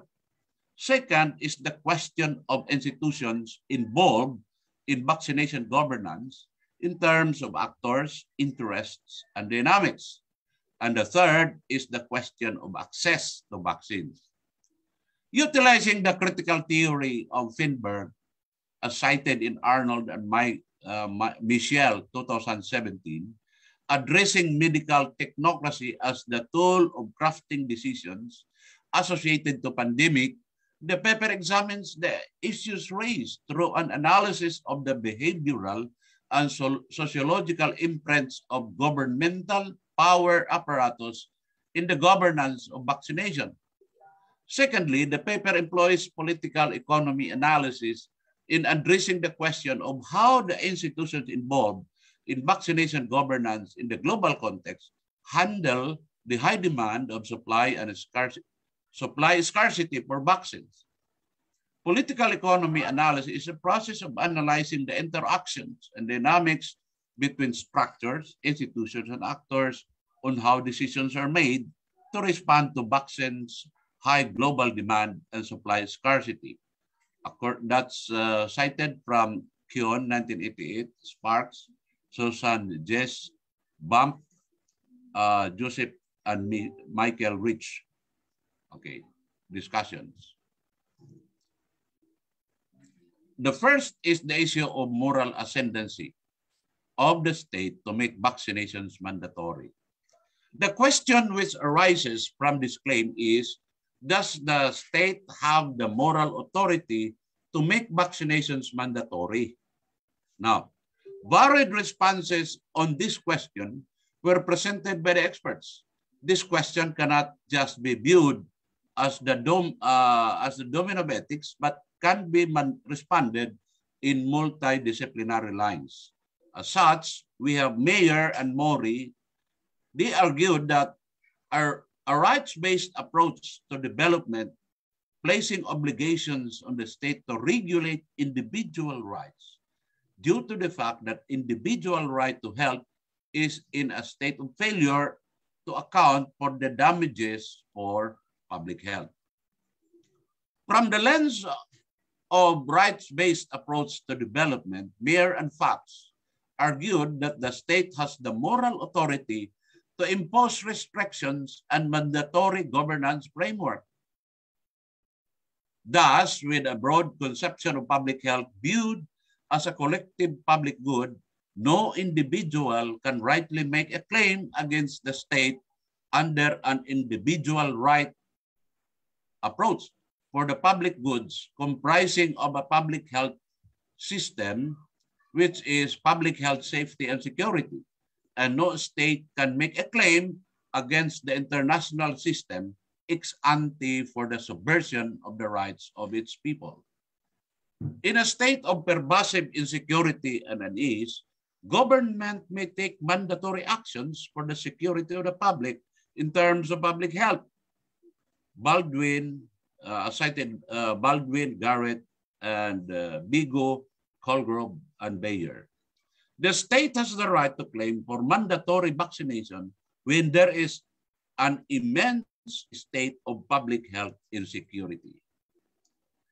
Now, on the other hand, informed consent in medical ethics positioned itself as a requirement for mandatory use of medical interventions, in this case, vaccination using COVID-19 vaccines. Informed consent in this context intends to promote trust in the use of the vaccine. Trust in the use of the vaccine is enhanced when the public is well informed on its risks and effectiveness. Deciding to be vaccinated on the part of the public must be tempered with a tense of informed consent. Questions on vaccines effectiveness and the risks attached to it have to be understood well by the public. Thus, it is only when the public are sufficiently informed on the negative and positive effects of the vaccine that mandatory vaccination is morally justified. The medical technocrats must ensure that the public has sufficient knowledge on the positive and negative repercussions of being vaccinated so that they may decide favorably for the vaccination program of the state. Moreover, uh, Glid 2016 argued that consent of the person for vaccination are agents in charge of their lives and bodies. Hence, they deserve to be respected of their rights for informed choice. This is made clear in this argument stating that respect for persons emphasizes that individuals as agents in charge of their own lives and bodies have the right to make decisions and choices free from undue interference. Respect for persons forms the basis of informed consent, namely the right of patients and human research subjects to be informed of and to assent to medical or research procedures they might undergo, especially uh, procedures that pose potential harm or risk. Conducting research on human subjects or performing medical procedures on patients without their prior knowledge or consent, in most cases, violates their personal autonomy. However, profession, uh, health professionals have a special uh, obligation to look out for the welfare of people with diminished decisional capacity, such as those in coma or the very young or to protect the uh, and to protect them from harm. Now, is there a balance between personal choice and the greater public good? Davis, 2012, proposed a strategy to strike the balance between personal choice and the greater public good. Those citizens who refused vaccination after having been fully informed of the negative and positive effects of the vaccine shall be quarantined not to compromise the public health of the communities. Schumacher, 1999, Immunization Action Coalition, 2009. Daniels and Sabin, as cited in CellJet, provided for conditions to strike the balance between personal choice and public health security. For a mandatory vaccination policy to be moral, morally justified, it has to meet the following conditions. The decisions and the rationales for them should be made public. They should be based on reasons all, all uh, think are relevant. All on reasons all think are relevant. They should be revisable in light of new evidence and arguments. Uh, this condition shall be enforced so that the public can see and become enlightened. Some explanations is needed for these conditions. The first condition mandates that the state to be uh, transparent, has to be transparent on how the medical technocrats and poly actors decide. While the second condition requires the importance of real and relevance of the vaccine, the third condition emphasizes that it is based on scientific evidence, while the fourth requires enforcement when the first and second conditions are met. Now, the second issue, the institutions involved in vaccination governance, whose reality counts. This question seeks clarification on the political economy of vaccination governance. It is essential to analyze the institution's economic behavior as revealed in the interactions between structures, institutions, and actors within the ambit of ethical principles and human rights ethics. This is the long-held tradition of ethics. Uh, Curtin, Daly, Cobb, and Chambers. The structural dynamics of COVID-19 vaccination governance requires a global structure perceived to have a legitimizing role in pronouncing the global risk of COVID-19. In this context, the legitimate international body is no other than the World Health Organization. The World Health Organization, given its medical technocrats, constructed the risks and enacted the preventive strategies, and one of the strategies is vaccination. The enactment of vaccination as the most effective strategy by the World Health Organization is given to its member countries to implement the same. This preliminary enactment creates a motive from pharmaceutical corporations at the global scale to revitalize its research and development structure to conduct research uh, an initial phase of the production function of these firms, the global pharmaceutical corporations, and allocates allocate huge investments along this area of concern. In fact, they would seek assistance from the governments. The world is categorized into two major worlds, the North and the South. The Northern world are the most blessed with wealth, comprising the advanced economies of Europe and the United States of America. While there are emerging powerful economies of the East, like that of China, Japan, Korea, and the most powerful ones are in the Northern Hemisphere. The need to highlight these economically powerful countries is essential because majority of the global pharmaceutical corporations are located in their governments it has implications on the production dynamics of vaccines, which are globally demanded. There are possibilities, as alleged by uh, social science, uh, of vertical collusion among, along this line of explanations. Uh, there, there are explanations from the social science perspectives along these lines of possibilities. From the standpoint of political arguments, the enactment of vaccination as a preventive strategy as recommended by the medical technocrats could usher the view of the capitalist modality of medicine, uh, medicine structuring. The Marxist political economy perspectives argued that vaccination as the best recommended solution for this COVID-19 pandemic could be an outcome of the global capitalist structure implying that the manufacture of vaccines by the pharmaceutical corporations might also provide the tens of disease creation by them. But according to Moynihan uh, et al. Uh, and Williams et al.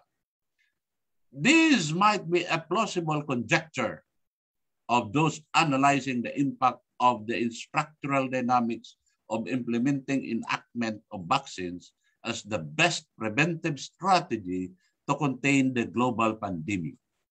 It must be argued that the World Health Organization, together with its medical technocrats, is not a party of possible collusion with global manufacturers as alleged by the political economy arguments of the Marxists, uh, according to SODEPA 2015. Now, institutional dynamics in the crafting of the rules by both the formal and informal institutions is one aspect that need to be analyzed by the lens of ethics. The possibilities are immense that the rules of carrying out vaccinations may skew to the powerful groups and leave the powerful and vulnerable, vulnerable groups excluded.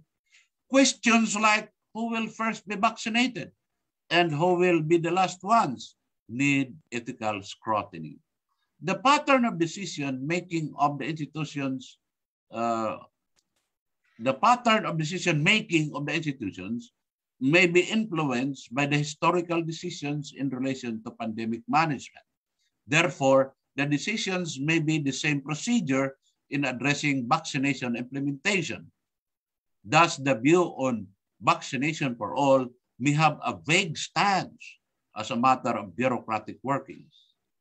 The ethical ambivalence is therefore glaring in this type of policy decision among formal and informal institutions.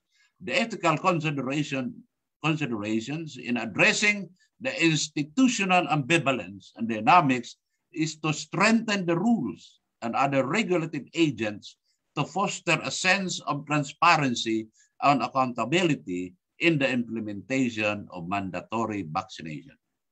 The actors in vaccination governance are the individuals and coalition, both public and private. Their interests matter in the overall spectrum of articulating policy propositions. An approach to come a common framework of vaccination governance among these actors, multilateralism come to the fore as initiated by the World Health Organization. It is, however, noted by Patnaik and the People's Health Movement that it is debatable whether, as a result, multilateralism have been strengthened. To be sure, countries have come together in an effort towards solidarity in this time of crisis. However, whether donor-driven international cooperation couched in the language of charity, as witnessed in 2020, can address the tricky questions on equitable access to medical products is hard to say. In general, fairness in global health decision-making processes at the multilateral level has been lack, lacking during this crucial period when the foundations of the response to this pandemic were being laid. Countries have become have come to the negotiating table to ink multilateral agreements with highlights on the language of donor-driven cooperation and minimal price approach to access the vaccine. However, the scarcity of vaccines produced makes agreement to be implemented because the rich countries who can afford to purchase these vaccines, who are sovereign states, has to give priority to their constituencies as an integral part of their nationalism, according to Mabulok 2021. The approach in addressing this concern of vaccine scarcity is vaccine nationalism, as mentioned by Mabulok.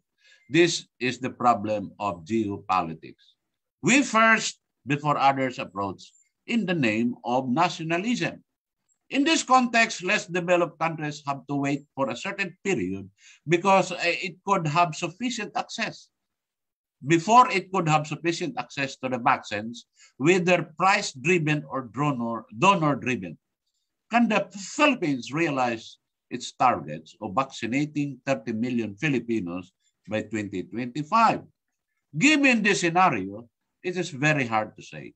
The Philippines have to content itself with mask and facial strategy, restriction of movements, and contact tracing approach while queuing along with other less, uh, less developed countries. This is a scenario of wait and see. Maybe it is morally important to settle this question on the least developed countries' capability in terms of medical technocrats, experts, scientists to upscale themselves from being acculturated to dependency trap. These countries have to depend on the scientists of advanced economies. There is an institutional gap here because in view of the lack of governmental effort, support in the research and development of these countries. Last issue is access to vaccines. Who will be the first and the last? Access in the lexicon of development administration is a guarantee of the state to the citizens to gain freedom, self-determination, and in advancing their interest to live a life in the state of happiness, according to Amartya Sen, Wellsell 2013. This was explained by political science perspectives, arguing that it is the primordial duty of the state and world governance body to guarantee access to whatever opportunities available in society according to Holler and Hadler, Headey, Muffels, and Wagner 2012. Hence, in whatever context, access is a fundamental right in a civilized world. Access to COVID-19 therefore takes into account these explanations. It is, however, noted that in the global context, the first to be vaccinated are those in well-developed economies, invoking the principle of geopolitics of vaccine nationalism. The invocability of the vaccine nationalism and power capability is bereft of moral justification, since vaccination access is a fundamental right to attain public health for all. In fact, it is uh, the global pandemic should be construed as a global threat, global threat to global security. It is more rewarding from the standpoint of pharmaceutical corporations than expecting more from the less developed economies. The less developed countries depend more on multilateral agreement inked for the purpose. Most of these countries depend more on debt financing scheme from international multilateral banks and the supply management bureaucracy. These countries have to contend with bureaucratic politics, budget politics, leadership politics, and beneficiary politics in their own respective backyards. According to Sparks, BAM, Oselic, and Kutzin and Reich, 2019. To access the vaccines is an experience of burden in terms of time assurance and commitment from the suppliers. At the global context, there is no clear policy on how the suppliers allocate the vaccine. The World Health Organization categorized the vaccine as a global public good. It is, however, noted that multilateral agreements to access vaccines, whether donor or price, remain vague. The immense global demand for vaccine poses a problem on how to mass produce it. According to World Health Organization database, uh, database, the rich countries have an average vaccination of 40%, 40% of their population, while those in less developed countries has an average of less than 3% of their population vaccinated. The vaccination prioritization framework of the WHO, World Health Organization, only applies to the domestic geopolitics of countries. The prioritized groups to be allocated for vaccinations are those in the healthcare system workers, adult, etc. COVID-19 vaccination is a global public good, and therefore it requires a global justice system.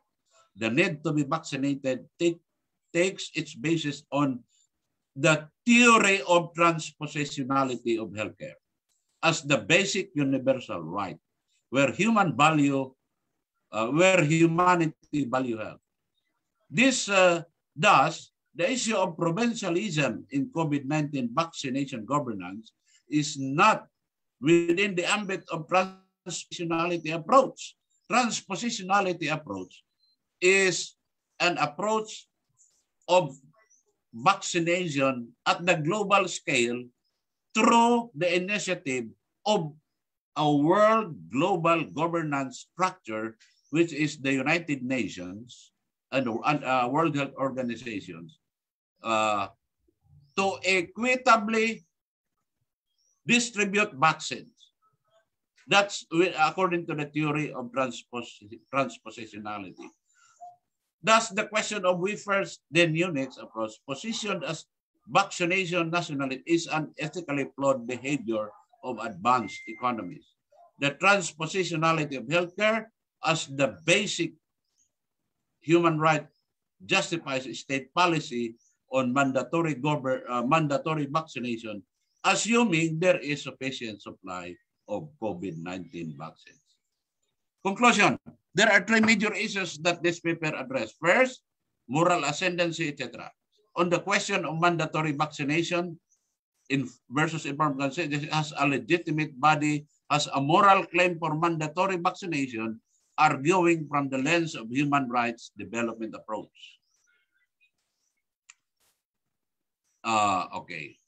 The question of institutional dynamics in vaccination governance, the paper concluded that there are indeed issues on the manner how existing structure influence decision making.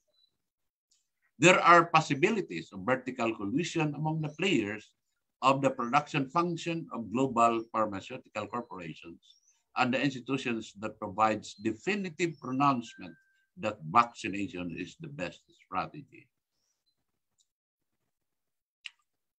Multilateralism as a path of international cooperation, whether donor-driven or price-driven to address vaccine scarcity remain vague. The question on this, on whose reality counts, may be addressed as something that highlights the, the basic economic behavior of powerful economies. The last issue is access, who access first. The, this, the paper concludes the imperativity and operativity of equal access to vaccines invoking the approach of transpositionality. Transpositionality strategy uh, of Yale University, Dr. Roger, 2014, in his uh, article in uh, Medical Ethics, invoking public health as a universal good, entail an actionable world governance framework from which vaccine allocation and distribution shall be conducted to benefit every country, whether powerful or powerless. Uh, in the Philippines, uh, multilateralism is slowly grinding itself towards good outcomes. Thank you very much, Sir Ayan, for giving me the floor to share my reflections. Okay, thank you, sir. It was very yes, uh, well-organized presentation of how we reflect on our COVID vaccination in the global scale. Okay, so again, we open the floor for uh, the virtual floor for questions.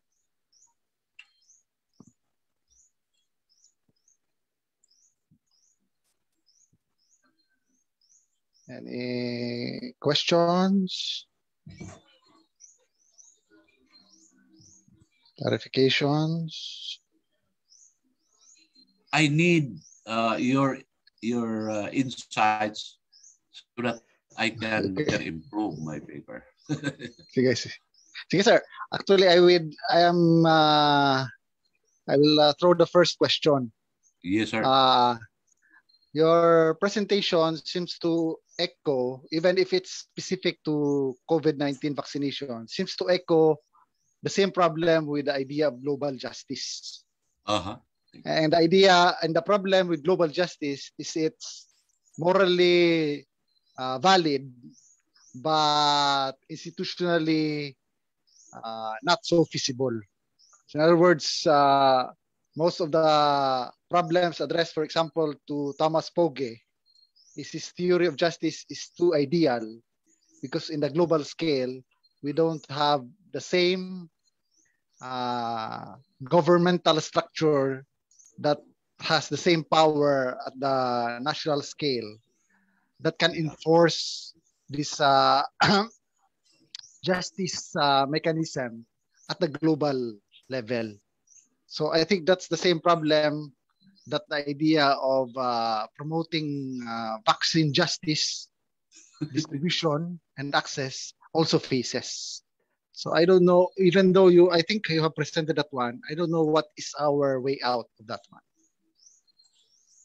Thank you, sir, for such a very uh, uh, inspiring uh, uh question. Uh, uh, I'm, I'm teaching international development theory and policy. Yeah. One of the topics in our PhD program is world governance. Hmm. World governance it's just a creation of uh, the United Nations. the United Nations is emasculated. It has no muscle. It has no muscle to enforce global justice. Global, that, that's correct. That's correct. You know why? Uh, it has to be construed by the Security Council as a global threat so that the Security Council will pass a resolution giving or distributing all the vaccines produced by the pharmaceutical corporations at the cost of the United Nations. to all countries across the world. No? Uh, for example, in, in African countries, among the African countries, only 3% are vaccinated. In the Philippines, pila ka porsyento pa, uh, we are 20 million against 100 million. That's only, uh, I don't know, what's the percentage according to the report of, of our Department of Health. Uh, 30% siguro, sir. Uh, what about Botswana, Myanmar, uh, Ethiopia, uh, the, the, the, the poor countries? So they will just die uh, probably uh, because of that pandemic. Because the World Health Organization cannot uh, enforce a resolution unless it is the Security Council, the world governance, uh, because the World Health, the United has no police power. It has no power to police, to enforce laws. Thank you, Sir Ian. Okay, sige, sir.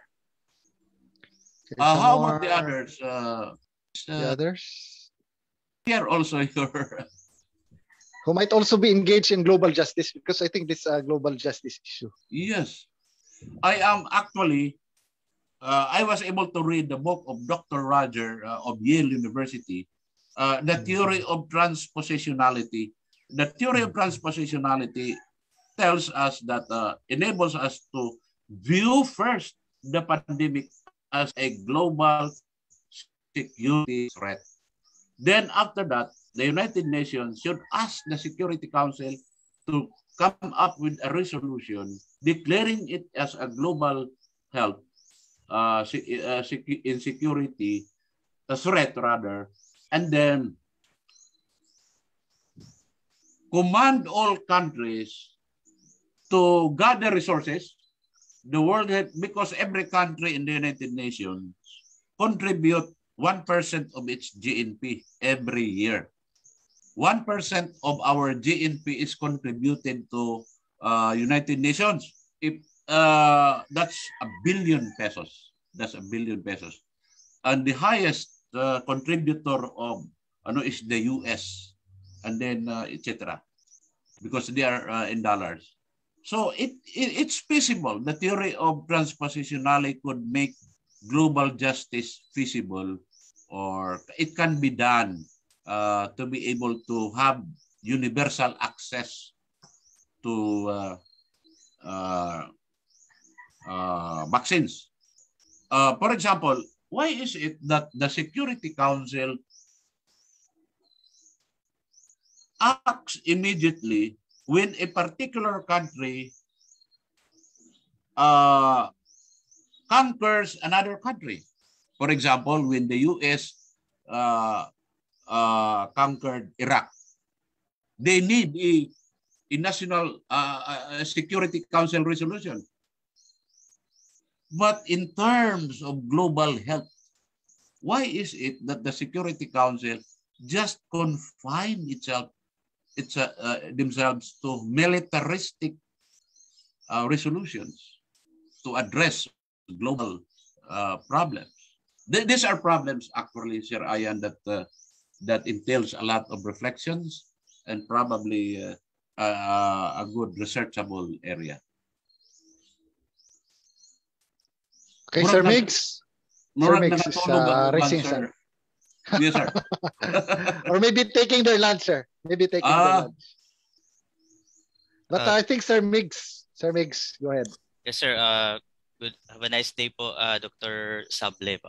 Yes, sir. Uh, sir, I would like to ask about your assessment regarding uh, currently our uh, we we we become dependent to bigger countries in terms of the donations of the vaccines, no? uh, particularly China and the United States.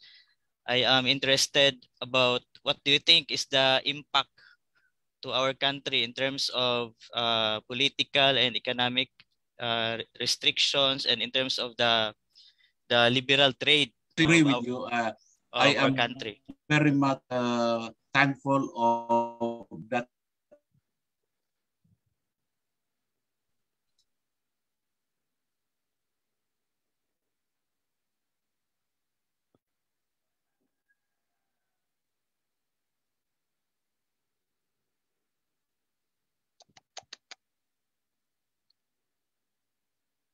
There are there are ethical and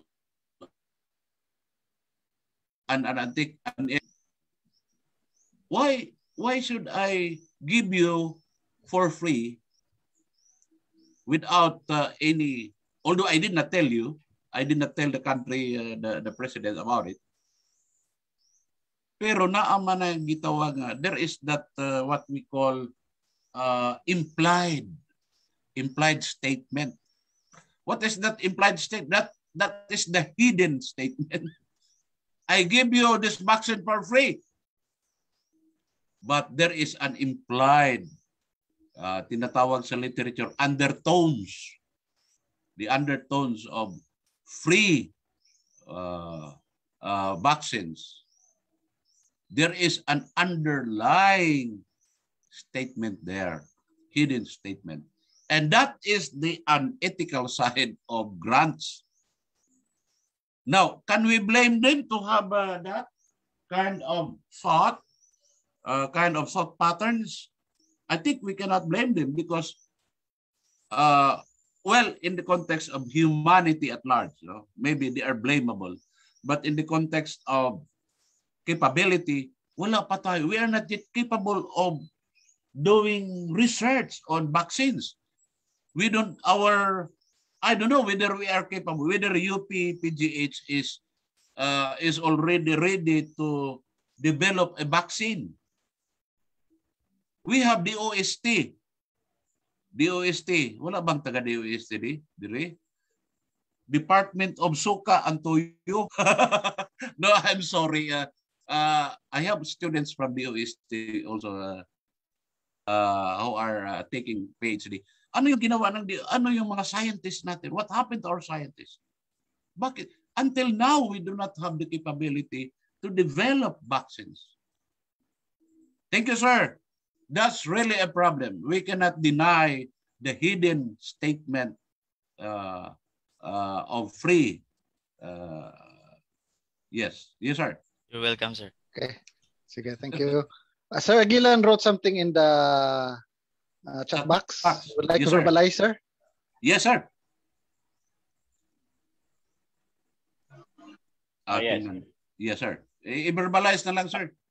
Uh, can you hear me? Ah, okay. Yes, sir. Yes, sir. Yes, yes, yes. Yeah, uh, my, my, my question has to deal with the, mm, the use of, since you mentioned a while ago, this, the role of the Security Council.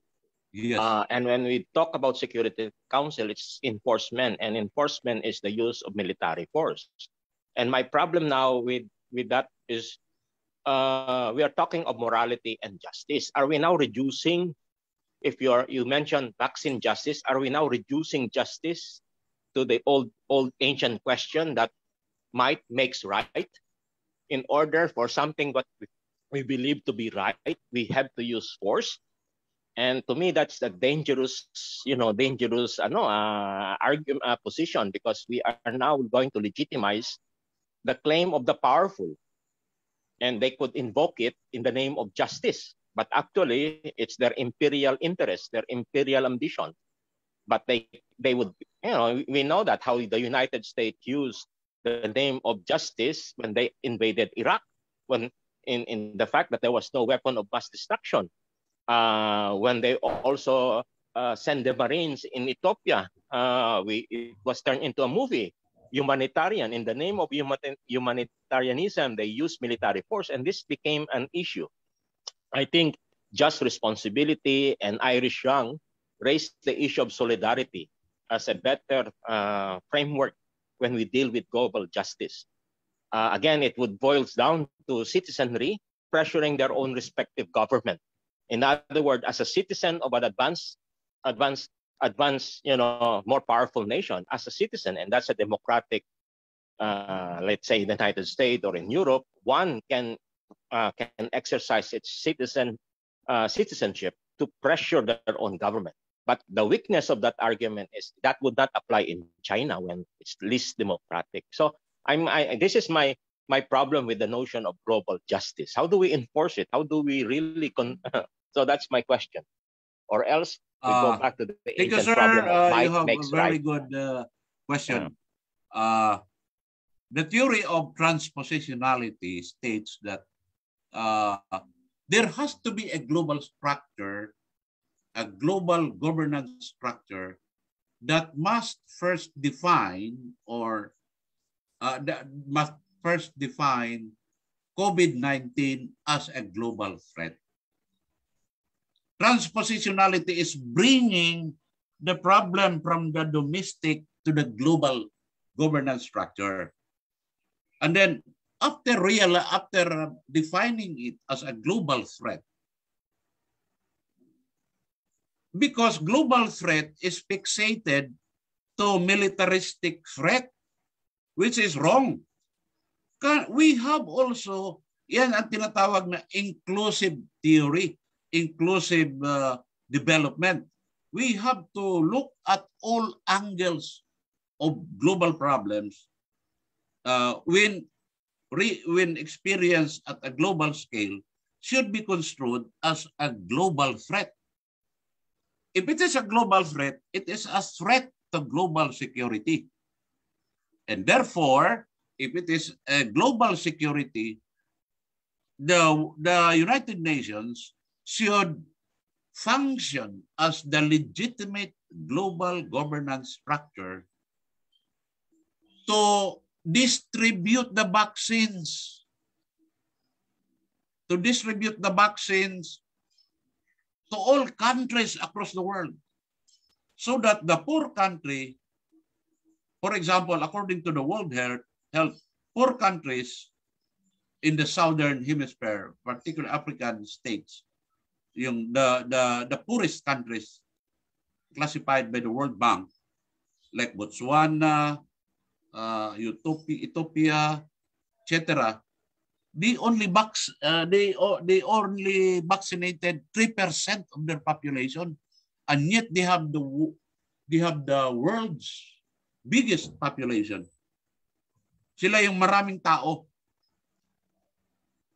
so why can we not use the global structure world governance structure as a mechanism to distribute the vaccines for free. For free, without incurring costs. Because the government, its government, every member country of the United Nations contribute 1% of its GNP to the United Nations. In billions, yan ah, in billions per year. So therefore, it's feasible. Global justice is feasible only when pandemic is is construed as part of this uh, uh, global threat uh, interpretation. Kasi ang United Nations interpreted global threat in a limited sense. Fixed na siya, military opportunism of other countries. That's the time nga mag muak ang Security Council. But looking at the pandemic as a global threat, as threat to global security is one angle for global justice. So nangangailangan tayo ng uh, dynamic, proactive World Health Organization or United Nations to address the problem. Kasi if we rely on the economies of its member state. That is where geopolitics come to the fore, as uh, argued by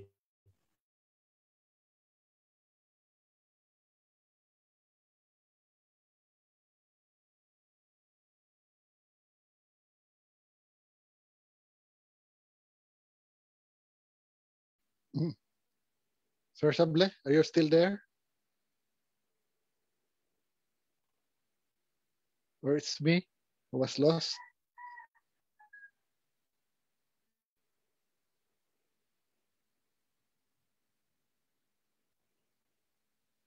Okay. Is Sir Sable still there?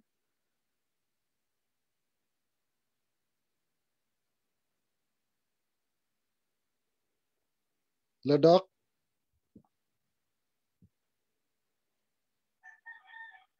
Mukhang nawala, Sir Sable. Tapos ah, ang akong ah, internet. Ah, yeah. uh, Okay, sir? Okay, sige, sir. Okay, sige, sir. So I think we just have to end here. Yeah. And I sir. think you have uh, you have sufficient uh, information now to improve on your research. yes. Thank okay, you. So, so let's give uh, Dr. Sable a virtual round of applause again. Okay, let's move to our next presenter. Our next presenter teaches philosophy at the Department of Philosophy at UST, or University of Santo Tomas, where he also attained his master's degree in philosophy. He will be talking about a necessity for a riot, Badiou on ontology of courage and militant subjectivity. Let's all welcome Sir Marvin Einstein Miharo. Ah, thank you po, ah, Sir Ian, at ah, magandang Okay. hapon po sa lahat. Magandang hapon. Ah, apo, i ano ko lang po yung aking um, screen. Sige, sige. Go ahead, sir. Sige po. Ayan. Nakikita na po ba yung ating screen po? Yes, sir. Okay po. It's now visible Ah, from my end. Sige po. So, ito po yung title nung aking simpleng panayam sa hapong ito, no, The Necessity of Genuine Riot, no, Badiou on the Ontology of Courage and Militant Subjectivity. Ah, sir, malinaw po ba yung boses? Medyo mahina kasi yung net, so ayun po. Yeah, from my end, okay naman. Um, Okay po. Let me just read the abstract po. Uh, the observation that Badiou's project seems to be in between the radical reinfusion of the role of mathematics in ontology and the concrete concentration on politics has often been a part of any critique, let alone commentary on his work. On the one hand, the apparent schism places his philosophy at the formalist end interpretation of ontology, while on the other hand, it also proves the autonomy of his politics, devoid of any need for an ontological grounding.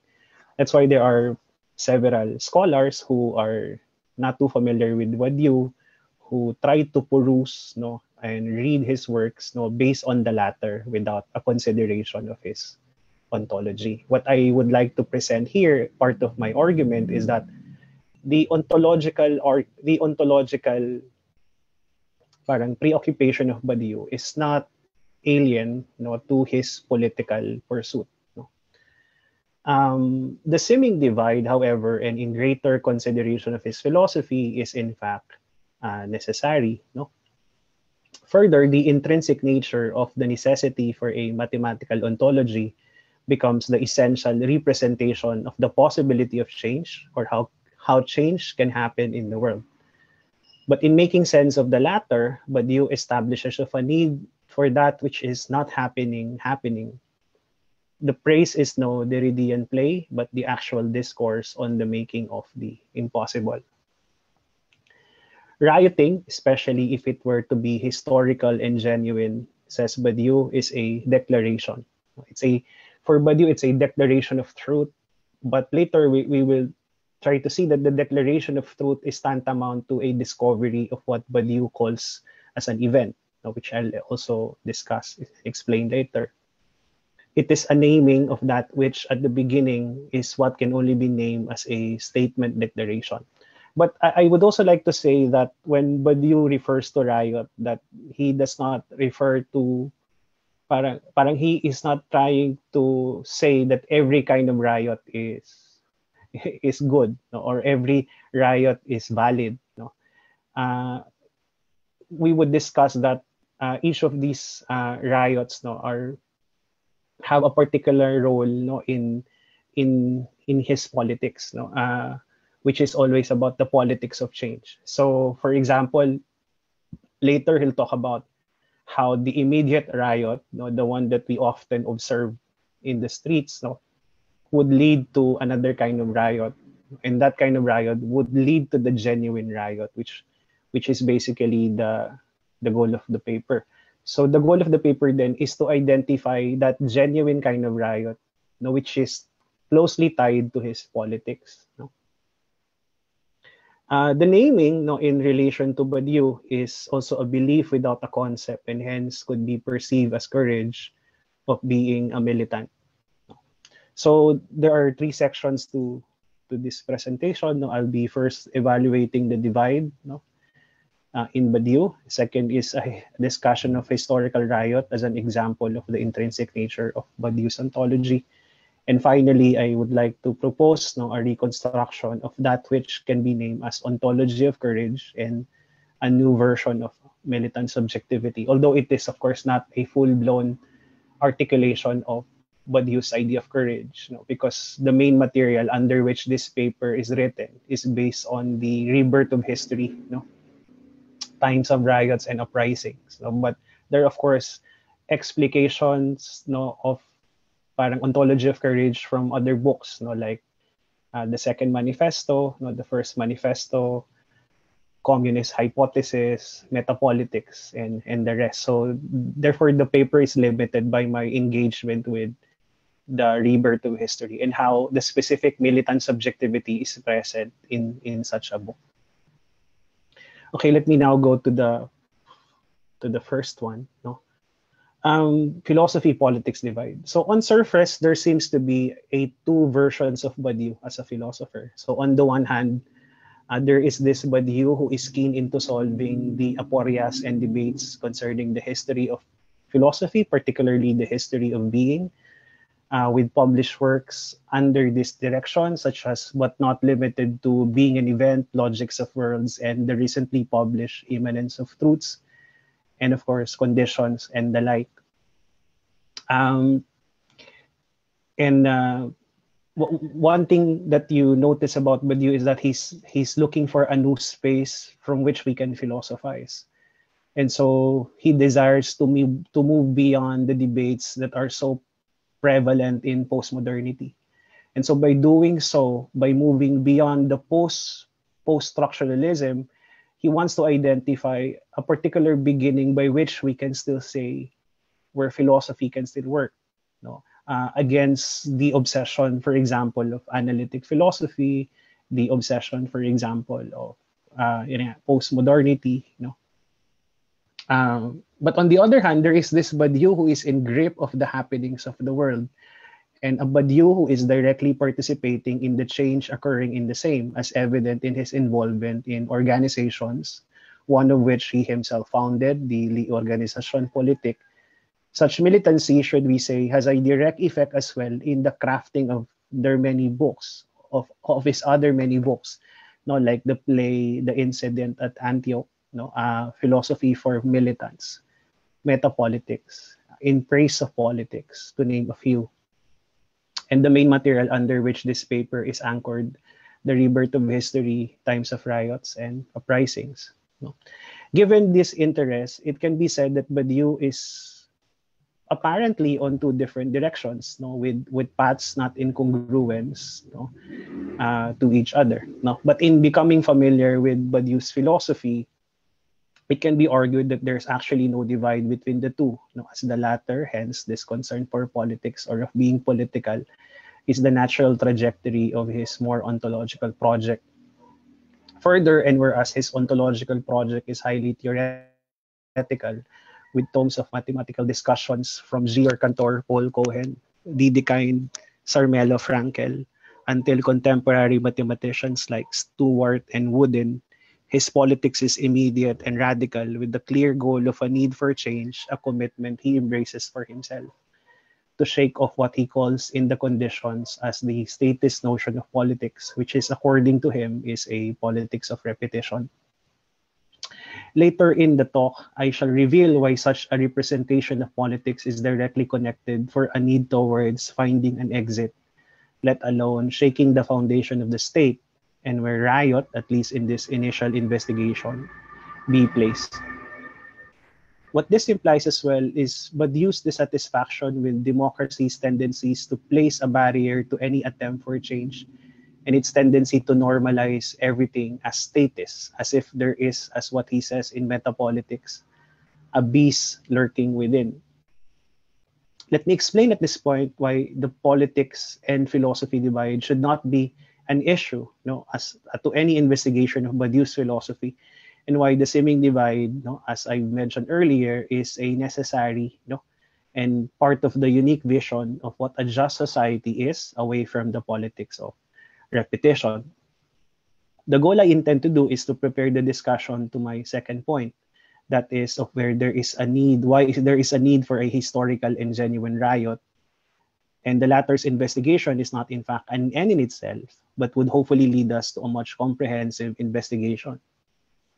Um, let alone reflection on his politics no? Emphasize why he uh, uh, which is of course not about uh, political philosophy no? So I, I placed there a note that I should emphasize the idea that it is not about political philosophy. So, uh, Badiou is quite allergic to the idea that we have to term the political philosophy. No, parang the political philosophy tends to totally determine that, that there is a parang there is parang an agreed upon idea of what political parang how do we do politics. So parang what he does is to to say that it we have to remain as well no to to the idea of parang the dynamicity of politics uh, now uh, although this is not the entirety of Badiou's uh, ontological project um, or vision but one of the actual telos of his project aside from the meta-ontological thesis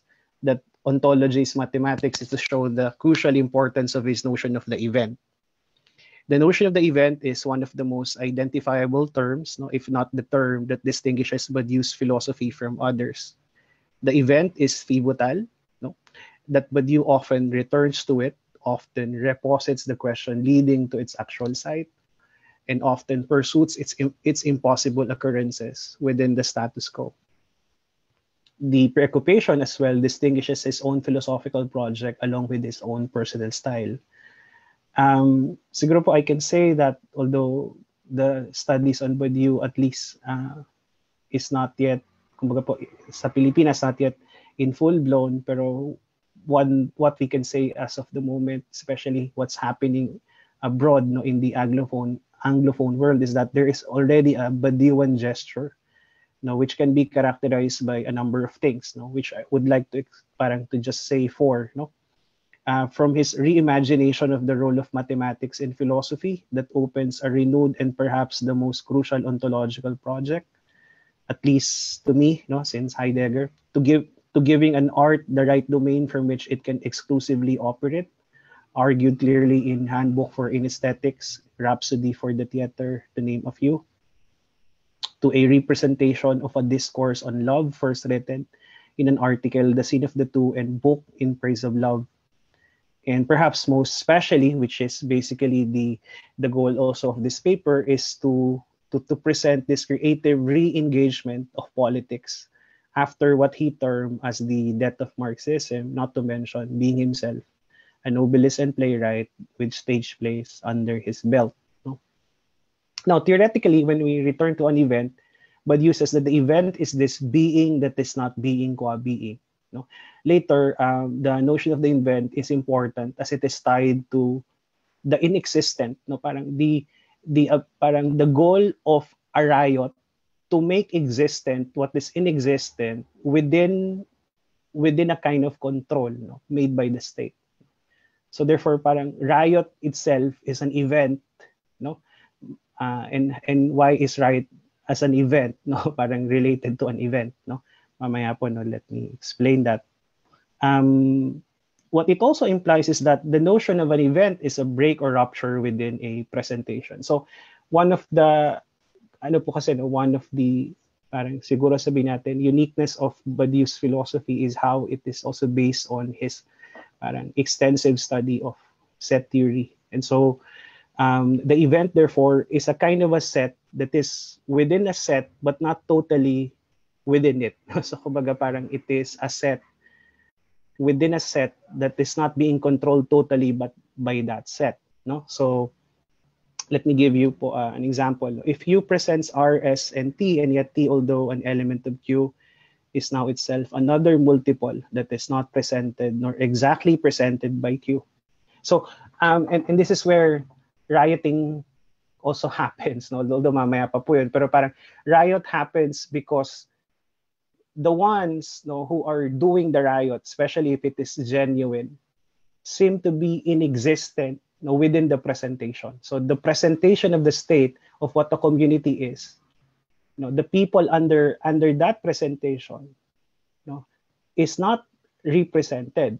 And so what what what happens is that the one that is not represented want themselves to be presented in a manner you know, from which they can exit you know, from that representation. So kumbaga, that's why riot is a declaration of what what has been presented, what, could have been presented but not presented because of status control. Parang ganun po. No? So parang dito po papasok why uh, parang may necessity, at least for Badiou, no, to place to place this no, not just politically but also theoretically because his his parang philosophical engagement theoretically you know brings to fore innovative ideas that, could be parang also present in politics no and so the intersection between q and t there is clearly a void where the whole site of q is not related to t being itself an event so the t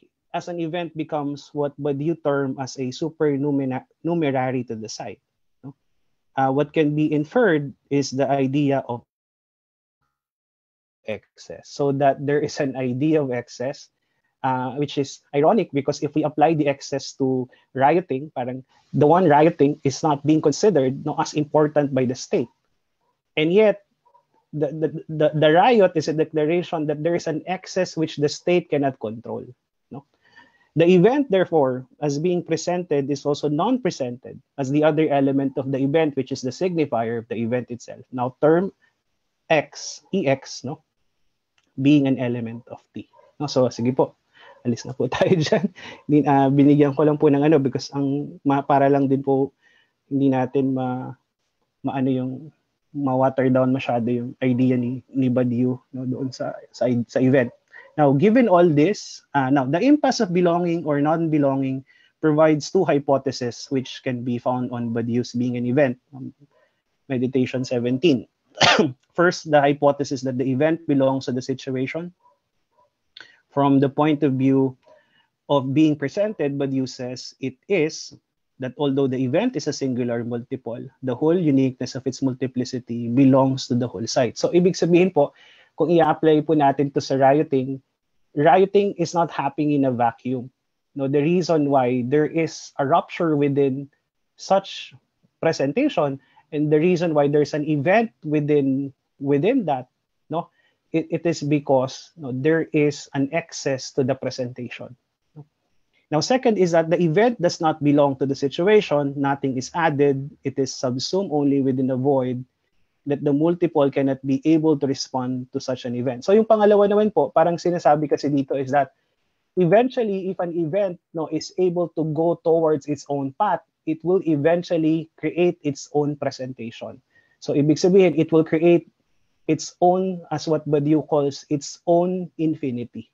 Now, and uh, parang if we apply the idea of set theory, now based on all of this, there are different infinite truths and that the event probably would start no from something multiple previously to another multiple which is a multiple of its own multiple no yun po yung sinasabi niya dito now um, hence but you explains no in being an event that the undecidability of the events belonging to the situation can be interpreted as a double function on the one hand the event would evoke the void on the other hand it would evoke uh, it would interpose itself between the void and itself. It be both the name of the void and the ultra one of the presented structure. So, punta na tayo susunod. Now, given all this, and if Badiou's philosophy can be summed up at least in a single world, however futile such reduction might be, they are strongly binded no, by the philosopher's pursuit for the new. No, this pursuit for the new um, consume Badiou's life, let alone his whole philosophical life. It is towards the new that Badiou is after, always after the new that he departs, and always within the new where he resonated. Badiou himself describes to be that new voice that will free philosophy again away from the shackles of contemporary sophistry and doxa. No doubt there is in Badiou a grand hope to return to something universal, an affinity, an affinity, uh, an affinity, you know, that uh, strongly tied to Plato's influence uh, in his works. No, the pursuit for the new, adds Badiou, is the very pursuit for the truth, and ultimately so the same pursuit of philosophy, since time immemorial, from Plato's antiquity to Leibniz's modernity, to Sartre's, um, to Sartre's forlorn world, down to his present ultra-capitalistic society within which Badiou and his philosophy tries to break through. The event then can be considered as a novelty. No, it is this rupture within multiplicity, creating a new possible world from a former world of repetition. So hence, the event is the site of a possible new situation previously thought to be impossible. No, the event then is the impossible becoming possible, the dawn of a new world with a new situation and perhaps with new persons who are considered to be faithful to the event. Now, given all this, we can see that the theoretical pursuit of Badiou's project is ontology, in ontology is intrinsically tied to his pursuit no, for what I call to be as the new politics. No? This politics is a politics that desires to create a space that is not contaminated by statist control. So hence, um, now, in Logics of World, no, Badiou mentions the truth is an exception to what is being presented. The pursuit for the exception, therefore, both theoretical and political, is also Badiou's project.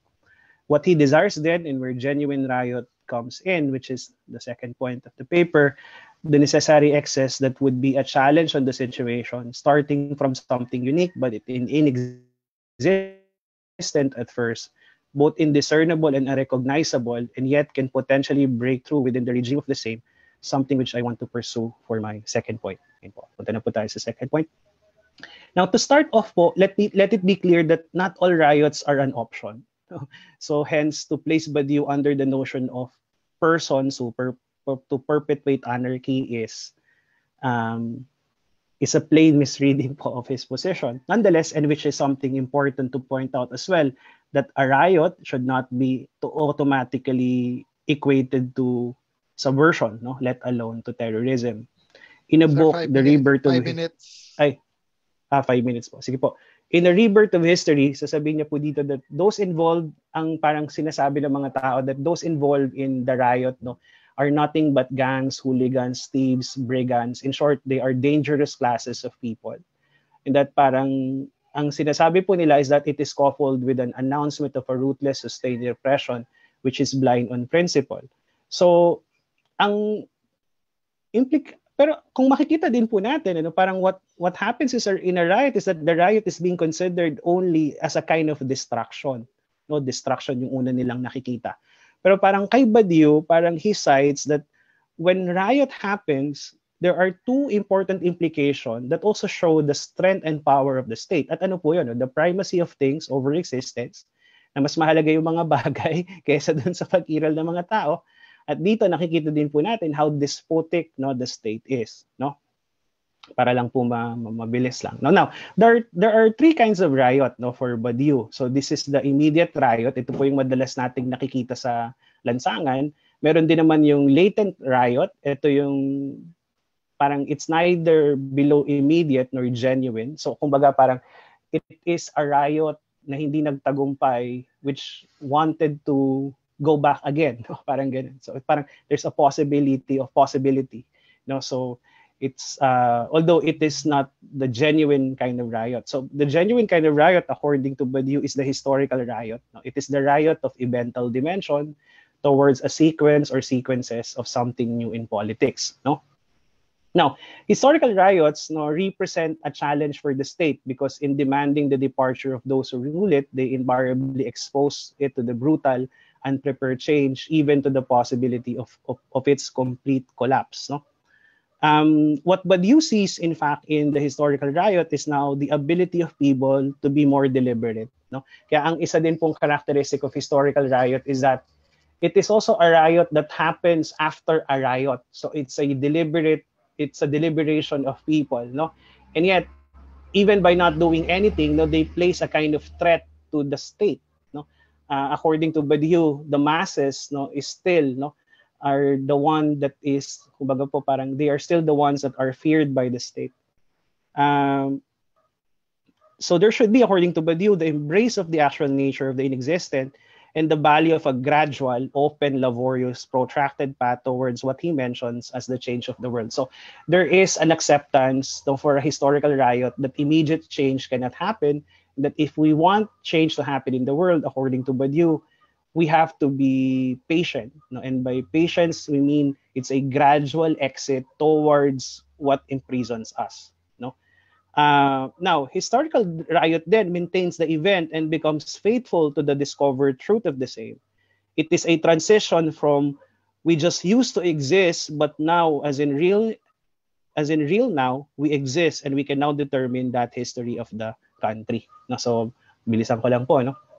Ayun nga lang, we also have to know that riots do not possess all the keys no para ma-solve yung sagot yung sagot ng natin no sa nangyayari sa state no. It could be a point of departure for change no. Now paano po ba yung nasasabi niya dito no? So uh, let me now go to three points po no na mahalaga about this historical riot. Uh, what happens po in historical riot is that it intensifies our existence no. There is a new localization of truth and then politics becomes an idea that must be pursued. So um, ang nakakatawa po kay Badiou, no, when, when he talks about intensification of existence, parang he tries to tie off no, yung idea niya ng love, no, tsaka po yung politics. Ang sabi niya is that if change could should really happen in the world, no, there should be an intensification of existence, no, na which happens in love, no, between two people, which is the scene of the two, and happens in community, which is the scenes of many people happening at the same time no, existing, no, in, that's an intensified existence of a lot of people. So, ang gusto niyo pong gawin dito is that we have to move beyond the politic political idea of what politics is and to create an extra political space no for the intensification of existence which seems to be absent under a subverted politics no and then uh, the new localization of truth uh, yun nga po no parang para kay Badyo kasi parang truth is something generic no? It is carried over no? By by by not necessarily a body no? But it is carried over by a localized no? Uh, kaya nga po pa, one thing na mamaya no? Isang challenge din no? Is yung political organization no? Napakahalaga nung political organization na not necessarily tied no? To the principle of party system parang yung idea natin, yung parang obsession to party politics. No, para sa kanya, parang it should be a politics without a party. And a politics without a party should have a new localization of a truth no, from a organization no, which is coming from an idea of a new politics. No, kaya po yung, yung number three is also important because in politics is a process. No? It's an idea that must be pursued. Therefore, what he suggests no and how the riot is also tied to the parang politics no as it parang becomes a catalyst no for the possibility of a politics that will pursue no the idea is that we have to look for something new. No we have to look for something new. He even criticizes no yung communist idea that the some communist ideas that we have seem to be obsolete and we have to reimagine these points no, to make it more contemporary to uh, to, to the practice happening today. So let me just para po read these three points no, before I end. So not all riots are valid. No, uh, rioting is part of a process of a people's desire to exit from the politics of repetition. Historical riot is a declaration of a truth based on an event in situ. However, what is found as a truth in an event in situ should be continuously embraced through a subject So dito po papasok yung tatlong klase ng subject na and these subjects are the faithful subject, the obscure subject, and the reactionary subject. And for Badiou, we can only embrace the truth through a faithful subjectivity. And the faithful subjectivity is a belief without a concept. Because what, for example, a rioteer, what parang, where would the rioteer you know, base his beliefs? Probably it's not totally definitive. But since he believed no, in what he really thinks of, no, what he thinks of and believe in is not really a concept the way concepts are parang found in in for example in contemporary politics but uh, but since he, he believes in that idea and to, to him that's genuine no, that would lead to something new kaya ang example po niya dito is si Saint Paul no? Because Saint Paul no is quite stubborn no? Parang he really embraced the truth and and makes this truth no? Possible no to be known by people across nations. So that's it. Thank you po. Maraming salamat. Okay, thank you, Sir Marvin, for introducing us to the politics of Badiou, the politics that is a non-politics. So mm-hmm. now we open the virtual floor for questions, clarifications, or insights. Oh, Sir Miggs, go ahead, Sir Miggs. Uh, hello, sir. Uh, good, good afternoon, sir. Sir Ay, Marvin. good afternoon good afternoon po opo Um, I, I am interested uh, to the question whether um, this uh, riot or so-called historical riot. Uh, is it something that is abstract? Or uh, or are there specific guidelines that uh, that Badiou has has has come up? So because I am I'm thinking in the in the Philippines uh, historical sense no that uh, could could could could uh, for example is there a, uh, my question to you is there a counterpart like that uh, this historical riot in the in the Philippine history Mhm.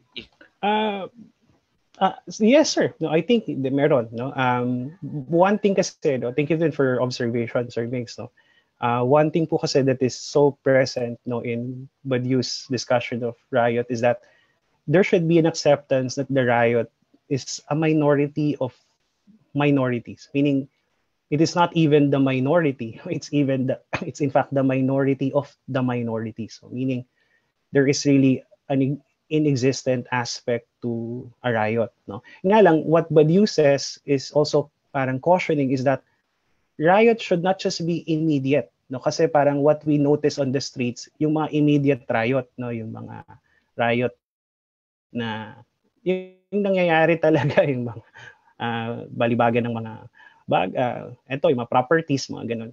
Ang ang sinasabi ni Badiou is that there should also be a process no by which this riot should mature. No, doon po papasok yung from immediate to latent to historical.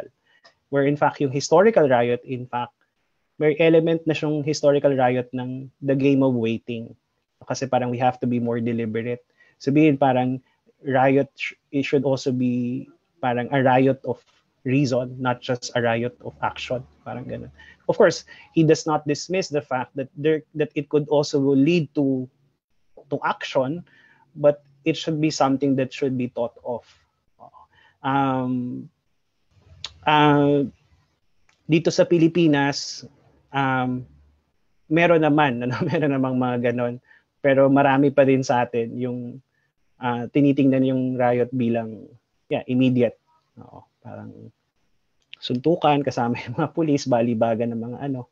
Um, katulad ngayon, kumbaga parang tapos na ba yung ginagawa sa Hong Kong? Probably hindi pa. No, probably may iniisip sila ngayon. Probably nag-transition na yung riot sa Hong Kong into something more historical rather than immediate and latent.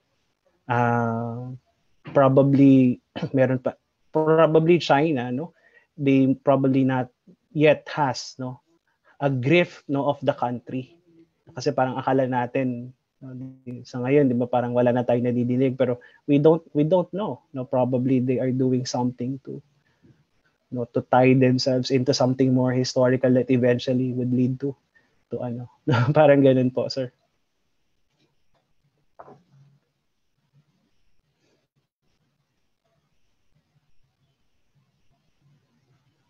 Okay, some more questions? Uh, Sir Ryan. Hello, sir. Okay, sige, sige, Ay, Sir hello. Oliver. Hi. Go ahead. Uh, sir, good afternoon. Uh, Sir Marvin, uh, good afternoon. Thank you all for that presentation. Uh, this is my first time to hear uh, the, the, the philosopher.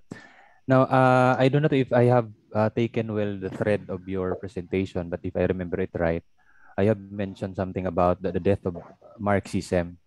Uh, by- the way, how, how, do you differentiate? I mean, how, how would you dif- differentiate the the idea of riot uh, and the class class conflict theory of Marx? Mhm.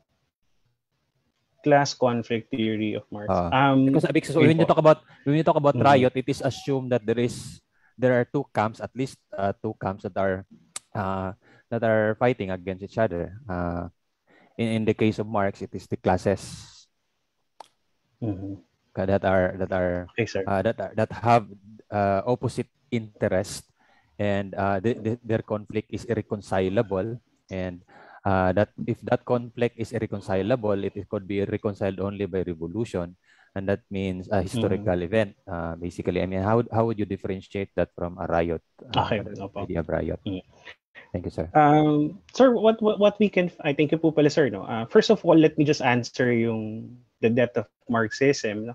At the death of Marxism, as you see, it's more of a parang meta claim. No, it's a meta claim. Of course, Marxism is not uh, dead. No, um, in fact, uh, si si si Badiou, he even says in an interview that he is a Marxist. No, but but the idea of a Marxist today should be appropriated with with of course the the challenges no made and posed by capitalism. So in fact in the first chapter of the book of the rebirth of history he discusses capitalism. Although since it is not part of my my paper hindi ko na siya sinulat po no? but um so it's a more of a meta claim but he is but he would like himself to be called more of a communist and how the communist hypothesis should be pursued today in a more novel parang in a more innovative and parang parang therefore he's looking for novelty of how communism should work today against the capitalism parang ganun. so at least nasagot ko lang po yun secondly what we see in Marx is a very clear conflict no between the masses no and the proletariat no and the capitalists no. We we do not see that in Badiou uh, and in in some other philosophers no today no with with that with that kumaga po parang focus. So parang what we what we see in Badiou is uh, an acceptance no that the conflict between the masses no, and state are too dynamic that they are they are not just transparent no and it's not just between them and so there should be as well no uh, a preparation no no na gagawin natin na dapat mas mataas din sa mga ginagawa dati. Because yung capitalism is parang five steps ahead no sa mga posible pa nating gawin no. Um, therefore po parang ang gusto ko lang sabihin is that the problem is myriad and that to solve the problem means to expand no our notion of what a proletariat is or what a masses is therefore it's not just a masses of the factory you know it it should be a masses that would in, be inclusive of other plights of people other the ones identified clearly by Marx yun po siguro po yun yung sagot ko doon Okay, sige. Uh, Dr. Aguilan Apo. raising Yeah, his hand. Yeah, I'd just like to follow up. It's related to the uh, question a while ago. Uh, riot is actually can is a it's in the penal code as a criminal offense. So it's always taken from the perspective of law enforcement agency. So that's the reason when you use the word riots and the perpetrators are called rioters, they're already labeled as criminal or have violated the law. So it's a way of delegitimizing a violent action. So I have a problem with that definition, uh, with with with that, because from whose perspective are you uh, looking at? And that's also the difference when you say resistance. When people engage in resistance, and resistance can take non-violent and violent form. So when would you draw the line? Because the moment you say it's a it's a riot, it already connotes something that is negative because it is viewed from a law enforcement perspective, and it's a way mm-hmm. of, and we know in history many legitimate resistance uh, were labeled as riots. Uh, freedom fighter during the American Revolution, they uh, they were called as bandits instead of freedom fighter. Uh, now, maybe the terrorists today, in the future, they'll be called uh, resistant fighter. So uh, it's similar to the question. Yeah. Uh, how do you how do you how do you look at riots from whose perspective? Yeah. Yeah. Uh, thank you po, sir. No? Ang ganda po ng tanong nyo. No? Uh, what, we can find in the book is parang a two-layered parang discussion. You know? Parang on one hand, but you also diagnoses the history of parang resistance in a way, no? parang to call it generally. Uh, although his focus is to identify no, no these resistances as riots. No? Now, from whose perspective are we looking at at riots po? No? Um, dito po sa libro ni Badiou, parang pinabibigyan niya yung state na ganito yung tawag ng state sa mga nangyayari. No? So it's a statist idea no, of resistance. And so parang but in fact what he does in the book is to counter argue the statist notion of of what this resistance is but but not to change the name no I just don't know po bakit hindi niya binago yon siguro po parang ang one characteristic din po kasi ni Badiou is he wants to maintain some sort of radicality of a position. And so parang he does not change it. But what he in fact does is to to provide a counter argument against riot. And uh, kumbaga parang to really to use it against the state against the state not to to, to, to parang use it as a kind of an exit from a statist position uh, uh, and how the state uh, kumbaga po um, how the state uh, labels it no? Kaya ang ginawa niya po is that what is yung kanyang bagong nasabi is that rioting, if it is really historical, is a proclamation of a truth found in an event in situ that must be embraced by a subject in perpetuity towards a new politics. So kumbaga po parang uh, gusto niyang baguhin no yung yung ganun at siguro to legitimize no what other people no uh, have done. Although gusto niya din po sabihin that immediate riot should mature towards historical riot. Yun po. Kumbaga, nasasabi ko din po yun kanina, na, not all riots are valid. not all riots are valid. Yeah.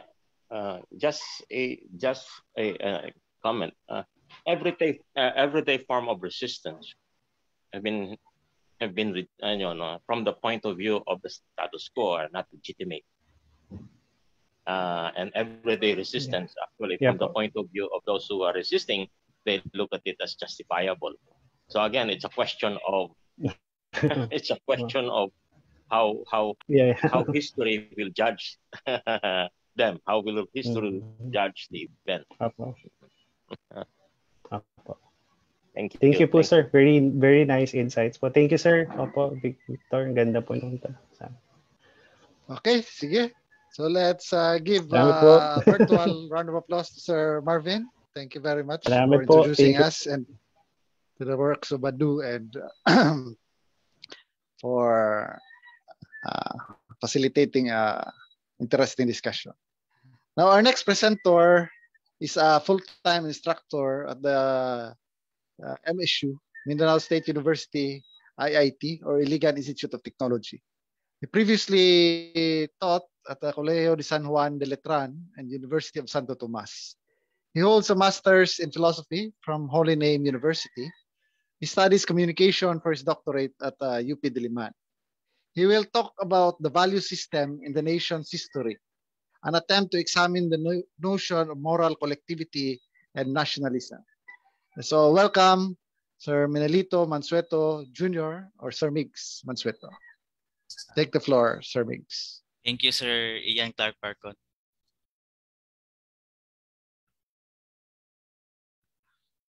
Let me share my screen, sir. Um, I think Sir Marvin is still sharing his screen. Can we ask Sir Marvin to... Sorry po, ayun po. Thank you po. Sige, sige. Okay. Sige, I think uh, Sir Miggs can now share.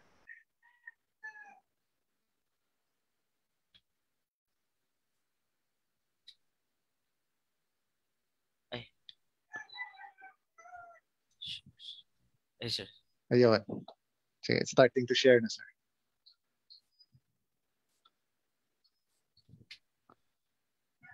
Uh, thank you, sir.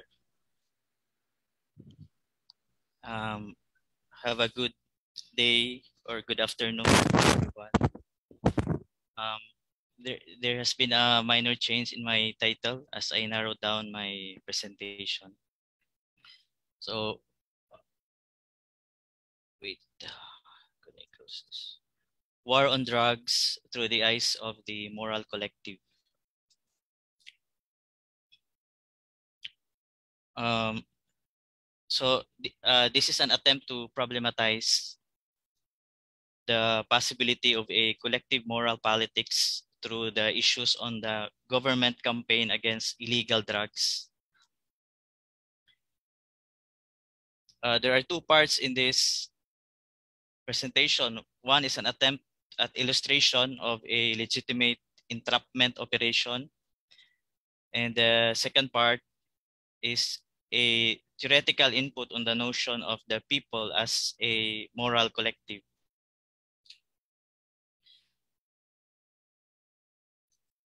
A strong argument against uh, extrajudicial killing is based on the concept of due process of law found in the Bill of Rights, that is Article 2 of the Philippine Constitution.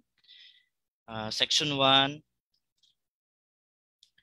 uh, states that no person shall be deprived of life, liberty, or property without due process of law, nor shall any person be denied the equal protection of the laws. And also in section 14, number one, no person shall be held to answer for a criminal offense without due process of law. And to ensure the due process of law, there are uh, specific mechanisms. And some of these some of these are the so-called search warrant and also the warrant of arrest. A search warrant is an order in writing issued in the name of the people of the Philippines, signed by a judge and directed to a peace officer, commanding him to search for personal property described therein and bring it before the court. Uh, an arrest warrant is issued by a judge or magistrate and must be supported by a signed and sworn affidavit showing probable cause that a specific crime has been committed and that the persons or person named in that warrant committed said crime. An arrest warrant is a warrant issued by a public officer, uh, a judge, which authorizes the arrest and detention of an individual. But there are exemptions to this uh, search and arrest warrants. No, uh, for example, the case of an entrapment uh, operation. It is a valid way of apprehending perpetrators of sale of illegal drugs. Upon the consummation of the sale, the entrapment team is authorized to immediately arrest the seller of illegal drugs. There is no requirement of an arrest warrant or even a search warrant, uh, considering that the arresting officer is himself the witness.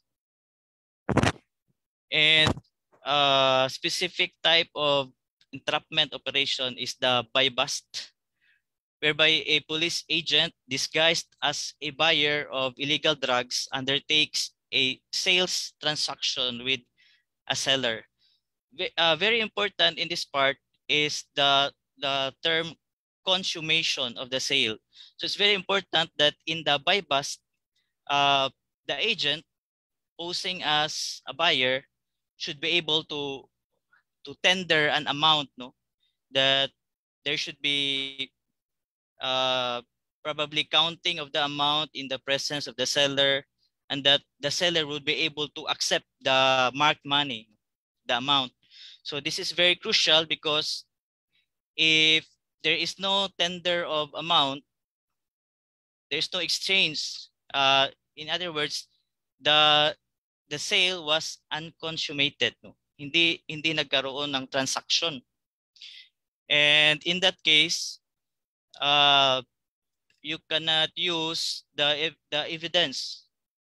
And also uh, hindi hindi nagkaroon ng ng legitimate uh, sales transaction because walang nag, hindi nangyari ang tender of payment. That is very important. And uh, in that case maaring uh, makasuhan ang drug seller ng possession of illegal drugs pero hindi mo pwedeng makasuhan ng selling of the prohibited drugs. Uh, the Dangerous Drugs Act of 1972 is the law that regulates the uh, entrapment operation. The Comprehensive Dangerous Drugs Law itself uh, provides that the apprehending officer or team having initial custody and control of, of the drugs shall immediately after seizure and confiscation physically inventory and photograph the same in the presence of the accused or the persons from such items were confiscated or seized. Meaning na immediately after the arrest, uh, the person who was able to found the drugs, the suspected drugs, should immediately maybe count or weigh the the items and also photograph the in order for that to be used as evidence the effect of non-compliance with the requirement to conduct an inventory and to photograph the evidence is the non-admissibility of the confiscated drugs as evidence. The judge therefore cannot consider said evidence in writing his decision. The net effect is the failure of sufficient evidence to convict. So you shall see that there are really requirements no in in the conduct of a buy bust operation. And also in addition to that the arresting officer is also required to read the Miranda rights.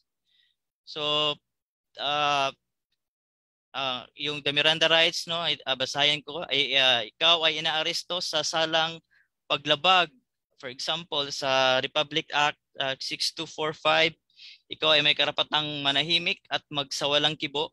Ano man ang iyong sasabihin ay maaaring gamitin pabor o laban sa iyo sa anumang hukuman. Ikaw ay maroon ding karapatang kumuha ng tagapagtanggol na iyong pinili at kung wala kang kakayahan, ito ay ipagkakaloob sa iyo ng pamalaan. So, usually the apprehending officer ay merong daladalang kodigo nito. So, at the same moment that you are arguing with uh, the suspect, uh, trying to make sure that he will not be able to escape, you're also required to read the Miranda rights, no? With Codigo, maybe in your cell phone or a piece of paper. And then it is on the last part, saka pa lang maggalit-galitan yung police, no? As an officer, naunawaan mo, naunawaan mo ba ito? Intindihin mo ba? No? So because you need to be able to read the Miranda rights properly and exactly. So it is a requirement. Now the question, what is the consequence if I am not able to uh, render the Miranda rights warning? The penalty, possible penalty, an amount of 6,000 pesos or a penalty of imprisonment of not less than eight years Imagine how long is that? But not more than 10 years or or both. No, you are fined and at the same time you are imprisoned. And also if you are uh, repeating the same offense, a penalty of perpetual absolute disqualification shall also be imposed upon the investigating officer who has been previously convicted of a similar offense. So just to show that there are specific requirements for uh, for the conduct of uh, entrapment operation. To convict a person for the sale of illegal drugs under the Comprehensive Dangerous Drugs Law, the prosecutor must prove the following. A, the identities of the buyer and seller. Dapat they are clearly identified. The object to be used as ev evidence later and consideration. And B, the delivery of the thing sold and the payment for it. In short, the prosecutor must prove that the sale took place and that the accused was the seller. So that's why it should be immediate. Hindi pwedeng uh, mamaya na lang, no? So there are, these are scenarios. I'm sorry. Uh, so for example, the case of people versus Sorin is, uh, let me read. Here, here, the accused was acquitted because of an irregularity in the buy-bust operations. Specifically, the apprehending officer who seized the sachets from the accused, Sorin, during the buy-bust operation, failed to mark the sachets and instead turned them over unmarked to another police officer. The latter officer was the person who marked the sachets of Shabu who eventually took custody of the confiscated drugs and delivery to the PDEA. Um, according to the Supreme Court, the fact that the sachets of drugs were not marked for inventory in the presence of the apprehending officer who confiscated the drugs is fatal to the cause of the prosecution. The court cannot overemphasize the significance of marking in illegal drugs cases. The marking of the evidence serves to separate the marked evidence from the corpus of all other similar or related evidence from the time they are seized from the accused until they are disposed of at the end of the criminal proceedings, thus preventing switching, planting, or contamination of evidence. The purpose of the requirement is also to ensure that there is a proper conduct of the entrapment operation. And the Miranda rights is, is also to warn the suspect that anything that he would be ad admitting to the to the to, to the apprehending officer can be used against him. The same case occurred in People versus Abdullah, where the accused was also acquitted because of failure of the apprehending officer to mark the confiscated drugs in the buy-bust operations. The Supreme Court noted, so anyway, I'm not going to explain that, but just to show that um,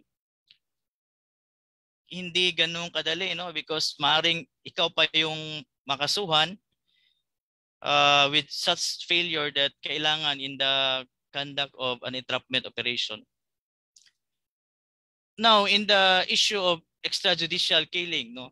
Uh, the case of extrajudicial killing is different from the what, what transpires in a legitimate uh, maybe entrapment operation of the policeman. Uh, so my stand is this, no? If extrajudicial killing pertains to those who were found dead in the streets in the absence of a witness nor nor an absence of any lead to its perpetrators, it could not just be easily attributed nor accused to President Duterte for the obvious lack of sufficient proof or evidence that would link Duterte to that crime.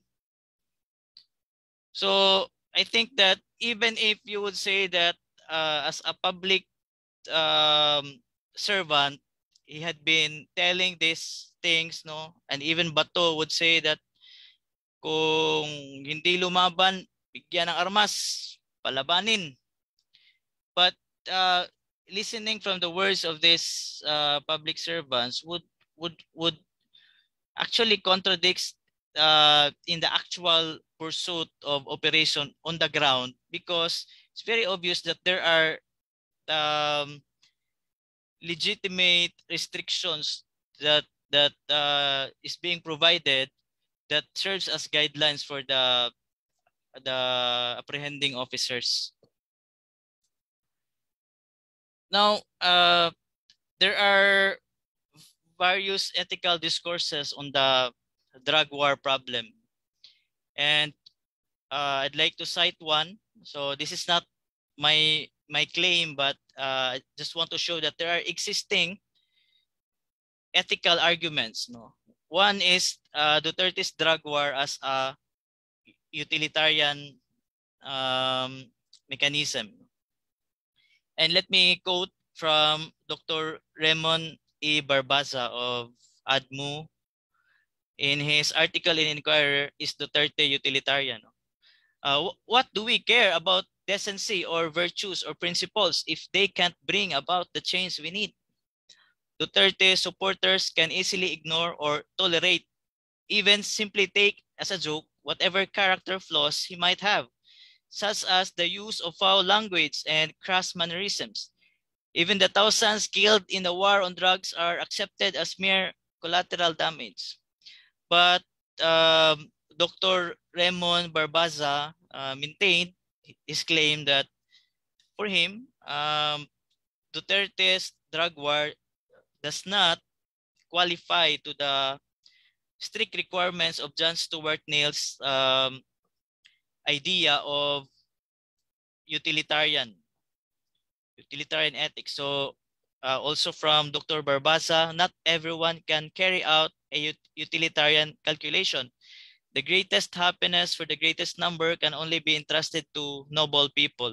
And for Dr. Barbaza, uh, Duterte uh, does not fit or does not qualify to that um, character of nobleness. But I would like also to show that there are other uh, approaches to social that social justice that we can also consider as um, probably utilitarian. No? Uh, to give an example, Soviet Marxism, led by Joseph Stalin, and he himself declared uh, or recognized as the autocratic dictator of the Comintern Politburo. In the event, uh, to quote from the program of the Communist International, so in the event of the imperialist states declaring war upon and attacking the USSR, the international proletariat must retaliate by organizing bold and determined mass actions and struggling for the overthrow of the imperialist governments with the slogan of dictatorship of the proletariat and alliance with the USSR. So my point here is only to show that uh, even Marxism uh, had these utilitarian tendencies. Now, uh, a very recognized uh, Filipino uh, modern philosopher, the late Romualdo Abolad, no? Uh, the term apology of Duterte is not mine. Uh, there is an, a very interesting article written by a philosophy professor from the University of Cebu, uh, Professor Regleto Imbong, and he, uh, the title of his paper is uh, Abolad's Apology of Duterte. No? So that, that is not mine, just a disclaimer. And let me quote uh, from Dr. Abulad, I did not vote for Duterte because of the risks involved, of which he has been thoroughly open about it. He did not lie to the people during campaigns, telling them exactly what to expect. Yet the people voted for him. Vox Populi, Vox Dei. The voice of the people is the voice of God, especially since the elections turned out to be reliably clean as well as credible. Now, um, there is an article uh, entitled Morality and Democracy. And uh, they quote, so for Socrates, morality is the art of self-possession or self-government, rule over self is a fundamental virtue. While democracy means the people rule over itself, the government of the people by the people. So as comparison between the concepts democracy and, and morality, if morality is to human dignity, democracy is to national dignity. When morality is viewed in the collective spectrum, morality is democracy. And still from Emile Boutroux, uh, from his article, Morality and Democracy, I quote, the Greek philosophers conceived of morality as including politics, no less than industrial life. When Aristotle distinguishes politics from ethics, strictly so called, he does not set it as, a, as he does not set it outside morality. Politics, he says, is a fuller and more perfect morality, which includes individual morality as act includes potency. Some have become alarmed at the idea of isolating the individual in a selfish and unnatural independence. Concrete individualism finds in the individual himself tendencies that can develop only if he enters into a relationship with his fellow beings. This is the principle of so-called solidary morality.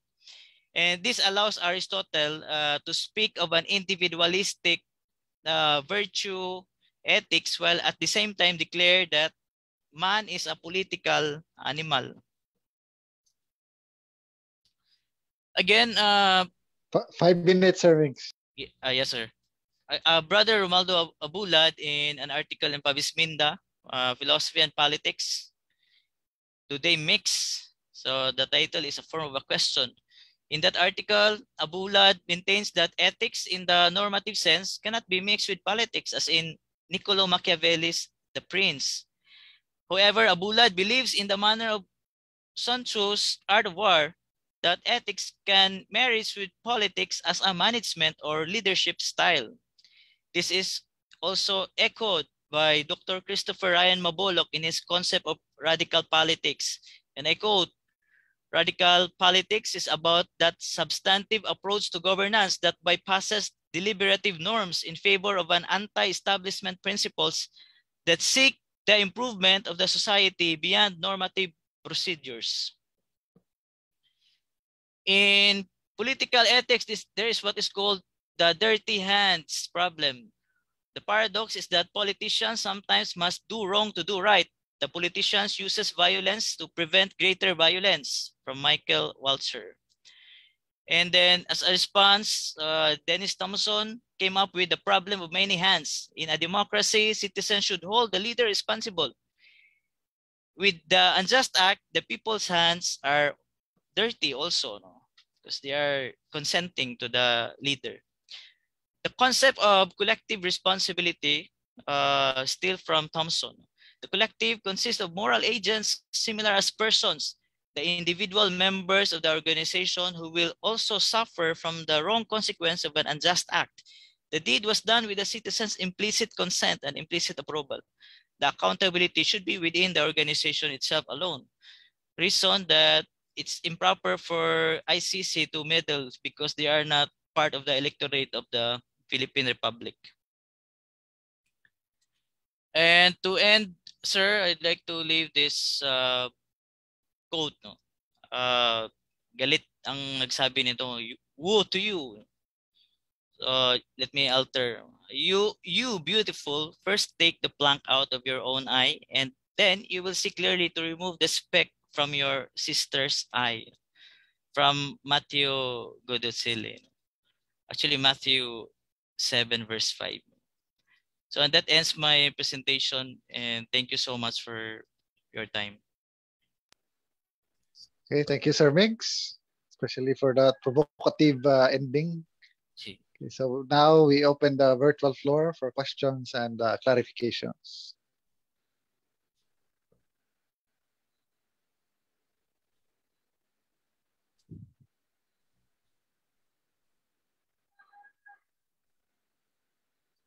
Any question or clarification? Sir, good afternoon. Good afternoon. My name is Angel King. I am sige, student. go ahead, sir. I am a student of. Dr. Polok and Dr. Sable. Um, uh, just uh, ano lang po, uh, to affirm lang po yung idea dun sa discussions kanina. Kasi I, I, I, I remember something from the idea of Jeremy Bentham. Uh, I, I guess uh, alam niyo po si Jeremy Bentham na sabi niya, um, if the action is um, nakakabuti, nakakabuti sa karamihan, then that is morally good. Even if it is, uh, it has the means na hindi maganda or yung means niya is bad. But if it is for the good of the uh, ng marami, so then it is morally good. I don't know kung it affirms ba to the ano one of the discussion kanina sir. Yun lang po. Yes, thank you, uh, Angel. I agree with uh, your statement. Similar to that uh, that I present.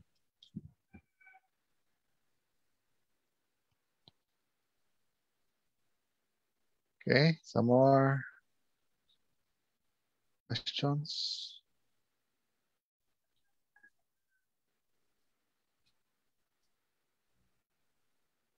Clarifications.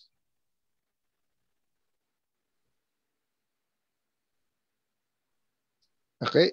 There being none, let's give a virtual applause. Ah, Sir yan. Migs. Can I, can I ask? Ay, uh, meron, meron, meron. no, Sige, sige, sige.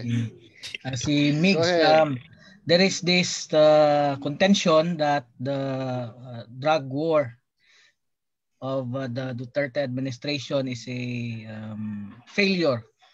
And uh, of course, uh, there are uh, various uh, parameters to look into this.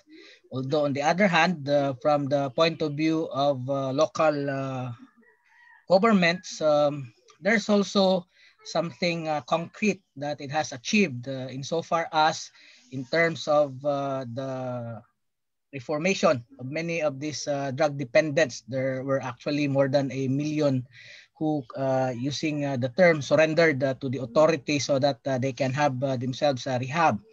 And it is a finding that was uh, not really um, a, a, a, a, a an, a, a- thing that was uh, observed in the previous uh, administrations, uh, meaning to say uh, there is uh, that element uh, upon which uh, the will of the president in terms of pursuing the drug war uh, has uh, actually resulted into something that is um, quite uh, from the viewpoint of local governments laudable insofar as uh, it has uh, helped, uh, for instance, uh, um, improve uh, the situation when it comes to this uh, problem of uh, drug addiction.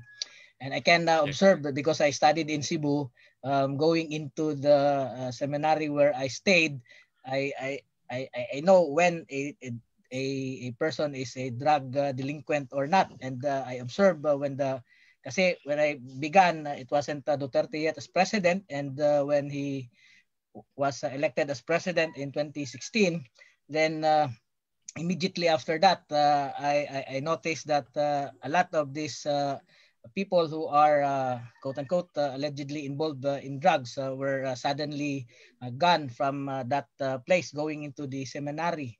But on the other hand, um, there is, of course, this very uh, obvious, uh, say, protestation um, in view of this uh, context of the human rights narrative. And and the the, the president uh, has uh, won many enemies uh, in view of this context. And the question when it comes to yung tanong kanina when we talk about this drug problem the utilitarian approach uh, people actually benefit uh, from it insofar as of course if uh, there is uh, say relative peace and order there are no snatchers uh, for instance and that uh, in a way gives people a sense of security and comfort. But on the other hand the obvious counter to that is the idea that you cannot sacrifice not even a single life when it comes to the issues of uh, concerning justice and most especially the issue on uh, human rights and uh, obviously of course uh, Duterte mentioned uh, your uh, concern is uh, human rights. My concern is human life. But in a way, um, they are not actually mutually exclusive because to live, you must have your rights because these rights are defined for you and actually protect also your life. So given these uh, many uh, contestations, uh, MIGs, uh, what do you think is the way uh, forward? And uh, do you consider the uh, drug uh, war of the president uh, successful in this respect, knowing these many vantage points, the many narratives. But of course, it's not about persuading people. I'm just asking you about your, say, uh, viewpoint as uh, regard to this uh, problem. Thank you. Uh, yes, sir. I, uh, Dr. Ryan, thank you for the input. And also to respond is that uh, in my own personal belief and opinion, um, the number of cases, not in incidents uh, of deaths in uh, the drug war would only mean to show that the government is really doing something.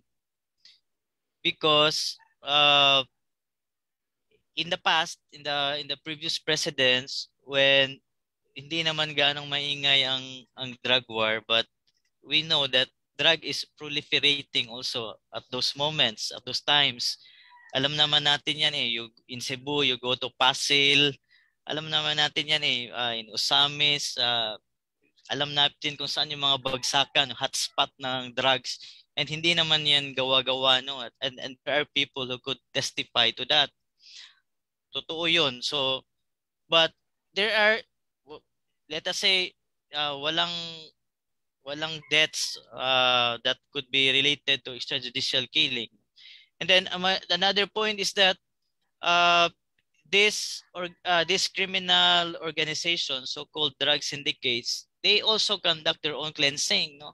If their members will not be able for instance to remit the money and maybe for security purposes they also conduct their own internal cleansing uh, procedures that you might say it's unfair if we all um, accuse that to the to the president. So yung ano ni presidente the problem uh, sinasabi niya no na uh, siyang bahala sa kanyang military men no? pero I think that on the ground iba ang talagang the real thing because alam ng mga police that they are also subject for a, a criminal case if they are not able to do uh, their job according to what is provided by the laws. Thank you, Mix. Thank you, sir. Yes. Okay, so I think that uh, wraps up our discussion of the Duterte's war of drag from uh, Sir Mig's perspective. Again, let's give him a virtual round of applause. Thank you. Okay. So our next uh, presenter is a faculty member of the Department of Arts and Sciences at the Eastern Visayas State University in Tacloban City, Leyte. He is a member of the Philippine National Philosophical Research Society or PNPRS. He'll be talking about okay, uh, something also related with uh, President Duterte, political positions of President Rodrigo Duterte in the perspective of Chantal Mouffe's radical democracy. So let's all welcome Dr. Josenon Purog. Okay, good afternoon, everyone. Uh, sir, thank you for that acknowledgement. Uh, so, actually, I, I pre-recorded my presentation. That's why I will I will play it na lang so that whatever intervention in the net, it will do. So, let's see it, all of us.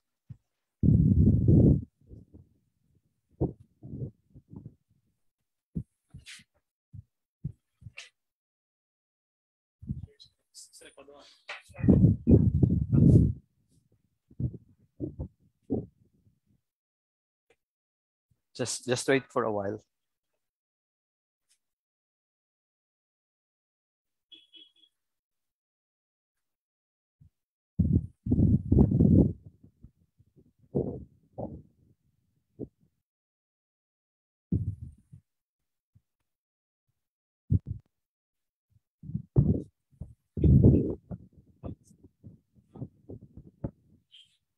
So just for a while, we are we are doing some technicalities and. Okay, sige, sir.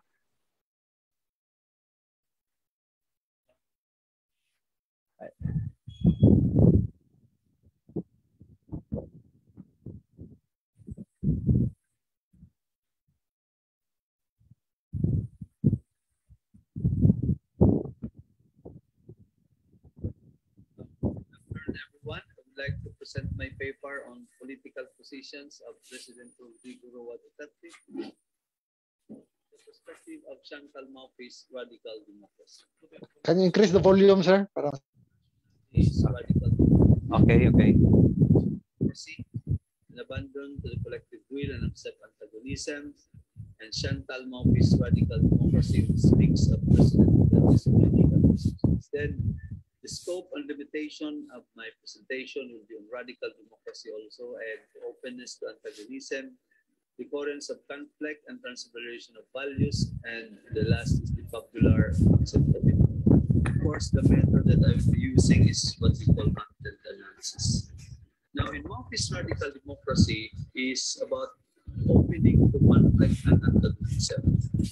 Meaning, this kind of democracy is a state wherein it is open to opposition or hostility. This being op- opposed or hostile to a certain uh, democratic principles and according to Mouffe, you know, things sometimes not always be done So um, radical democracy is actually giving voice to what is silent.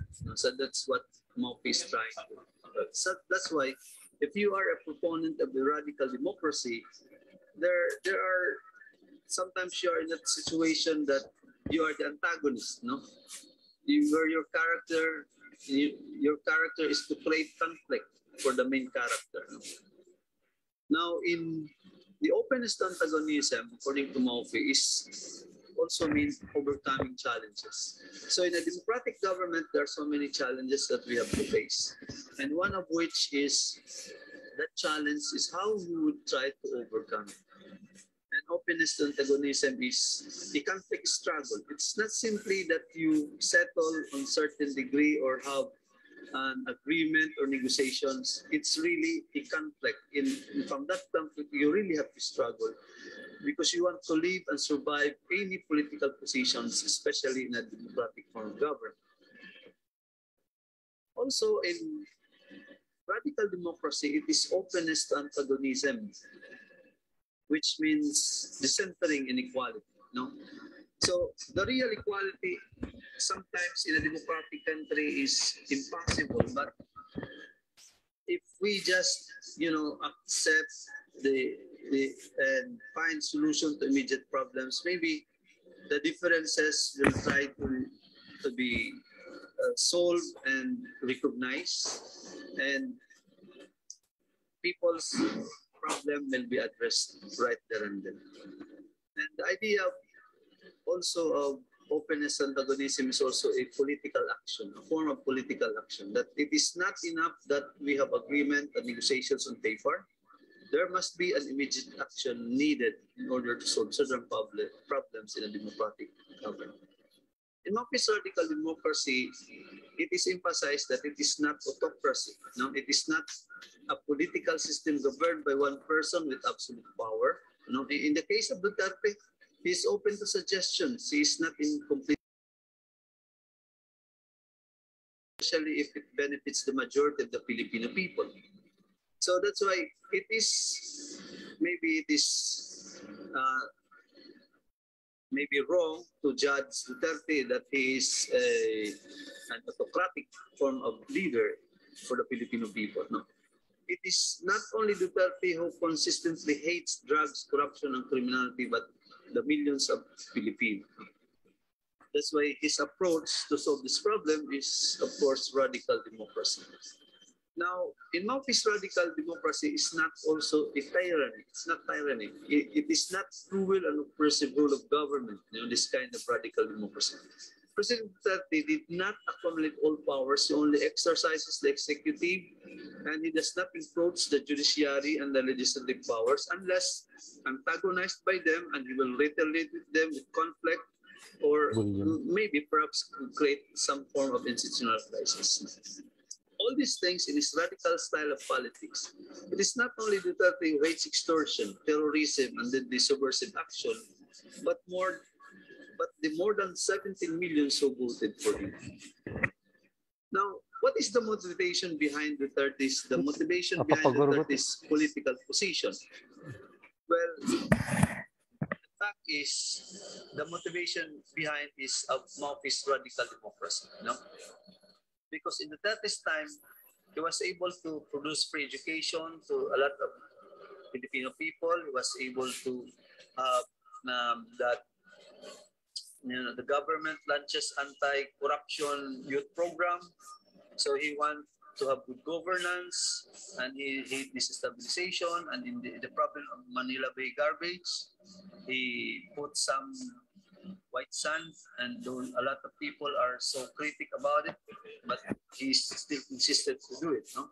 The aspect of the health, he assures the packages of uh, this PhilHealth assurance, insurance, and still available for all members. And he provided housings to the IPs.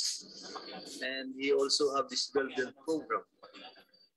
Now, in the Turkish economic policy, he has built the program, the second fastest economy. That's why we in the 2019 survey, we are the second fastest economy in Asia. And in his foreign policy, there is a clear picture of Duterte's opposition in defense of treaty with the United States of America by his non-confrontal and less formal approach to China and safeguard the interests of the nation and its citizens. So in the Duterte's war on drugs, it's controversial. There are also a lot of people who supported this, no? Uh, they, they, they want also to stop these illegal drugs and he wants, they want also that the Duterte should address poverty and corruption in government. And also in Duterte, he does he resists on oligarchs and elite rule, no? wherein he wants that rich and poor alike have equal opportunity in the democratic government. That's why he has so many figures in Duterte, the so-called country. That's why he would always say on the part of the telcos that I will take drastic steps if you do not improve your your your your services to the people. And in the drug problem, he, he always wants to address it, telling it to the people in the Philippines that he will try his best to at least curb the, the problem of illegal drugs. Now, in Maoist radical democracy, if we try to define, it is an approach to governance based on subsistence reasonable action, meaningfully interpreted coming from a democratic concept. Now, in short, it is a meaningful democratic action as opposed to intellectual democratic negotiable reason. And in short, talk so little, do much, and act immediately. Now we go to Maoist radical democracy in Duterte's political positions. So Duterte said the trouble with us in government, meaning our representative government, is that we talk too much, act too slow, and do too little. No? So that's why he, he wants to go the uh, to the opposite. No, he wants to immediately address all these problems.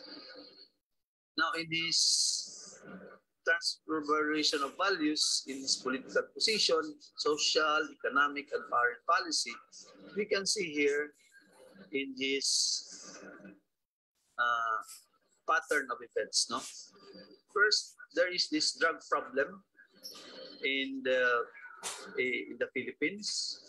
Then of that problem, Duterte put some sense of good governance. Then after that, uh, it was protested by people. Then, from being protested by people, it was another people who, you know, uh, once uh, once this protest, support this protest to kill the drug lords, no? Then Duterte, again, though there are a lot of oppositions, he has to implement it because he believes that there's the force, full support of people against illegal drugs. Then a lot of family in the Philippines was able to observe the the success of his steps. No, the, though sometimes he's a victim of his own means, but he's trying to look into the common good of the Filipino people. And yet, after that, there was already uh, experience of, you know, security among the majority of the Filipino peoples. It was opposed again by a group saying that stop the killing.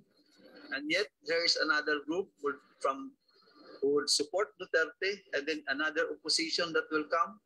It will be antagonized, then another support will come for Duterte. But, you know, in the end, Duterte said, I cannot create heaven utopia for everybody here.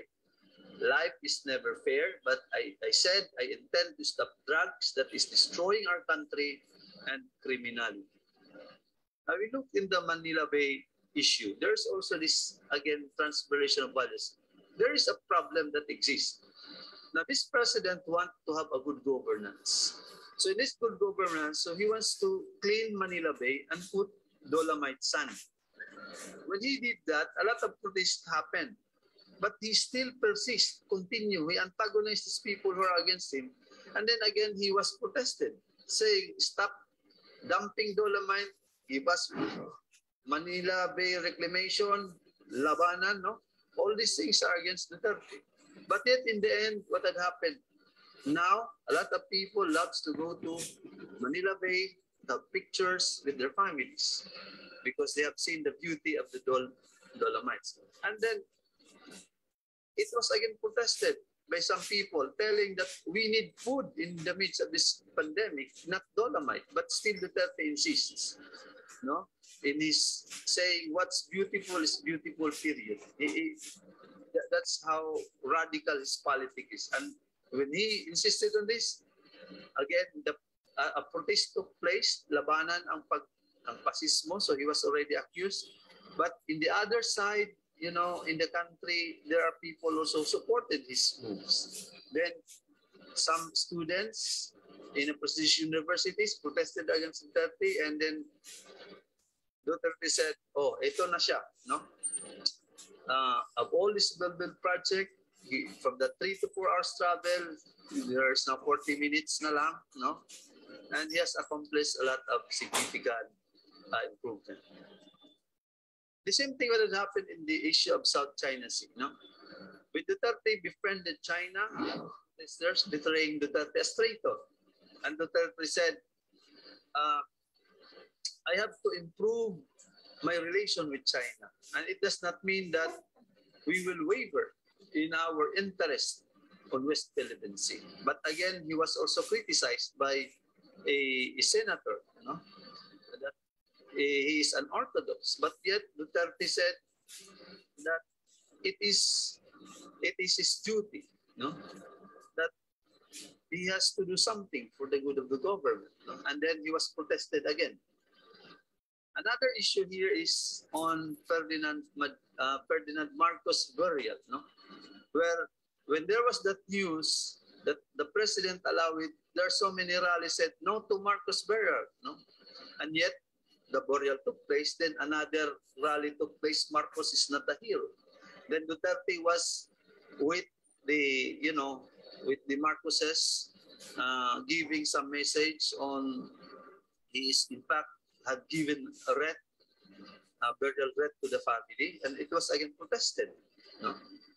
But Duterte said, uh, the very reason that I allowed the burial is because he is the president, he is a Filipino, and he has the right also to be buried in the libingan ng mga bayan. Then again, in the Boracay issue, when Duterte decided to clean up Boracay, the, the people protested, please don't uh, close Boracay and yet because of his insistence again, whether they like it or not, he has to pursue it, has to do it. Then when it was already in the process, in the closure, so they want Boracay to be rehabilitated. Then when it was in the process of rehabilitation, another rally took place because a number of people are starving. And yet what did the president said? Boracay Island is just the beginning and the girls are already there, meaning it's already finished I open it now. So before we see Boracay how it is, before it was re re rehabilitated here, rehabilitated, then now after it becomes now the number one beach uh, tourist destination in the world. And again here in the same-sex marriage. When he was doing the campaign, Duterte was, you know, with this LGBT group. But a number of people again protested by his, uh, you know, being in favor of this LGBT. Then when it was, it happened, uh, Duterte even hosted a Thanksgiving party for LGBT members in the Malacanang. But later on, Duterte realized that there's there's there's no end in this. That's why he he changed his mind not to support them anymore. But again, the rally took place violence against the LGBT community. And what did Duterte said? The law says that we have a marriage between a man and a woman. And that is the present law. Unless new law, then he can change it. Since Duterte is not a is not the law, so he has to respect the law. So he cannot do otherwise. Now, in President Duterte's radical democracy is a people's acceptability. No? And a lot of people in the survey has approved. In 2018, there is that uh, uh, the, the crime went down and the family were happy and 73% of Pinoys believe on drug users decreased since Duterte took an office. And there was a successful implementation of his intensified peace and order in, and a lot of uh, structures that he had created for, for the country and a lot of improvement. You know? So that's why he has these speeches. You know, a leader must be a terror to the few who are evil in order to protect the lives and well-being of the many who are good. So the law mandates it because it is good for the country and for the people. Now, Duterte said, I will crack down corruption, drugs, and criminality. And that's, that's how he, he had shown in his uh, perspective in Mouffe's radical democracy. So in my summary conclusion of this is that radical democracy is the principle behind President Duterte's leadership. And radical democracy of Duterte's political position are the policies that have been shaped and defined the Philippine democracy of today and Duterte's political position and radical democracy are responsible to the transvaluation of values in the political. For radical democracy recalls its pattern of events in political policies of President Rodrigo Roa Duterte. And radical democracy is a public acceptability. It depicts the pleasure of the Filipino people and their struggle to overcome corruption, drugs, and criminality. And radical democracy is another step to Philippine democracy, which immediately addresses people's problems and centers on the principles and meaning behind authentic public service.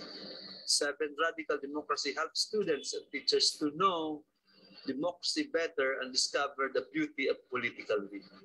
Nine, eight, there's no absolute interpretation of democracy, and democracy is open to interpretations, and there is a need to reinterpret democracy the people are the ones who will interpret and reinterpret Philippine democracy. It is recommended that radical democracy should also be viewed using other philosophers' ideas. Thank you very much, and that's it. Okay, sige. Thank you, Dr. Porog. Okay, uh, you're welcome. So, um, so now we open the floor for questions. Uh, Sir Ayat, good Sir, afternoon. Go ahead. Go ahead, Dr. Uh, uh, that's a good uh, presentation. But uh, looking at it, uh, what is really the policy direction, the policy direction direction of the Duterte uh, presidency. Ano ba yung talaga yung direction niya? Kasi nakikita ko na iba talaga yung unique yung kanyang pagkatao uh, pagkatao yung kanyang pagka-presidente. Uh, authors experts in uh, uh, public administration would call it tunnel reverse effect of the Duterte administration I will explain to you what is tunnel reverse effect in in the tunnel between England and France no there is a law there that you cannot change lane. Once you go to England from France, you have to be on that lane until you reach England. Never reverse, transfer to another lane. Even if there are no uh, upcoming uh, vehicles, you are not allowed to reverse your uh, your lane. Yan, tawag yan tunnel reverse effect. Uh, the tunnel reverse effect is a, is a condition in polit political governance from which the leader is always antithetical to the current condition of policies uh, in effect, for example, in our country.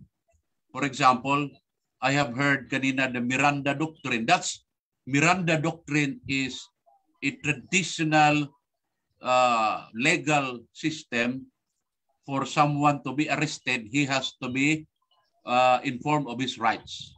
That's enshrined in the Constitution. That is enshrined even in in the book, in the annals of human rights uh, policies in the world governance. But Duterte is different.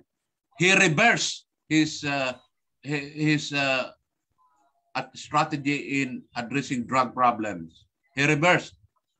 So he really sabi niya huwag kayong magpauna sa huwag kayong magpauna sa drugs, uh, drug career o drug uh, poser.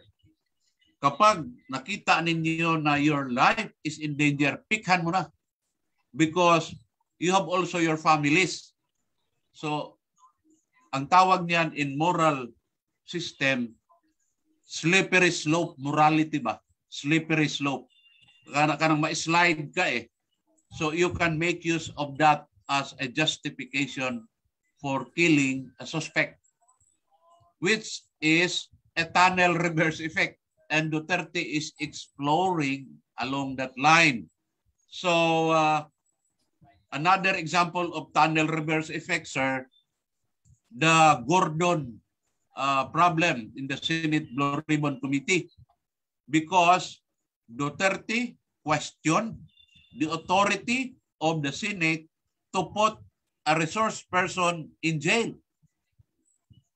So the lawyer of uh, the lawyer of the Chinese uh, family owner uh, argued that the Senate has no prosecutorial powers and therefore it has no power to put a resource person to jail. And uh, the lawyer invoked a, a, Supreme Court ruling in the US where uh, that resource person was released. Only the courts, only the judge can bring someone to jail upon conviction. So ngayon, si Gordon is pinapa-explain ng Supreme Court. That is another example of tunnel reverse effect. He reversed his direction. Another example, sir, is uh, the international relations policy of Duterte. Kung ayaw niyo sa akin, punta ako sa China. Punta ako sa Russia. Who are you? I decide on my own. Independent foreign policy. So he is not a tuta anymore, but he just changed direction. He might be called a tuta of China or Russia, but that is yet to be uh, uncovered whether talaga ba yun. So, uh, that's radical democracy. That's radicalism. He is not he is not uh, uh, afraid of what you will see sa kabila. uh, but I will pursue this policy because this is uh, uh, this is my way of running this country. So in other words, sir, what is your uh, take on on that uh, as a radical president?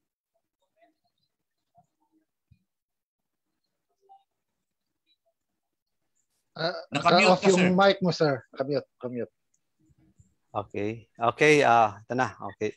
Thank you, Dr. Sabli, for that uh, beautiful uh, information that I have learned. Um, uh, for me, sir, ano, uh, upon studying Mouffe's radical democracy, no, I see in Duterte, um, eh, you know, I, I would like this. The fact of matter is this, you know, when you say radical democracy, it, it is much of uh, do uh, do solving the problem immediately. No, this is a type of democracy where it steps further the representative democracy. No, i- i- this is uh, the the one step further of a representative because in in in, in this type of democracy, uh, it, there the there are certain loopholes in a representative democracy, and the one that addresses this one is the radical democracy. No, because the, the sad thing with uh, representative democracy, we, we do a lot of agreements, negotiations, and on paper, everything is just.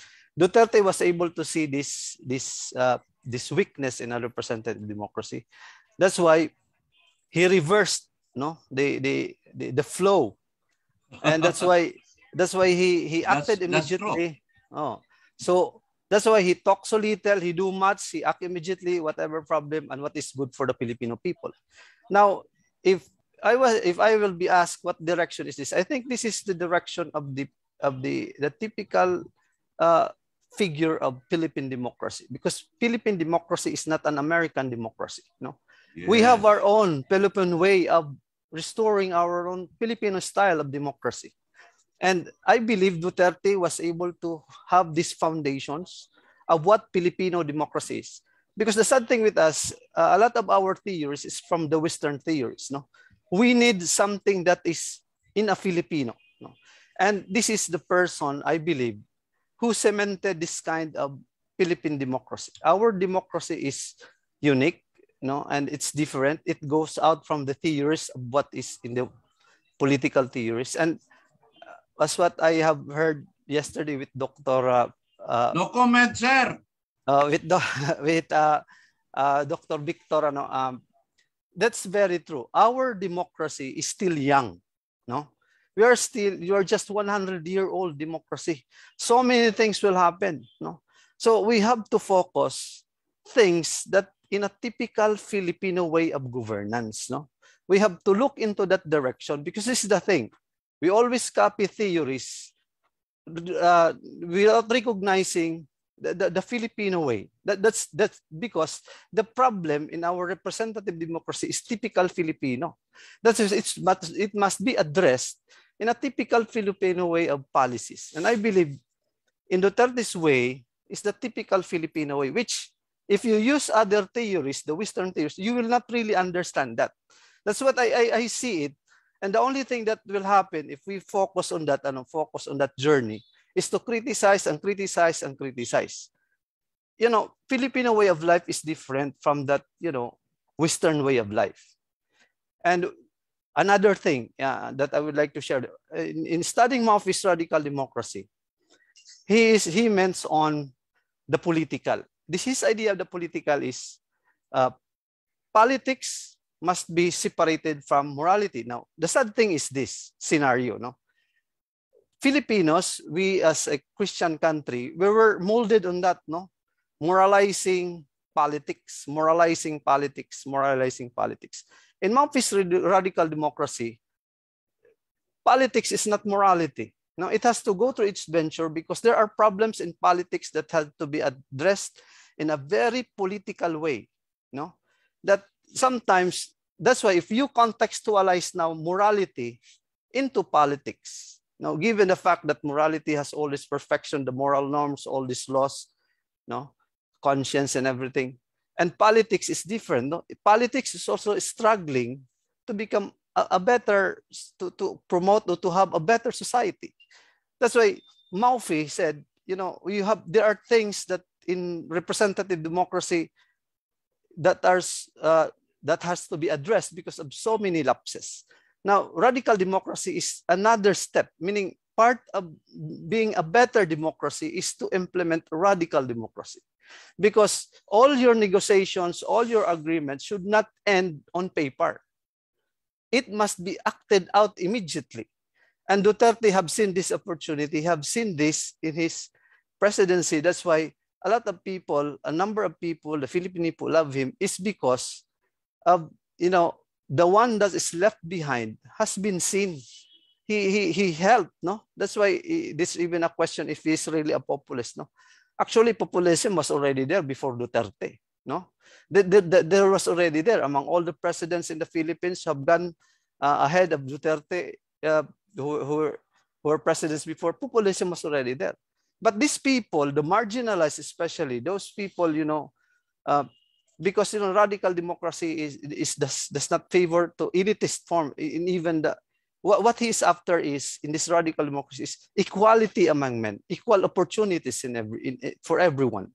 And Duterte was in this that these are a lot of people, the majority are left behind by these opportunities. So he took that action and that's why he, he became popular because that was his way, his journey towards serving the people in the, in the, in the country. So if you ask me what is the end of this, the end of this is actually on, on the people himself, uh, the Filipino people, because we have started this kind of journey in our democratic life. This will be quoted, even who will be the next president.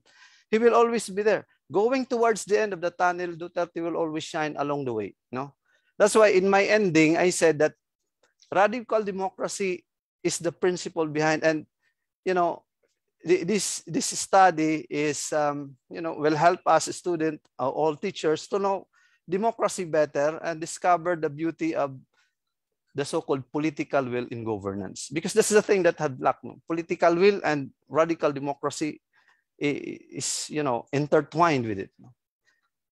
So that, that's that's how i see it sir victor. I don't know if i have addressed your question Yes, sir. Very well uh, said. Uh, and uh, that is really the, the kind of president. Kasi radical democracy, radix, the Latin word radix, roots, uh, came from uh, the English translation of roots. What is the root of our democracy? Kita. We are the roots of our, we have to, we have to dig further the soil politi- the soil of politics so that we can get the roots of our problem. And the roots of our problem is that our democracy is a sponsored democracy. We we, we uh, is a democracy that is sponsored by the U.S., by Japan, by the Spaniards. That's, that these are the this is the kind, and we have not yet really discovered the radix the roots of our democratic principle. And Duterte is trying to unearth that by, uh, you know, uh, looking at democracy in the Philippines as a different one, not as a pattern, uh, not pattern from the US, from other countries. Thank you, sir. You're welcome, sir. Okay.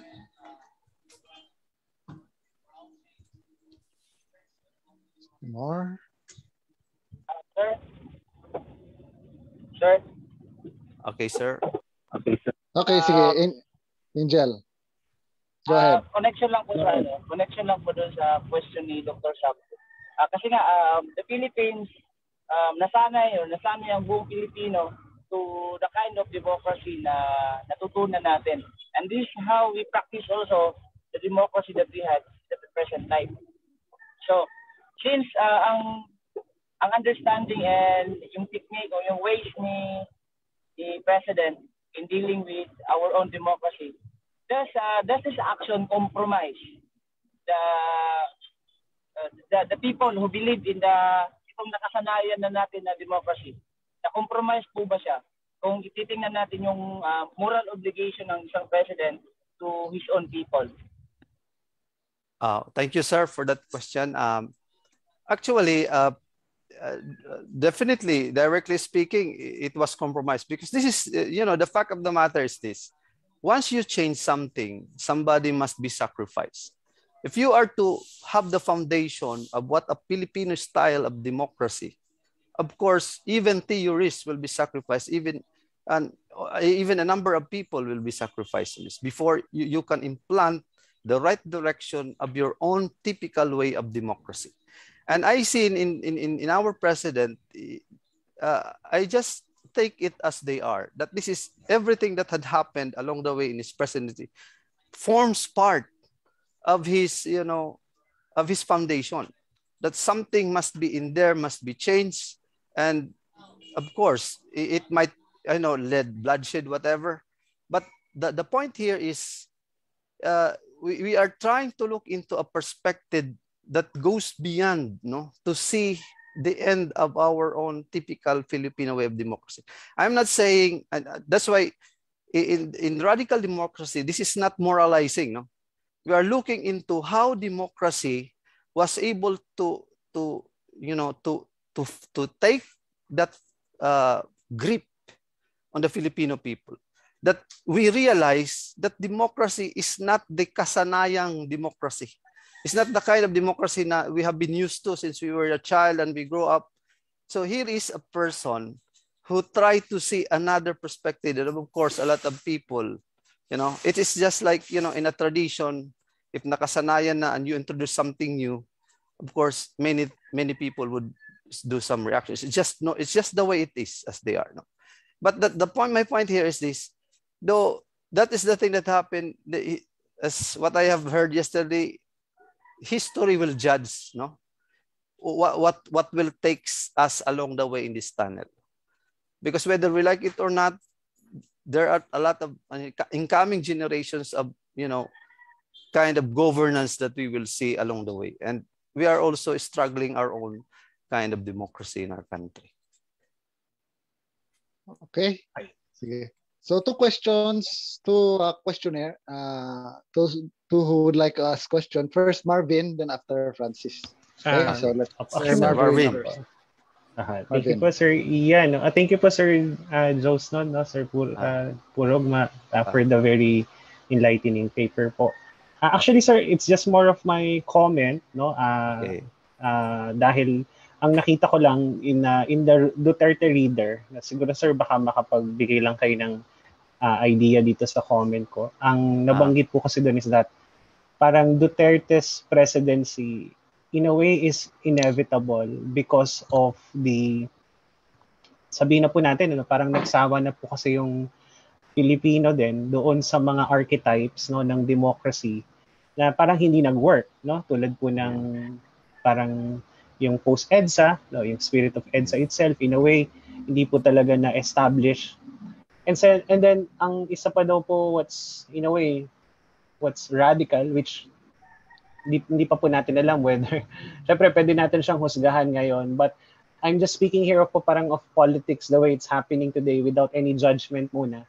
Pero yung parang yung naiba po yung political language natin. Parang na, naisama sa language yung crass language na, na ginagawa ni Duterte ngayon no? Um sir what are your thoughts about this? Uh, na parang there's some sort of an inevitability of of the parang presidency of uh, Duterte or, or whether you believe no that the inevitability is um kumbaga parang is it something that we have to believe in o ano po parang ganun. Ah, okay. Uh, thank you, sir, for that question. Uh, uh, ito naman yung masasabi ko. No? Uh, you know, uh, as I have said a while ago, we are that people, the Filipino people. We have it, it was cemented on that uh, idea that we, we always try to moralize politics. No, that this should be done. Uh, we cannot blame that because that is our nurture as Filipinos. No, we have been Christianized. We have to do this. We have to do that. But if you look back in perspectively in history, so as you have said, sir, kanina na nasawa na yung mga tao. I think it, it's not more than sawa. No, it's there's something in there in that previous kind of democracy we have na kulang siya. Kulang siya na dapat, you know, that Duterte have said na ito yung kulang that it, it should be something to be filled in so that it will become complete.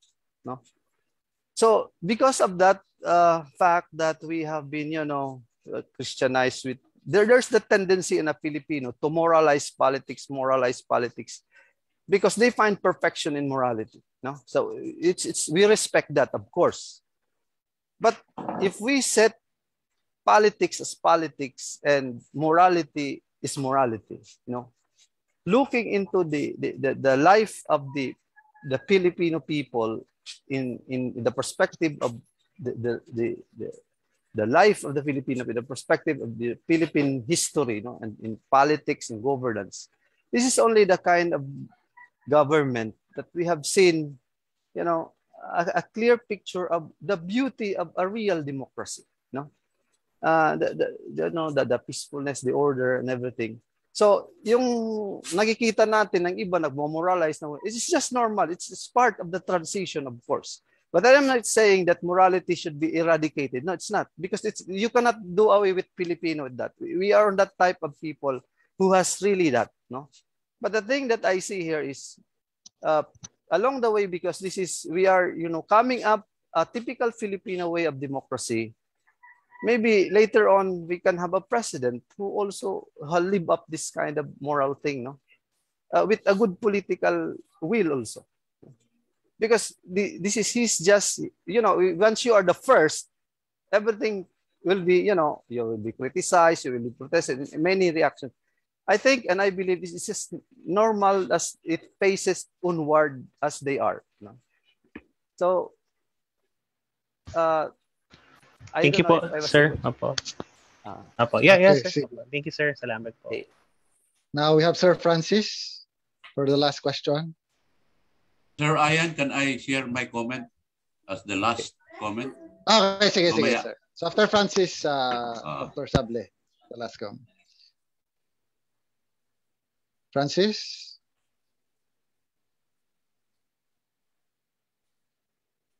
Kung wala na. Kung wala. Sige, let's proceed to Dr. Sable. Uh, sir, uh, your paper is, uh, but I cannot agree on your uh, proposition that politics and morality are not convergent.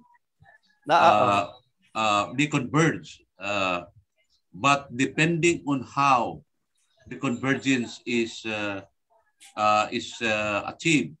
For example, uh, uh, are you familiar? Uh, ito yung philosophy of science, no? Meron tayong tinatawag in the in the philosophy of science. There are two ways of theorizing, no? Uh, uh, theorification. We have we theorize using uh, from action, theory in action, and theory in use. Uh, theory in use is normative, uh, meaning we always refer to an existing theory, whether our advocacy is aligned to that theory or principle.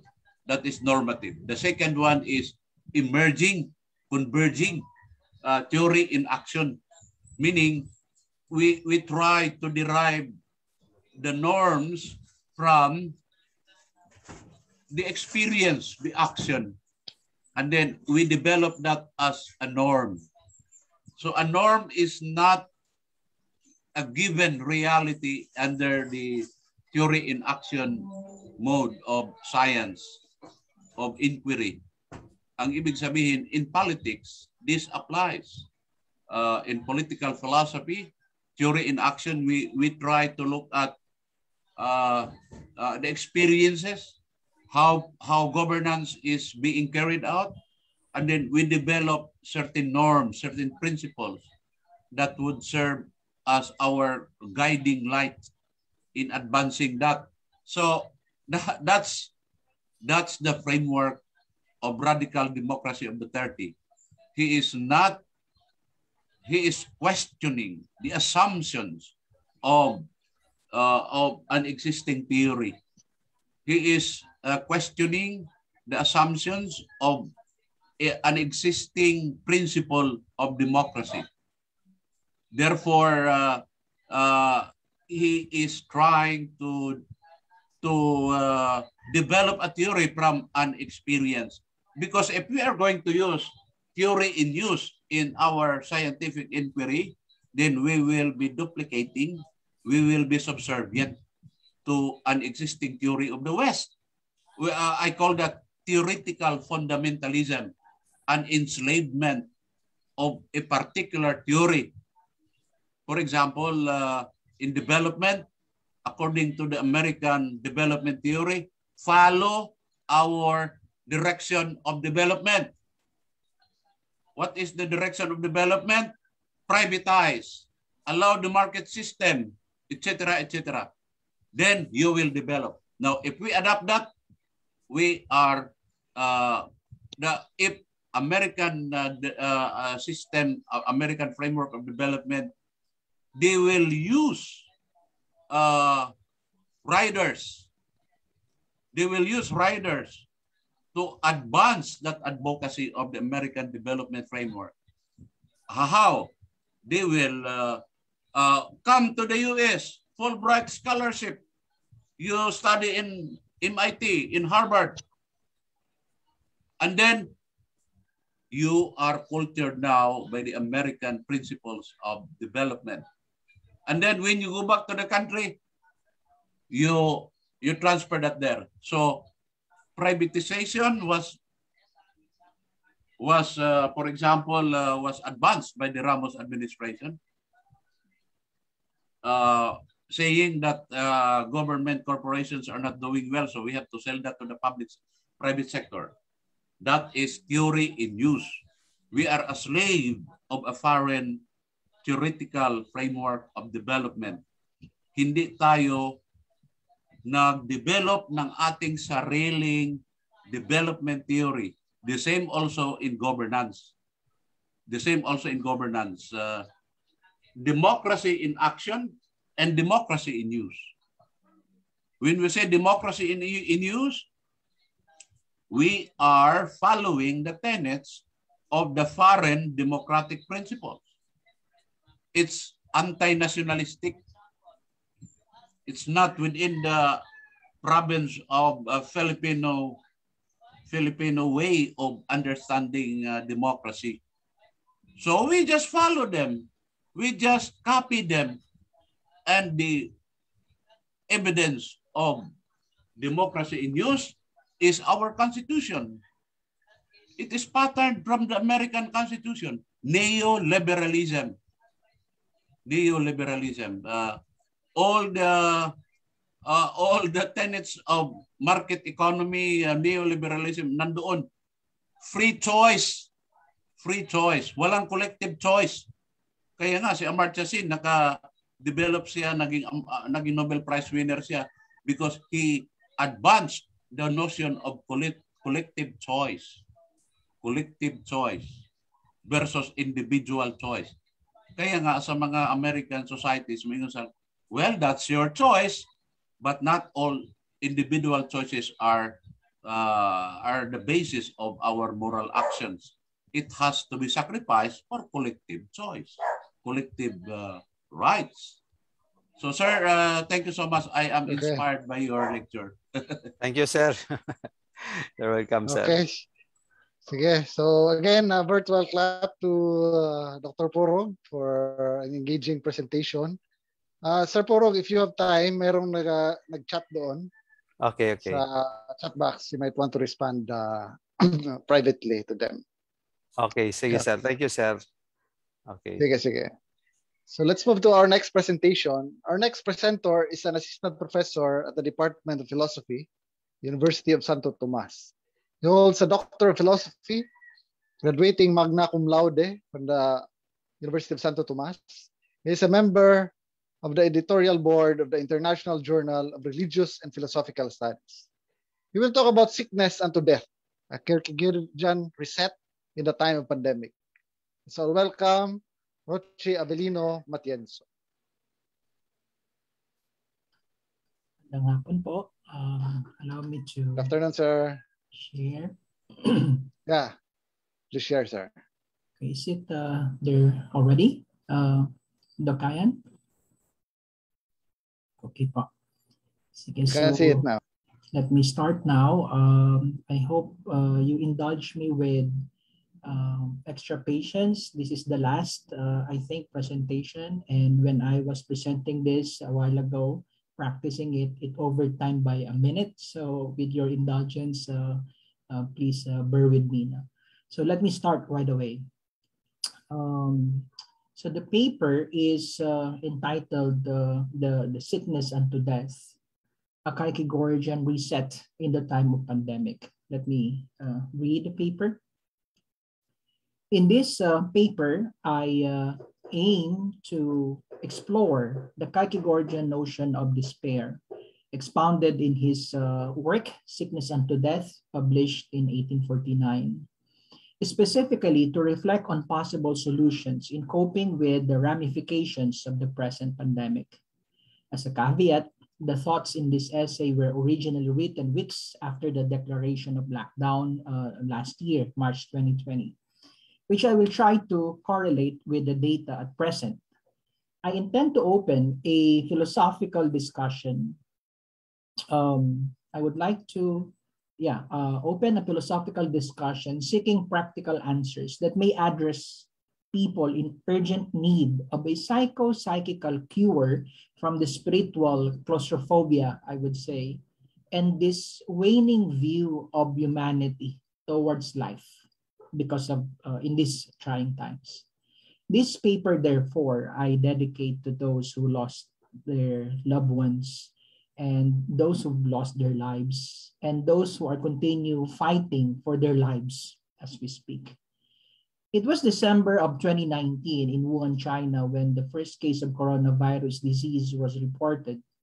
As of October 2021, the Johns Hopkins University Medicine Coronavirus Resource Center says 4.8 million deaths and almost 245 million are infected globally. In the country, there are already 2.7 million infected and more than 42,000 died. With the state-of-the-art technology and nearly 25 months of rigorous research, the cause of the virus remains unknown. Almost every week, different measures are taken in different localities. Dolomite is now allowed, but next week we're not sure. Face shield previously are okay a month ago, but we don't know tomorrow. Hence, the most certain in the minds of the many is itself uncertainty. The most sensible remedy as so far is isolation by way of quarantine due to scarcity of vaccines available, spe- specifically in a developing country like ours. So I made this equation uncertainty plus isolation equals anxiety. This leads a group of medical researchers and many others to conclude that, I quote, the pandemic poses a threat to society's mental health in the Philippines, unquote. The incessant experience of anxiety leads to depression, a persistent psychical loss of hope brought about by depression leaves many to succumb into despair. So the question, why Soren Kierkegaard? To meet this paper's aim, I will use Kierkegaardian notion of despair explored in his work Sickness unto Death. But why him and this work? Soren Kierkegaard is a 19th century philosopher, a religious writer, whose influence touches Martin Heidegger's Thanatology. We talked about that earlier in at length, and even his notion of angst. Uh, Jean-Paul Sartre's Vertigo and the Curse of Freedom. Um, Alfred, uh, I'm sorry, Albert Camus' uh, Absurdism. Sorry. Um, and even Franz Kafka's Surrealism, among others. Before this work, Sickness unto Death, he wrote Fear and Trembling. And the other one is Concept of Dread. And then uh, uh, decades after, a new translation came out and it is uh, translated as the concept of anxiety. And his account of death no, on uh, three discourses on imagined occasions, which uh, Heidegger seldom quotes, no, uh, Kierkegaard, but his thanatology is actually on that one, uh, especially his being unto death, no, which we have talked about earlier.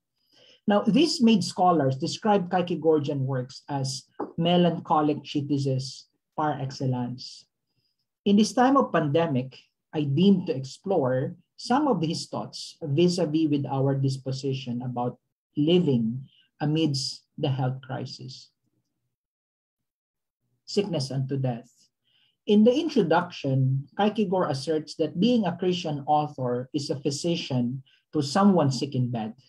For him, there is a greater disease that obliterates people, which we dread more than death itself. Common today is the fear of what tomorrow might bring. None of us is sure until when we will remain employed. We are left with numerous opportunities wasted, missed goals, resulting in unstable financial and food security. All are afraid of contracting the virus, all are afraid of dying. For Kierkegaard, however, all these are symptoms of a higher fear.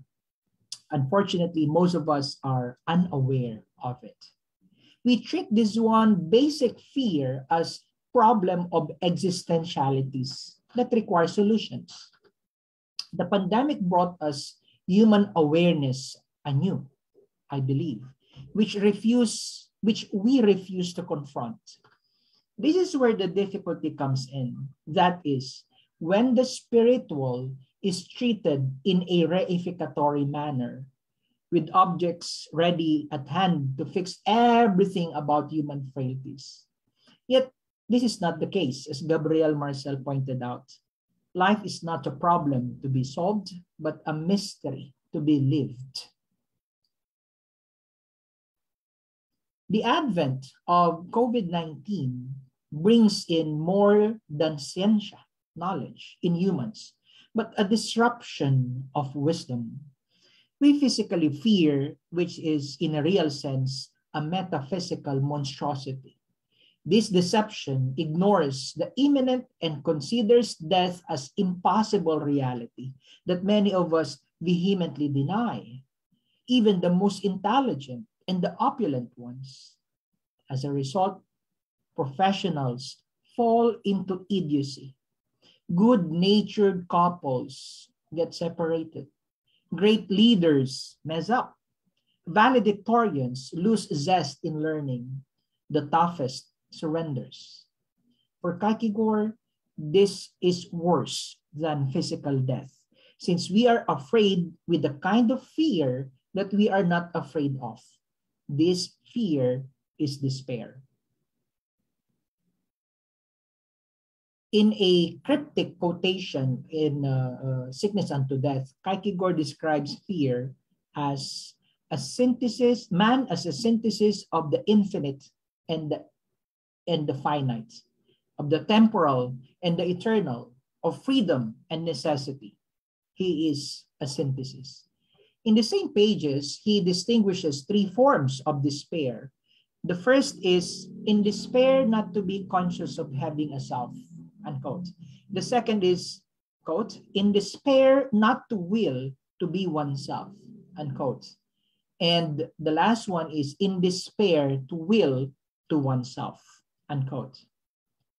The first one is when a person is ignorant of his infinite capacity to be oneself, since the focus is more on the external of the temporal world. I call this naive kind of despair. The person here is unfree since he is unaware of his or her choices and his intrinsic possibility. The second type is a kind of follower who avoids the responsibility of his action and is afraid of making choices the person here is uh, under somebody else's command. He, he or she is free, yet he chooses to be subservient. You see the irony. No? I call this uh, the follower, no? simply the follower, despair. The last kind is what Kierkegaard calls demonic despair, where the person deliberately refuses to recognize the love which comes from the power that creates. Uh, theist, existentialist, that it's they're divided, no? The theist and the uh, atheist. A theist existentialist interpret this power as God. The the others, of course, would uh, of course resort to human human freedom. Now, that's that's uh, we can talk about no, at length in another occasion. Now, the third merits the highest form of despair, since for Kierkegaard, it is a direct attack against the source. Of course, being a Christian, he's referring to God. Now, in this context of the paper, the first two are controlled by externalities and classified as material despair, while the third is spiritual. The first two fall into a nowadays psychological notion of anxiety brought about by depression, while the third is the most disparaging of all anxieties because it leads to spiritual death. All three are most felt, in my opinion, in this time of quarantine. In isolation and uncertainty, we fear the loss of things and the people around us. Most of all, we are highly anxious about something we cannot clearly understand but absolutely feel. So, what is the root of despair? It is the confusion between the material and the spiritual. As stated, man is a synthesis of the finite and the uh, of the infinite and the finite. Human nature is the tension between the body and the soul, a human person is composed of material and spiritual constitutes. This is nothing new, as explained in the ancient medieval anthropology and philosophy. Yet the failure to distinguish the two is still perennially the case. This confusion is the genesis of despair. Unfortunately, we are all victims of this. Kierkegaard explains that despair is a default condition of the individual Despair is something universal, unquote. So when we mistakenly attribute the spirit with the material, the difficulty sets in. This lures the self more than a physical attraction. This results in when we become overly dependent on worldly matters and other people, both naive uh, and following follower kind of despair is actually unto that. Some call it neoliberalism, modernity, and so on, but they are just the same of different name, of different contexts, of different era. This could be the community, the society, even the religion we belong to. We are so engaged with externalities, we choose to forget. I repeat, we choose to forget that there is more essential to life. This invisible virus is infecting without us knowing it, the demonic despair. And the paradox is we are all aware of this from the very beginning, but we choose to forget. This invisible uh, uh, uh, virus is infecting us without knowing it. No? Why? Because this is rooted from within. It is personal, meaning no one can tell us, no one can tell you to choose the otherwise, none other than yourself upon your realization. Lockdowns. Before the quarantine, we dream of lying in bed and sleeping all day. At work, we daydream about a long month's holiday, even steal uh, five to 10 minutes of sleep and dub it as power nap. You know, at present, we stay wide awake at three o'clock in the morning, waiting for drowsiness to touch our eyes. With our overstaying at home, we listen to the clock ticking of dropping water from the faucet to finish another restful day. For moms, going the grocery store before the pandemic is a tedious and time-consuming routine. But now, even the husbands anticipate this day, having the privilege of going out. The food we craved has become a surfeit since they are just a matter of delivery in our fingertips, in our mobile phones. I remember on the month of May, we have Puto Bumbong. Who can think of that? No? Puto Bumbong on the month of May. The tourists trapped in a cruise ship and island uh, destinations turned celebrations into a curse. Our heroes, OFWs, are refused entrance returning to their hometowns. Reunions became a crime. Before when one gets sick, the mother will watch over you. Now, a simple sneeze becomes a national threat. Healthcare facilities are extended in the hallways, shaded trees, parked cars, which serve as hospital beds. In countries like Italy and Brazil, street corners have become graveyards. Reports had turned into names. Names have turned into familiar ones. Friends, family members, and we ourselves eventually became victims. One cannot help but experience fear of losing control over things, of our lives. This, among others, bring us to a sense of hopelessness in this world and eventually despair. So what is the cure? Using Kierkegaardian diagnosis, one may find that we are afraid of dying. This is a perennial question kanina, no? uh, one finds that we are afraid of dying not because of death, but with the very thought that we are not prepared to leave the people and things most dear to us. Ko po na. One finds that we are afraid of dying not because of death, but with the very thought that we are not prepared to leave the people and things most dear to us. It is neither the physical disease nor the suffering that dread us the most, but the unfinished businesses we have with the world. In the moment of death, the individual discovers his or her temporality, that is the brevity of life, as if saying, My existence is insignificant to be remembered by anyone. I live alone, by the way, no? and I think this is one of the most uh, painful uh, experiences one may have that you die, nobody knows already that you're already dead. If despair is a spiritual disease, more dreading than the physical death, what is the cure then? Is there a vaccine that provides us with hope and spare us from such a metaphysical contagion? It follows that the cure is also spiritual. The antidote for Soren Kierkegaard is faith. Faith, however, is something personal. This is true with the COVID 19 survivors. Their testimonies are rooted in the belief that fuels them with positivity amidst despair and anxiety. In a documentary, journalist Howie Severino reflects on, uh, on this when he says, Marami na kaming lumalaban pero sa totoo, mag-isa mo itong haharapin. For survivors, reflecting on the people and the things they cherish most is essential. But the strength to move on comes from the divine whom they commune with personally, in isolation, in subjectivity, in passion of inwardness. This is the spiritual remedy that fuels them to fight.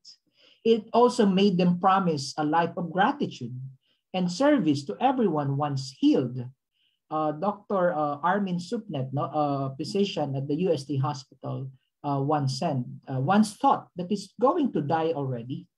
And when he was able to, to, uh, to get healed, he promised to be better, a better physician to his patients.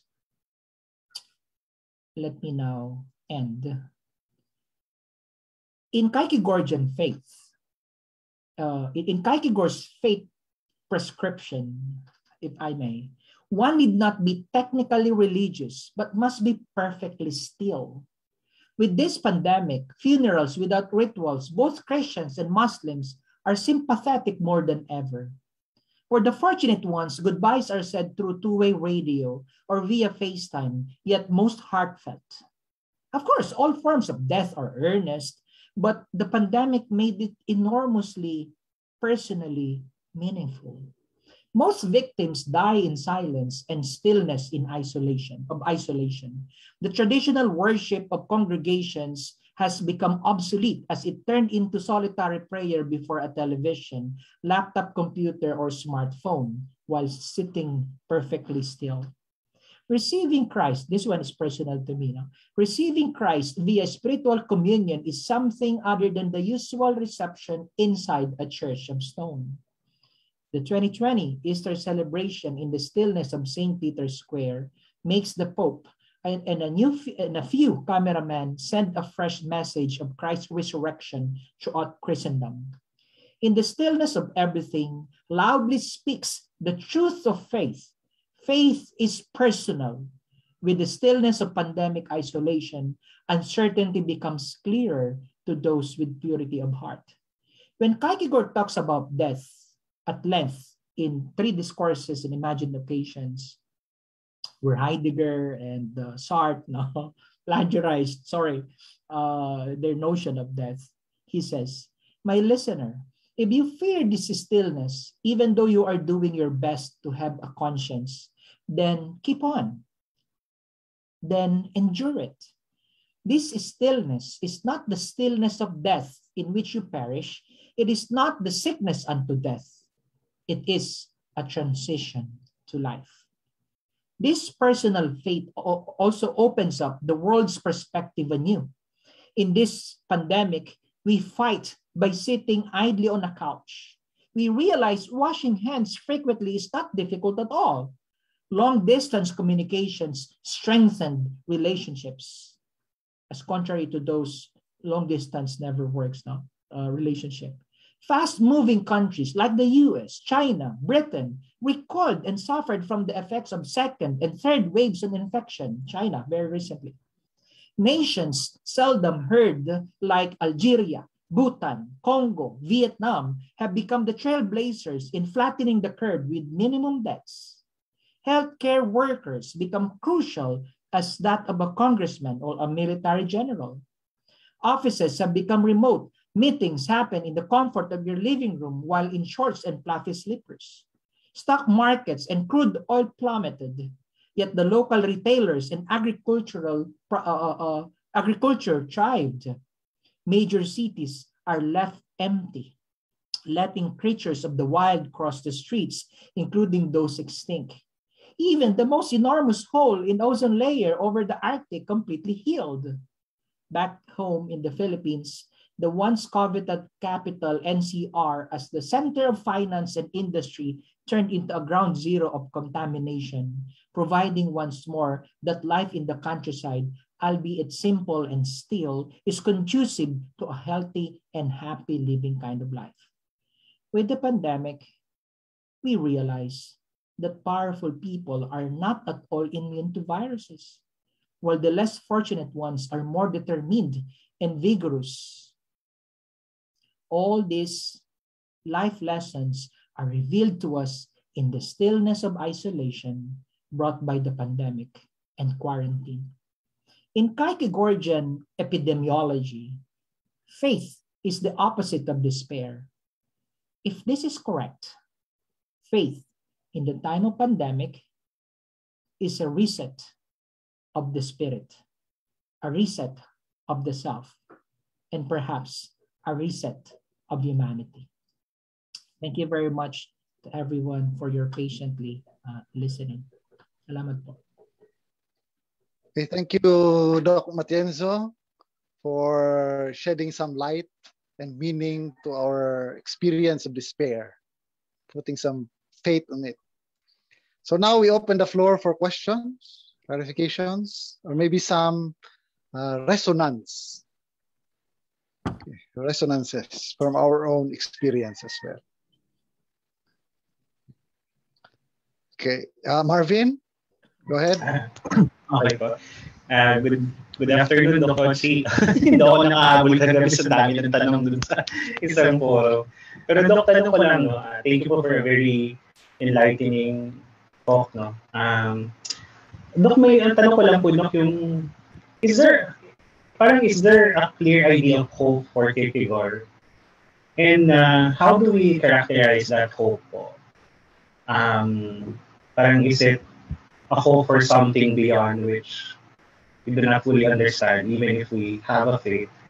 Or if, is it a hope po ba that is also tangible? O parang it is based po sa faith po ng tao? Opo. Thank you po, Doc.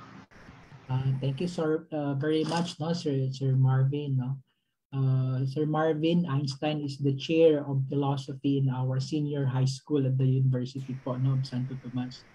Uh, uh, we have to, I, I think po, no, in my opinion, we have to understand that uh, Soren Kierkegaard is an existentialist. In fact, many considers him as the father of existentialism. Now, common among the existentialists is the doing. No? We, we, they don't even uh, to, uh, to be called existentialist. Uh, but out of terms, uh, uh, proper terms, we call existentialism as, as, as a philosophical movement. Now, why is that so? Um, because they are more into praxis. They are more into actions.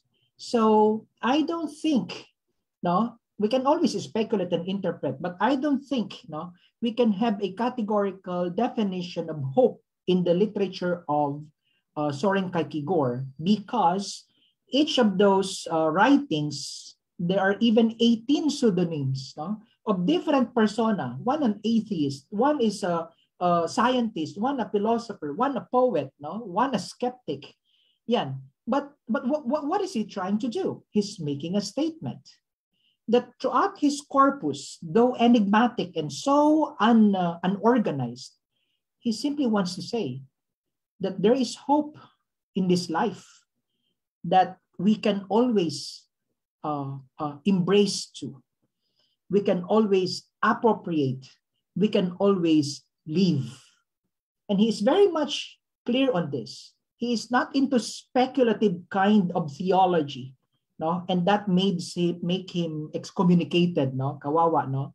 Uh, when when I do visit Copenhagen, you can see actually his his uh, uh, in a graveyard, no, uh, beside. Uh, what I'm saying is, it's not blessed.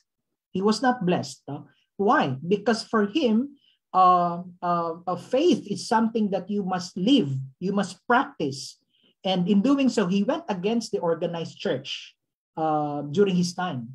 So I think to make, I'm sorry for the long routine, but what I'm simply saying is his life is an embodiment of, of, of hope. And ultimately, his life is an embodiment of what he teaches about faith. And he's very much against with those people who treat hope, who treat faith in a speculative, in a theoretical way, which are imposed. Sa kanya, Ah. it's more of a personal. Yeah. Thank you very much po, Doc Rochi. Thank you. I hope I make sense. Okay, now Francis. I hope Francis is able to join us now. Hello po, Brother Ah, Francis. there you go. Go ahead po.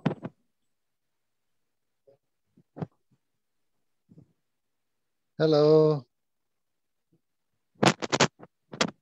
Ang problem with, ayun. Welcome, uh, Sir Francis. Looking good. Uh, we, we can't hear you po. Uh, maybe you are Oh, problem I think with, muted. Okay lang po if you Oh, can we write po to be- sa sa chat. oh, so right I'll na try lang in the chat, sir. To to address the We cannot, oh, we, we cannot hear you. we can see you but we cannot hear you po. We cannot hear you.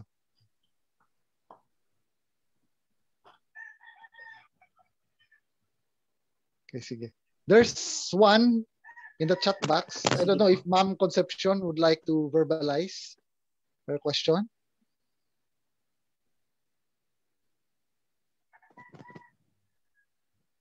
Sorry, uh, I'm in a car right now. So, sorry, I, I'm in a car. Uh, yeah, I'm in a car right Ay, Ah, sige po. Uh, don't worry, ma'am. I will open the the chat. I'll read the question po. Okay, sige. Yan. okay. Allow me, Sir, Sir Ian. Yan, Sige, sige, sige, sige, Doc. Uh, the question of Ma'am uh, uh, Connie. Uh, let me read the question for me. Using the framework of Kierkegaard, is there a possibility that we can give hope to the poorest of the poor who lost their jobs and cannot feed their families? Ang ganda, no? Ang ganda nung, nung katanungan, no? Uh, by the way, uh, uh, uh, Professor uh, Regalado is also a Kierkegaardian herself. I think she made the thesis on, on this one. Um, unfortunately, unfortunately, uh, uh, Ma'am Connie, um, he, he belonged to opulent family back in in in the 19th century Copenhagen, Denmark. Um, and his philosophy is more on personal. He is more on subjectivity. In fact, one of the criticism against him is solipsism, solipsistic philo- uh, philosophy, uh, fideistic kind of faith. So it's more on me, me, me, and myself. And that's the the idea behind leap of faith. No? Leap of faith is you express your your your faith to God and God alone, as in a case of Abraham and God. The others won't understand it. No? The others won't won't understand what, what's going on in the head of, of Abraham trying to kill uh, uh, uh, his son. So I cannot find no uh, based on my limited reading of Soren Kierkegaard, uh, this direct no uh, uh, addressing. He did not directly address this hope no and and and faith especially to the people who are who are starving or starving the poorest of the poor.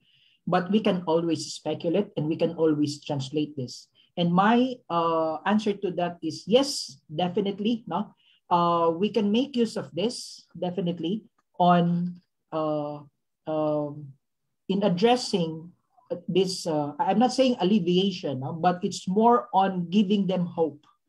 In fact without knowing Kierkegaard these people who are not familiar with the philosophy of Kierkegaard, the statements, marami itong aking ginawang interview and uh, statements, are actually very, very Kierkegaardian. The irony is they don't heard familiar with Kierkegaard, but this the, the poor ones, you know, people on the streets, you can see it when they talk to them, they say, may awa ang Diyos, bahala na si God. No? Kung palalalimin mo yung kanilang uh, uh, uh, pananalita, bahala na si God. I was thinking, I entrust my health, my life, my everything, my career to God. Bahala na. In one of the papers, I I uh, I, I, I, I interpreted as a kind of expression and manifestation, embodiment of leap of faith. I entrust to you. And these things commonly we hear among the, the, the poor ones. So with or without Kierkegaard, I think no, this framework is uh, one of the uh, uh, hidden hidden uh, uh, philosophy that they do. The reason why they are surviving in this time of pandemic. Yun po yung aking kasagutan. Okay. Sige. Uh, Sir Francis is making another attempt. Sige po, Sir Francis. Sir Francis.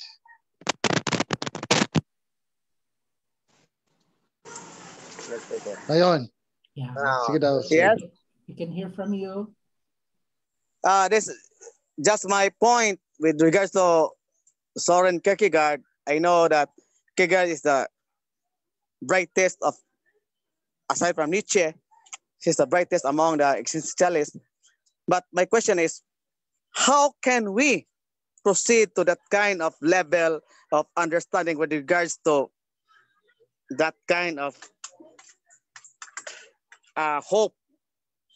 That that hope is not a normal kind of hope. Yeah. Uh, um, that's that's a good no? That's a good and brilliant question also uh, Francis Sir Francis. Uh, I think it's also akin to the uh, very practical question of Ma'am no? Uh, how can they understand this kind of, of, of hope what uh, Kierkegaard in my interpretation is telling us um, I think, Sir Francis, uh, let me reiterate my point here, no, my opinion on this one, that they are actually doing it now. They are actually surviving on the basis of this special kind of hope. That is why sometimes we don't understand what they're doing. Bawal na ang pumunta sa Quiapo, no?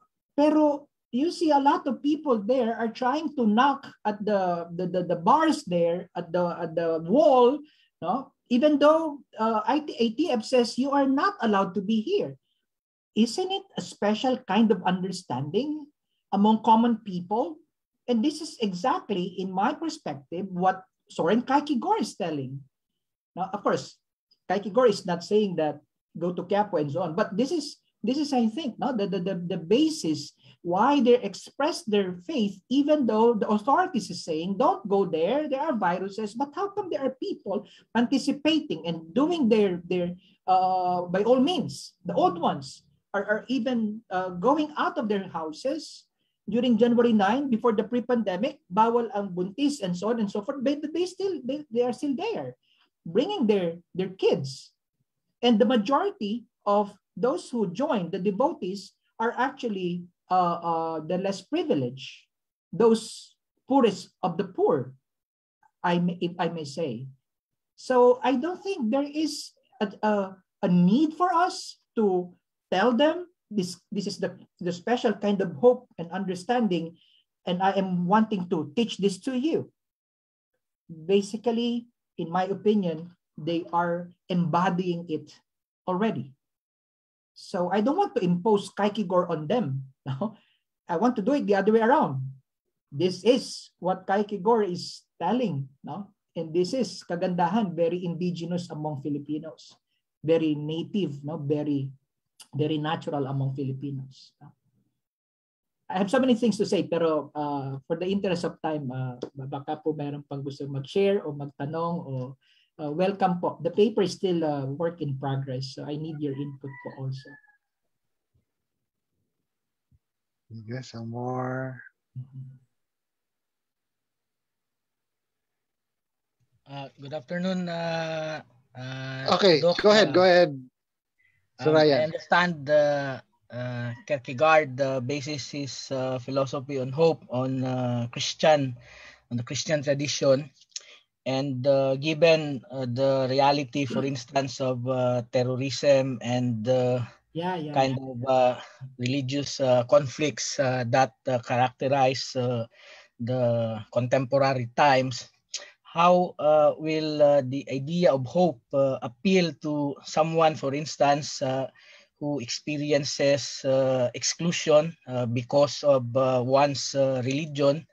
Um, there is, uh, of course, uh, Islamophobia uh, happening in Europe, and we also can like only commiserate with a lot of people on the basis of or say sense of humanity. And yet uh, it's a matter of fact that uh, politics is uh, defined by many of these prejudices and biases against people. So how uh, can this hope be considered as uh, something that is of universal value um, considering that, uh, as I mentioned, that there is this uh, tension uh, amongst uh, religions uh, in contemporary time. Thank you, sir. Ganda po ng uh, katanungan mo, no, uh, Professor uh, Ryan. Uh, yeah, yeah. Um, it's, it's, it's very, very real. No? Uh, in fact, I uh, delivered another paper po no, in, in, in, in Romania uh, on, on, on dialogue, religious dialogue. And I also made the framework of Soren Kierkegaard and specifically talking about that and with me is uh, Muslim, both of Shia and uh, ano, and Sunni, mga magkakaaway, no? But there, uh, we we talk about uh, astrophysicist from from uh, Iran, no, who's an atheist and a communist from uh, Moscow, no, and there, uh, we belong to different origins and orientations. But when we presented this, no, ang ganda nung aming naging uh, uh, uh, talakayan because uh, we, we talk about hope, no? we talk about faith, and we talk about uh, universality of this aim and intention of peace.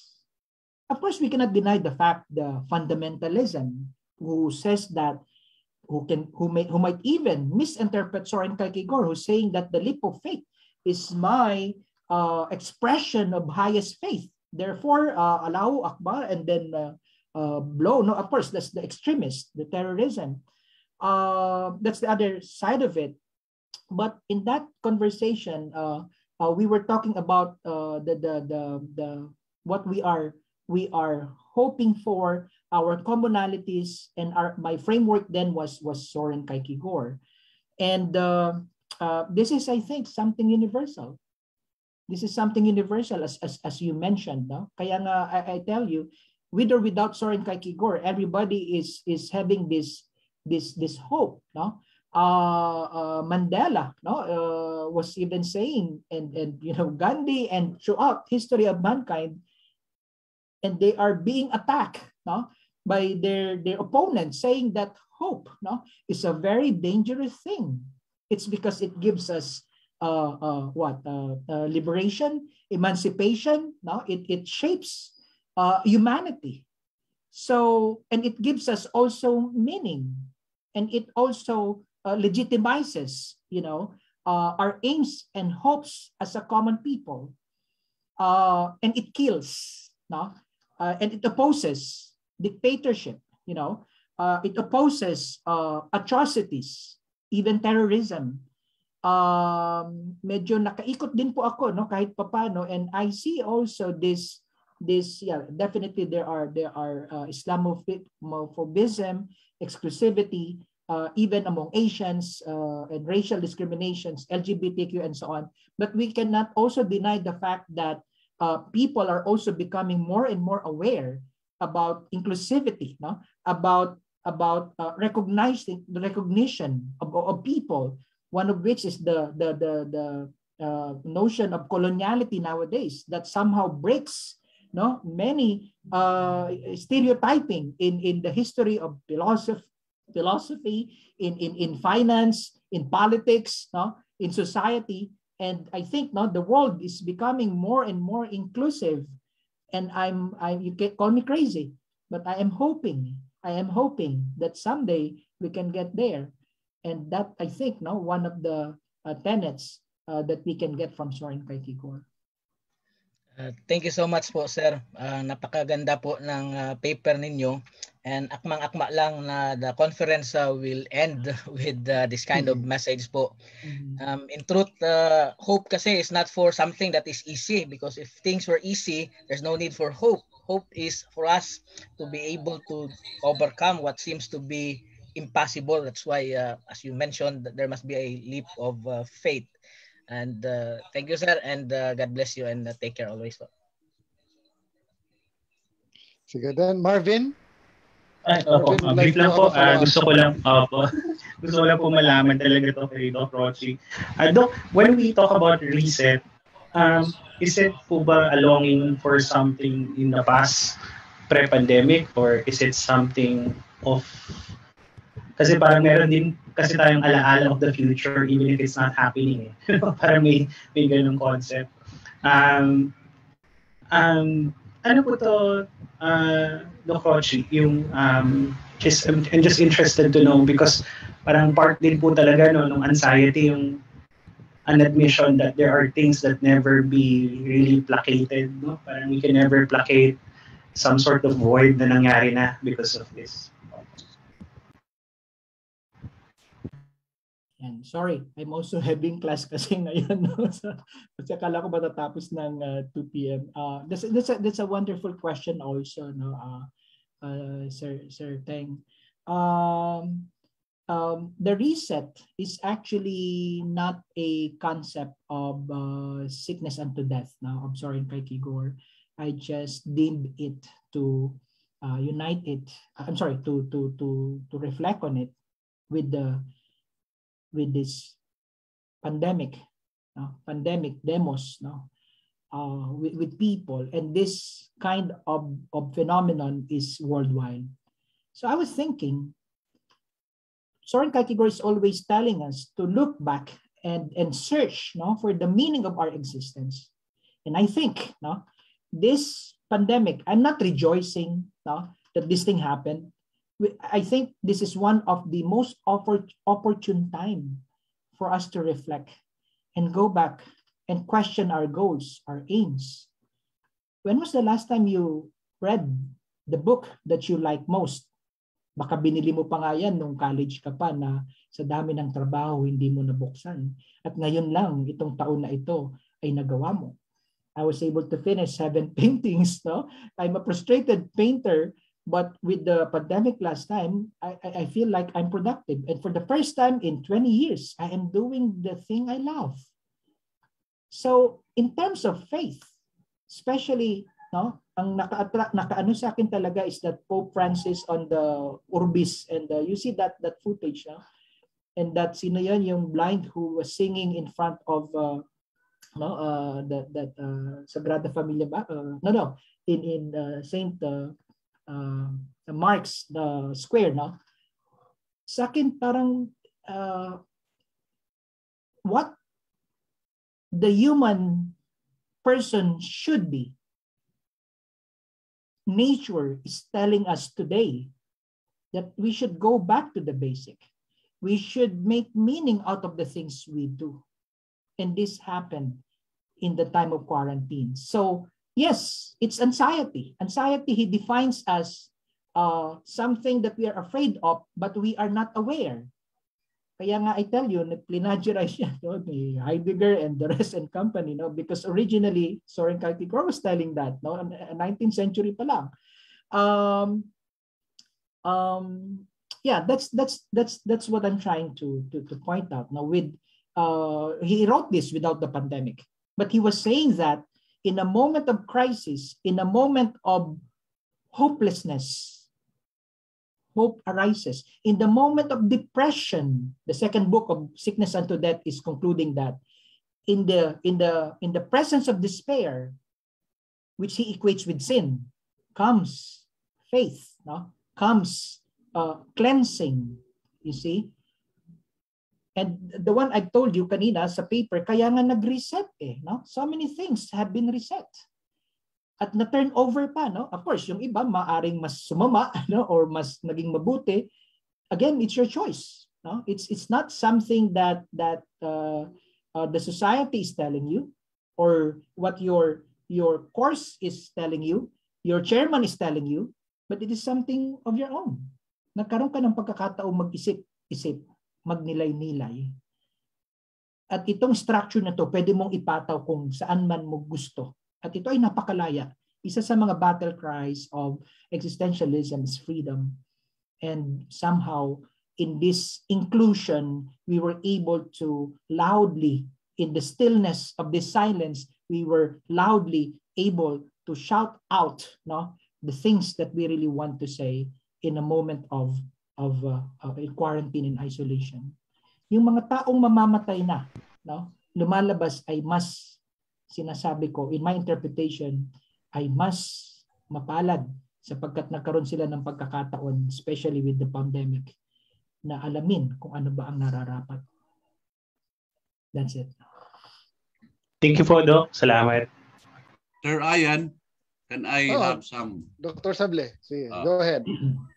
Uh, uh, is there hope that uh, this uh, pandemic uh, will end someday? Do, do we have hope? Can we hope?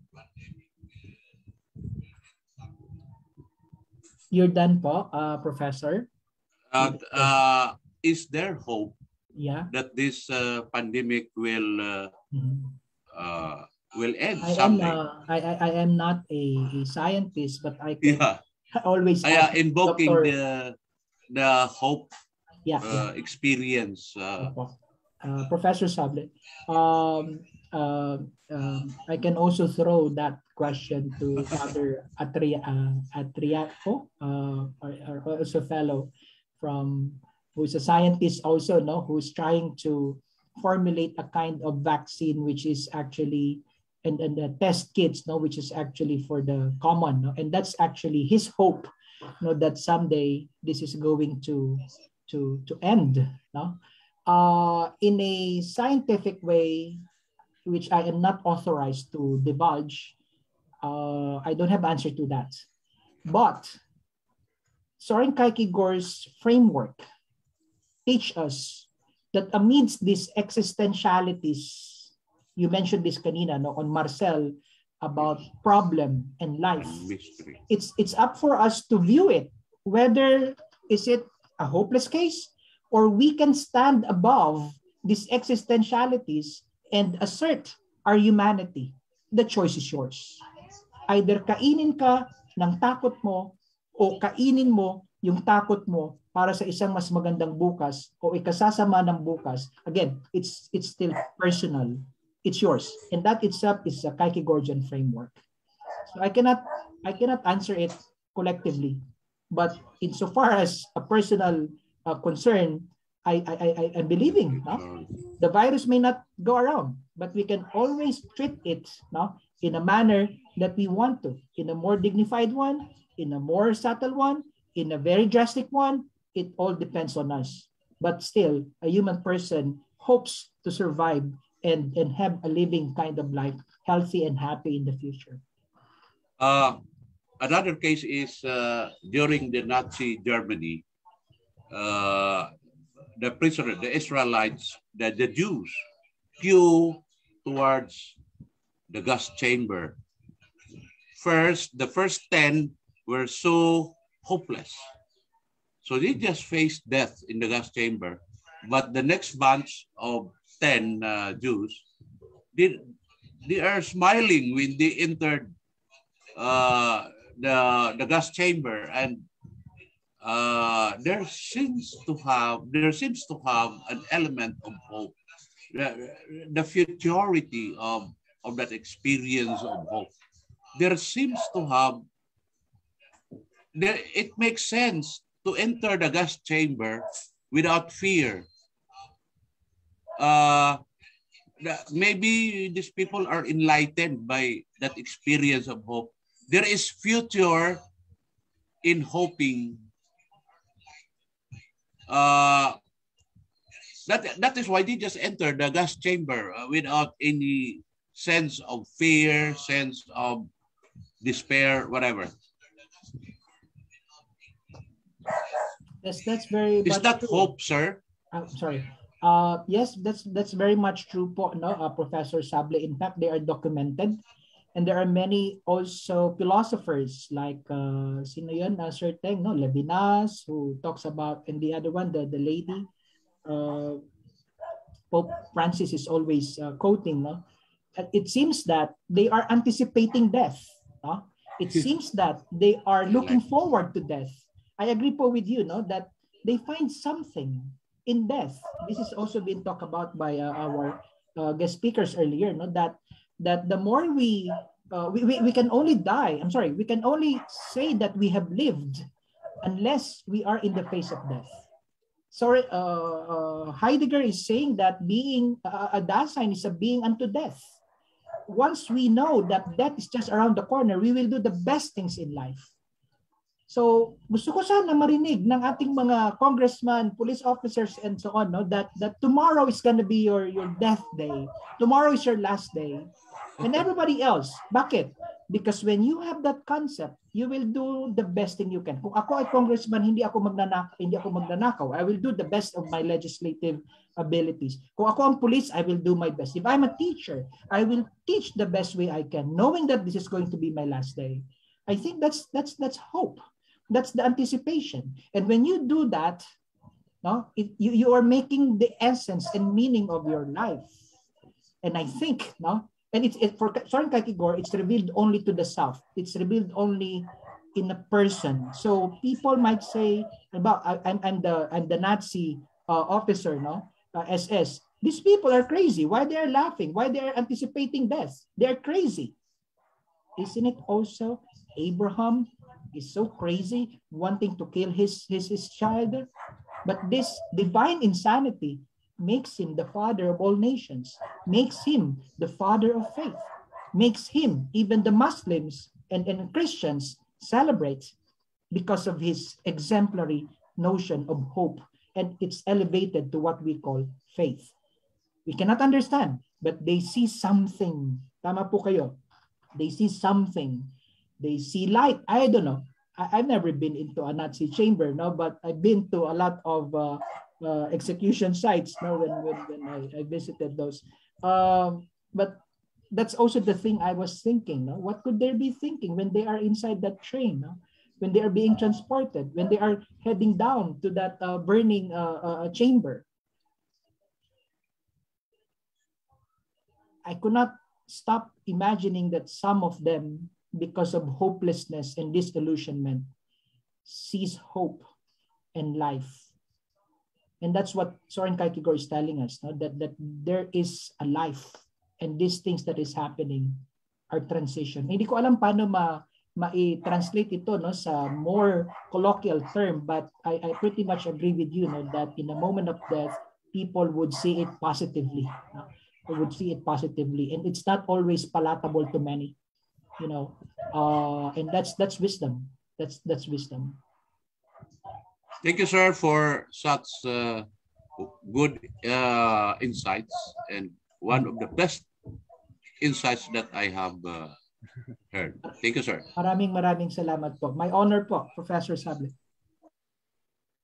Okay, so I think that's it. Let's give uh, Doc Matenzo a virtual applause. Thank you, thank you, thank you very much.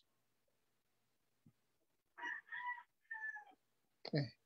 Now to end this uh, afternoon's uh, session, we'll hear the closing remarks from the Secretary of the Social Ethics Society, who is also a professor at the University of Southeastern Philippines. So let's call Dr. Moises Torrentira.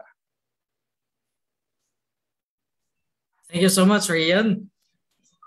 Yes, sir. All right, so good afternoon, everyone. Mayong hapon, magandang hapon po sa lahat.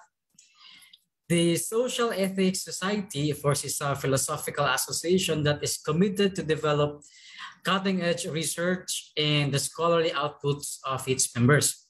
As we all know, as a professional organization, it organizes conferences, trainings, workshops, and seminars on ethics, politics, and society, development theory, and the social sciences. The outcomes of these activities are competent, highly capable, and committed leaders in their own chosen field of expertise.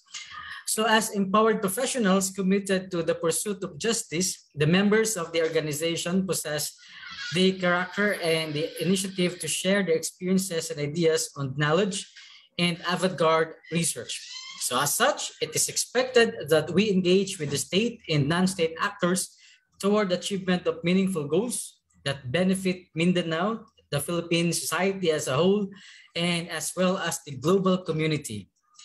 So in and on behalf of the board and officers of the Social Ethics Society, I would like to effectuate my deepest gratitude to all the plenary speakers, paper presenters, and participants to this very prestigious conference. I am very proud that this is, or this has been our 12th annual conference with the theme Democratic Inclusion and Transdisciplinarity in the Post-Pandemic World. We have heard the philosophical standpoints of our presenters on matters that pertain on social ethics, justice, social and political issues, health and sa safety, the pandemic, and the like. Our earnest duty right now is on the democratization of these insights so that they become functional at the grassroots level towards the development of the entire humanity. So this conference is definitely not the last. We will see each other again in the next conference. With this, I humbly declare the closing of this year's conference. Congratulations to the organizers and to all the participants. Thank you and God bless us all. Okay, thank you, Doc Moises. Thank you. Let's give uh, everyone a virtual clap. And uh, maraming salamat, daghang salamat